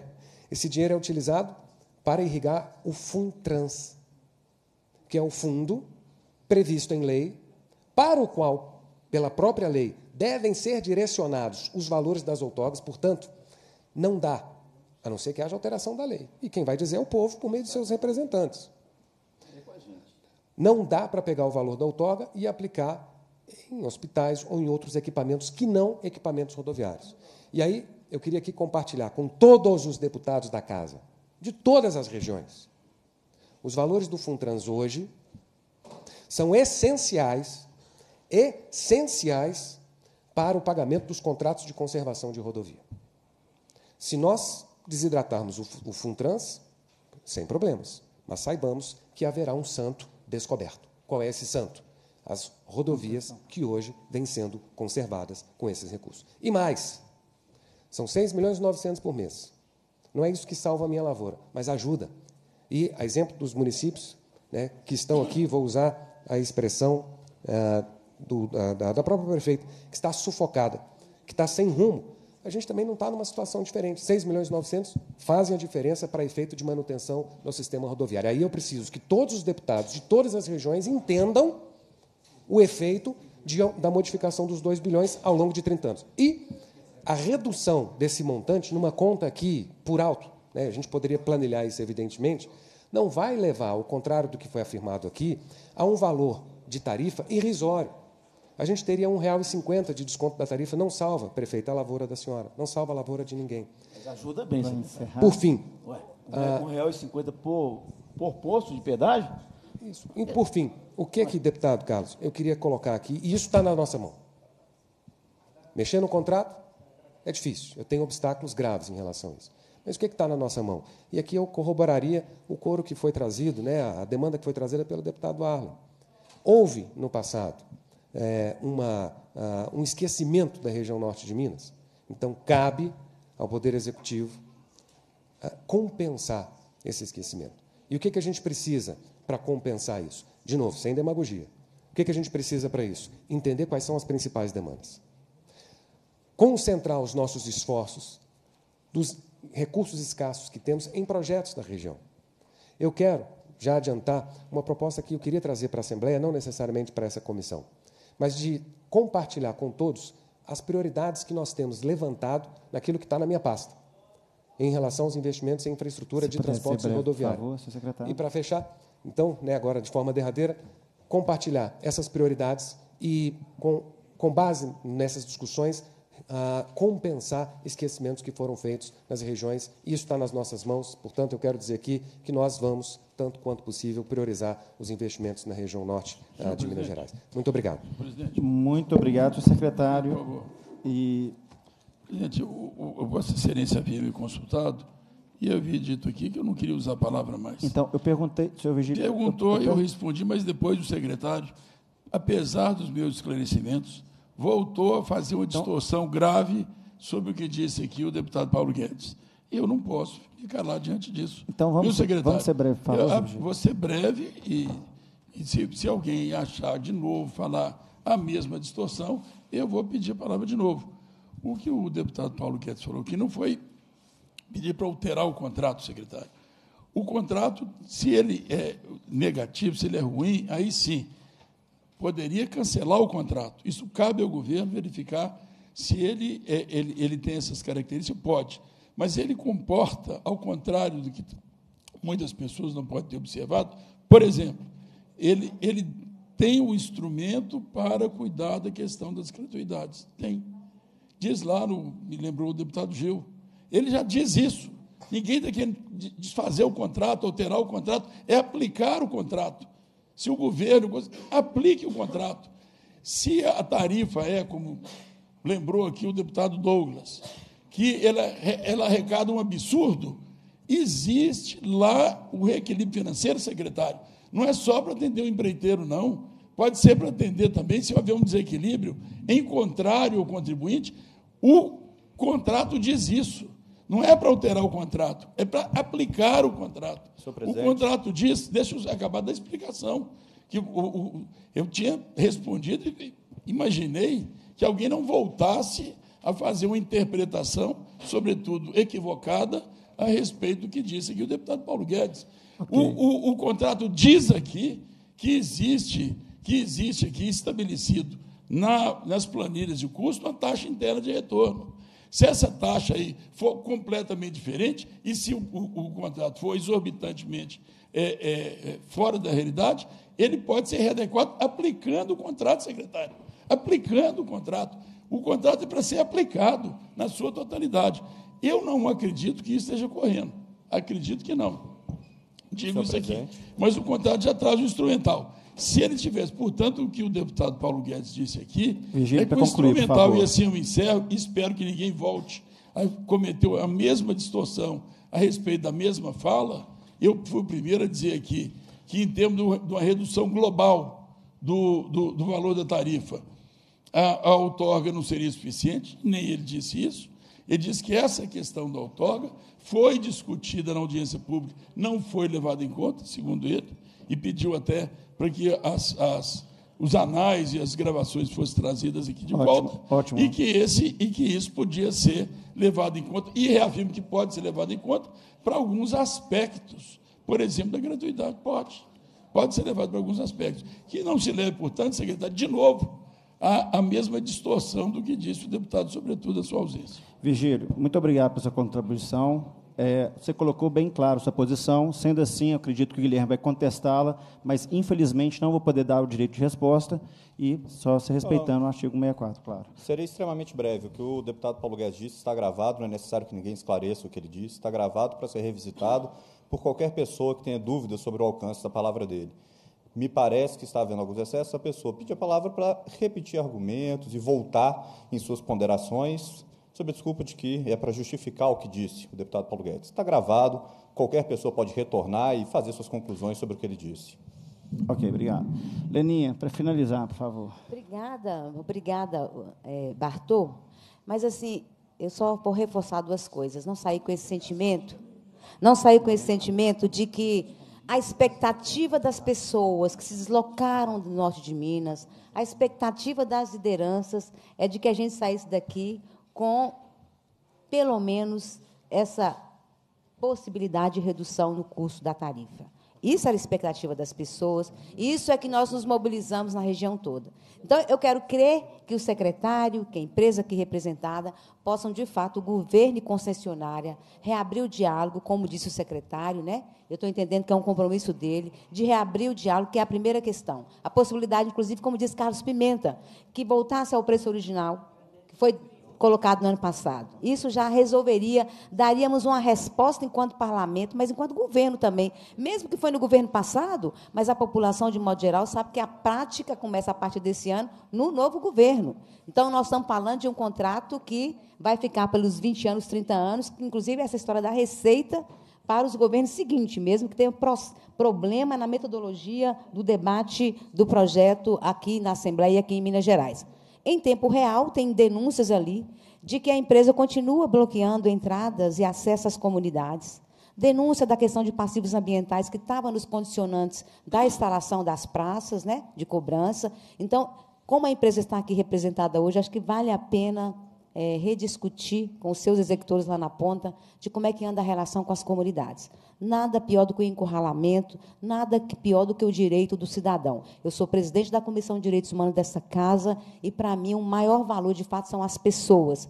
E isso, a comunidade já foi aqui bem representada, de comunidades que estão né, recantilhadas, encurraladas aí. Acho que é importante retomar o debate. Então, que a empresa também volte com esse compromisso de retomar o diálogo com as comunidades e de retomar o debate com os gestores. Então, é isso. Né, muito obrigada. Também as pessoas que aqui vieram, foi importante o secretário ter vindo. A gente já fez audiência aqui, que às vezes não vem ninguém do governo representar. Então, acho que é importante essa disposição que o governo tem também para reabrir o diálogo. Obrigada. Obrigado, Leninha. Antes, só, só dar como prorrogação, é, do, da audiência, visto que estamos cumprindo já o horário de quatro horas, ficando aberto até a gente encerrar pelos encaminhamentos no máximo duas horas. Para despedir, senhor... senhor presidente, eu só quero também é, agradecer a presença de todos. É, eu gostaria que os pontos que foram aqui levantados, que eles sejam, né, é, que, que tenham um devido cuidado, como a questão lá que o pastor falou, né, da, da, agressão do meio ambiente, jogando entulho dentro de, de terrenos, com alegações, eh, tupindo nascentes. Isso tudo tem que ser, tem que ser revisto. Nós não podemos, a bem né, do, do, do progresso, do desenvolvimento, passar por cima de direitos básicos. Volto a insistir com o senhor, eu quero, eh, obviamente, essa audiência ela vai ter alguns, alguns desdobramentos, por exemplo, a questão lá de Montes Claros, está aí o vereador Rodrigo Cadeirante, nós vamos ver se a questão lá do, do anel rodoviário, é uma compensação ao município, a questão de Bocaiúva, do acesso a Dolabella, enfim, eu, eu acho que pontualmente nós vamos procurar. É, agradeço de uma maneira muito especial a todos, mas de maneira muito mais especial ao vereador Rodrigo Cadeirante, tetraplégico, é, vocês não sabem o que é sair de Montes Claros, né? É, como ele saiu, num carro, para estar tá aqui presente, para poder falar. Então, Rodrigo, leva aí aos, aos vereadores de Montes Claros os nossos agradecimentos, aos vereadores da área mineira da Sudene, da Avans, também os nossos agradecimentos, e ao senhor, nosso agradecimento muito especial, juntamente com a sua acompanhante, a sua esposa, que te acompanha nessas, nesses embates da vida, e foi muito importante a sua participação. Obrigado aí ao Bartô, obrigado aí aos vereadores que estão presentes aqui todos, ao rei, companheiro lá de Buenópolis, está aí presente, uma grande liderança lá de Buenópolis, então, eu acho que essa audiência foi um primeiro passo de muitos que nós ainda vamos dar. Nós não estamos jogando a toalha, não. Eu acho que pontos têm que ser discutidos e pontos têm que ser observados. Muito obrigado. Obrigado, Tocaso Pimenta. Só, só uma colocação. Gente, desculpa, não eu, eu, não, não posso. Só, só falar, assim, eu gostaria de, de pedir ao to, Marco Aurélio. To, todos aqui eu pediram um minutinho, não, quando não, dou um minutinho, é, fala é, três um, minutos. Um, um segundo. É só para deixar marcado, Marco Aurélio, daqui 10 dias, daqui 15 dias, daqui 20 dias, para que esse fórum possa ir lá pessoalmente, você já vê a situação. Então, eu gostaria se deixasse né, já marcado que dia que a gente vai poder ir lá na secretaria, todos aqui que puderem, para retornar, para ter uma, uma resposta mais é, convicta do, da, das solicitações. Ok, muito obrigado, de Pereira. Faço aqui o agradecimento a todos que estão presentes aqui, ajudaram a agradecer essa audiência, foram muito bem ouvidos. Aqui eu faço um agradecimento especial ao secretário Marco Aurélio de Barcelos, visto como ele se colocou à disponibilidade da Assembleia, e não só colocando a disponibilidade de vir aqui, fazendo um convite a todos para estarem lá presente, e principalmente não tratando a Assembleia como despachante, e sim falando que quer construir junto as próximas questões. Então, reitero aqui para que, quando sempre que for mexer com alguma coisa mais pontual, que gere esse, esse, esse atrito todo, procure pelo menos os deputados que são majoritários naquela região, para ter um pouquinho é, é, a sensibilidade do que pode ser. E, mais uma vez, muito obrigado. É, vou passar para a parte de, de, de, de votação de, de requerimentos. Assim, eu deixo à vontade todos aqueles que estão aqui presentes levantarem e ir embora, pois agora é só realmente questão interna e burocrática da, da, da, da concessão da, da, da audiência. Sendo assim, passa-se a segunda fase. E obrigado mais uma vez a todos. Fique à vontade, fique à vontade, gente. Muito obrigado. Passa-se a segunda fase da parte da reunião, que compreende recebimento e votação de requerimentos. Lembrando só o Cleitinho, o, o, o Douglas, eu e o Carlin, e o Carlos Pimenta. É, então tem coro, só para você ficar aqui. Só ficar. É, passa a segunda fase da terceira fase de reunião, que compreende recebimento e votação de requerimentos. Ah, mentira. Cadê o deputado? eu não posso. O deputado Vigílio saiu? Suspende um minuto, por favor, a reunião, que eu vou tentar repor o coro.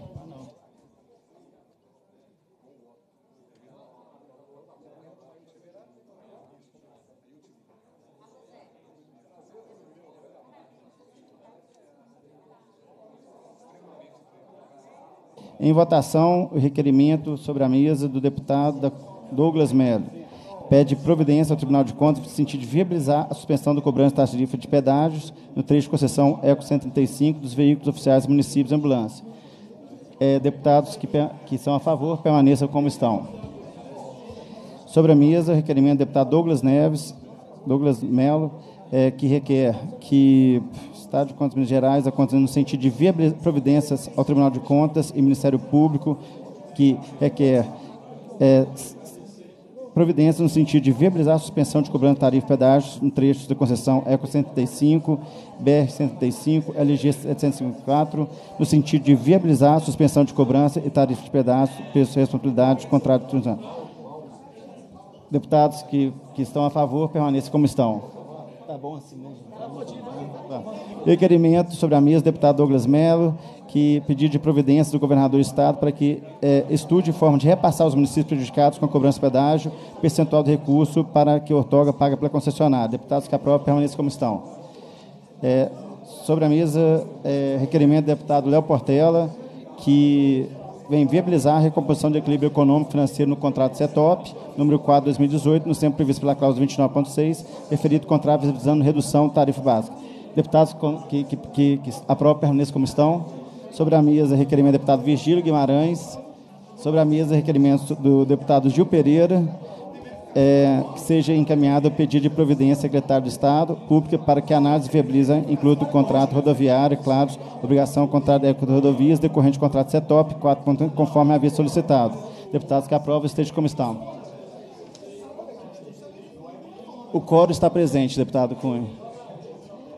Requerimento sobre a mesa, deputado Vigílio Guimarães, é, que pede encaminhamento pedido informações do Secretaria de Estado de Transporte de Obras Públicas, consubstanciado na, na cópia, documentos, atos, vídeos e demais registros. Deputados que permaneçam como estão, seja aprovado. Tem mais dois. Carlinhos, Carlinhos. Carlinhos, tem mais dois. Carlinhos. Carlinhos. Ah, você não tem coro, não. Pode ficar à vontade. Você não dá coro, não. Pode ficar à vontade. Passando a presidência para a mesa, passando para a presidência a mesa do Cleitinho, pois requerimento da minha autoria. Boa tarde, requerimento. Excelentíssimo senhor presidente da primeira reunião conjunta das comissões de Transportes, Comunicação e Obras Públicas e Defesa do Consumidor e do Contribuinte. O deputado que esteve subscreve requer, nos termos regimentais, seja encaminhado pedido de providências ao Departamento de Edificações e Estradas de Rodagem de Minas Gerais, para que apure se as obras de recuperação do pavimento em execução pela concessionária ECO 135 estão sendo feitas em adequação às normas técnicas e as regras presentes no contrato CETOP 004-2018. Em votação, requerimento. Todos permaneçam como estão. Os deputados que se aprovam permaneçam como estão. Aprovado. O deputado que, que este subscreve requer nos termos regimentais seja encaminhado pedido de providências à Secretaria de Estado de Transporte e Obras Públicas para que viabilize junto à concessionária E135 a inclusão de novos trechos rodoviários sob concessão no contrato CETOP 004-2018, de forma a promover a redução das tarifas em cada praça de pedágio. Em votação, requerimento. Deputados que aprovam se permaneçam como estão. Aprovado. Já Arthur. Repassando para mim, né? Isso. Já voltou tudo, Virgílio. Respondendo a pergunta do Virgílio, já foi aprovado tudo, Virgílio. Cumprindo a finalidade da reunião, a presidência agradece a presença dos parlamentares, dos convidados do público presente e determina a lavratura da ata e encerramento dos trabalhos. Muito obrigado a todos.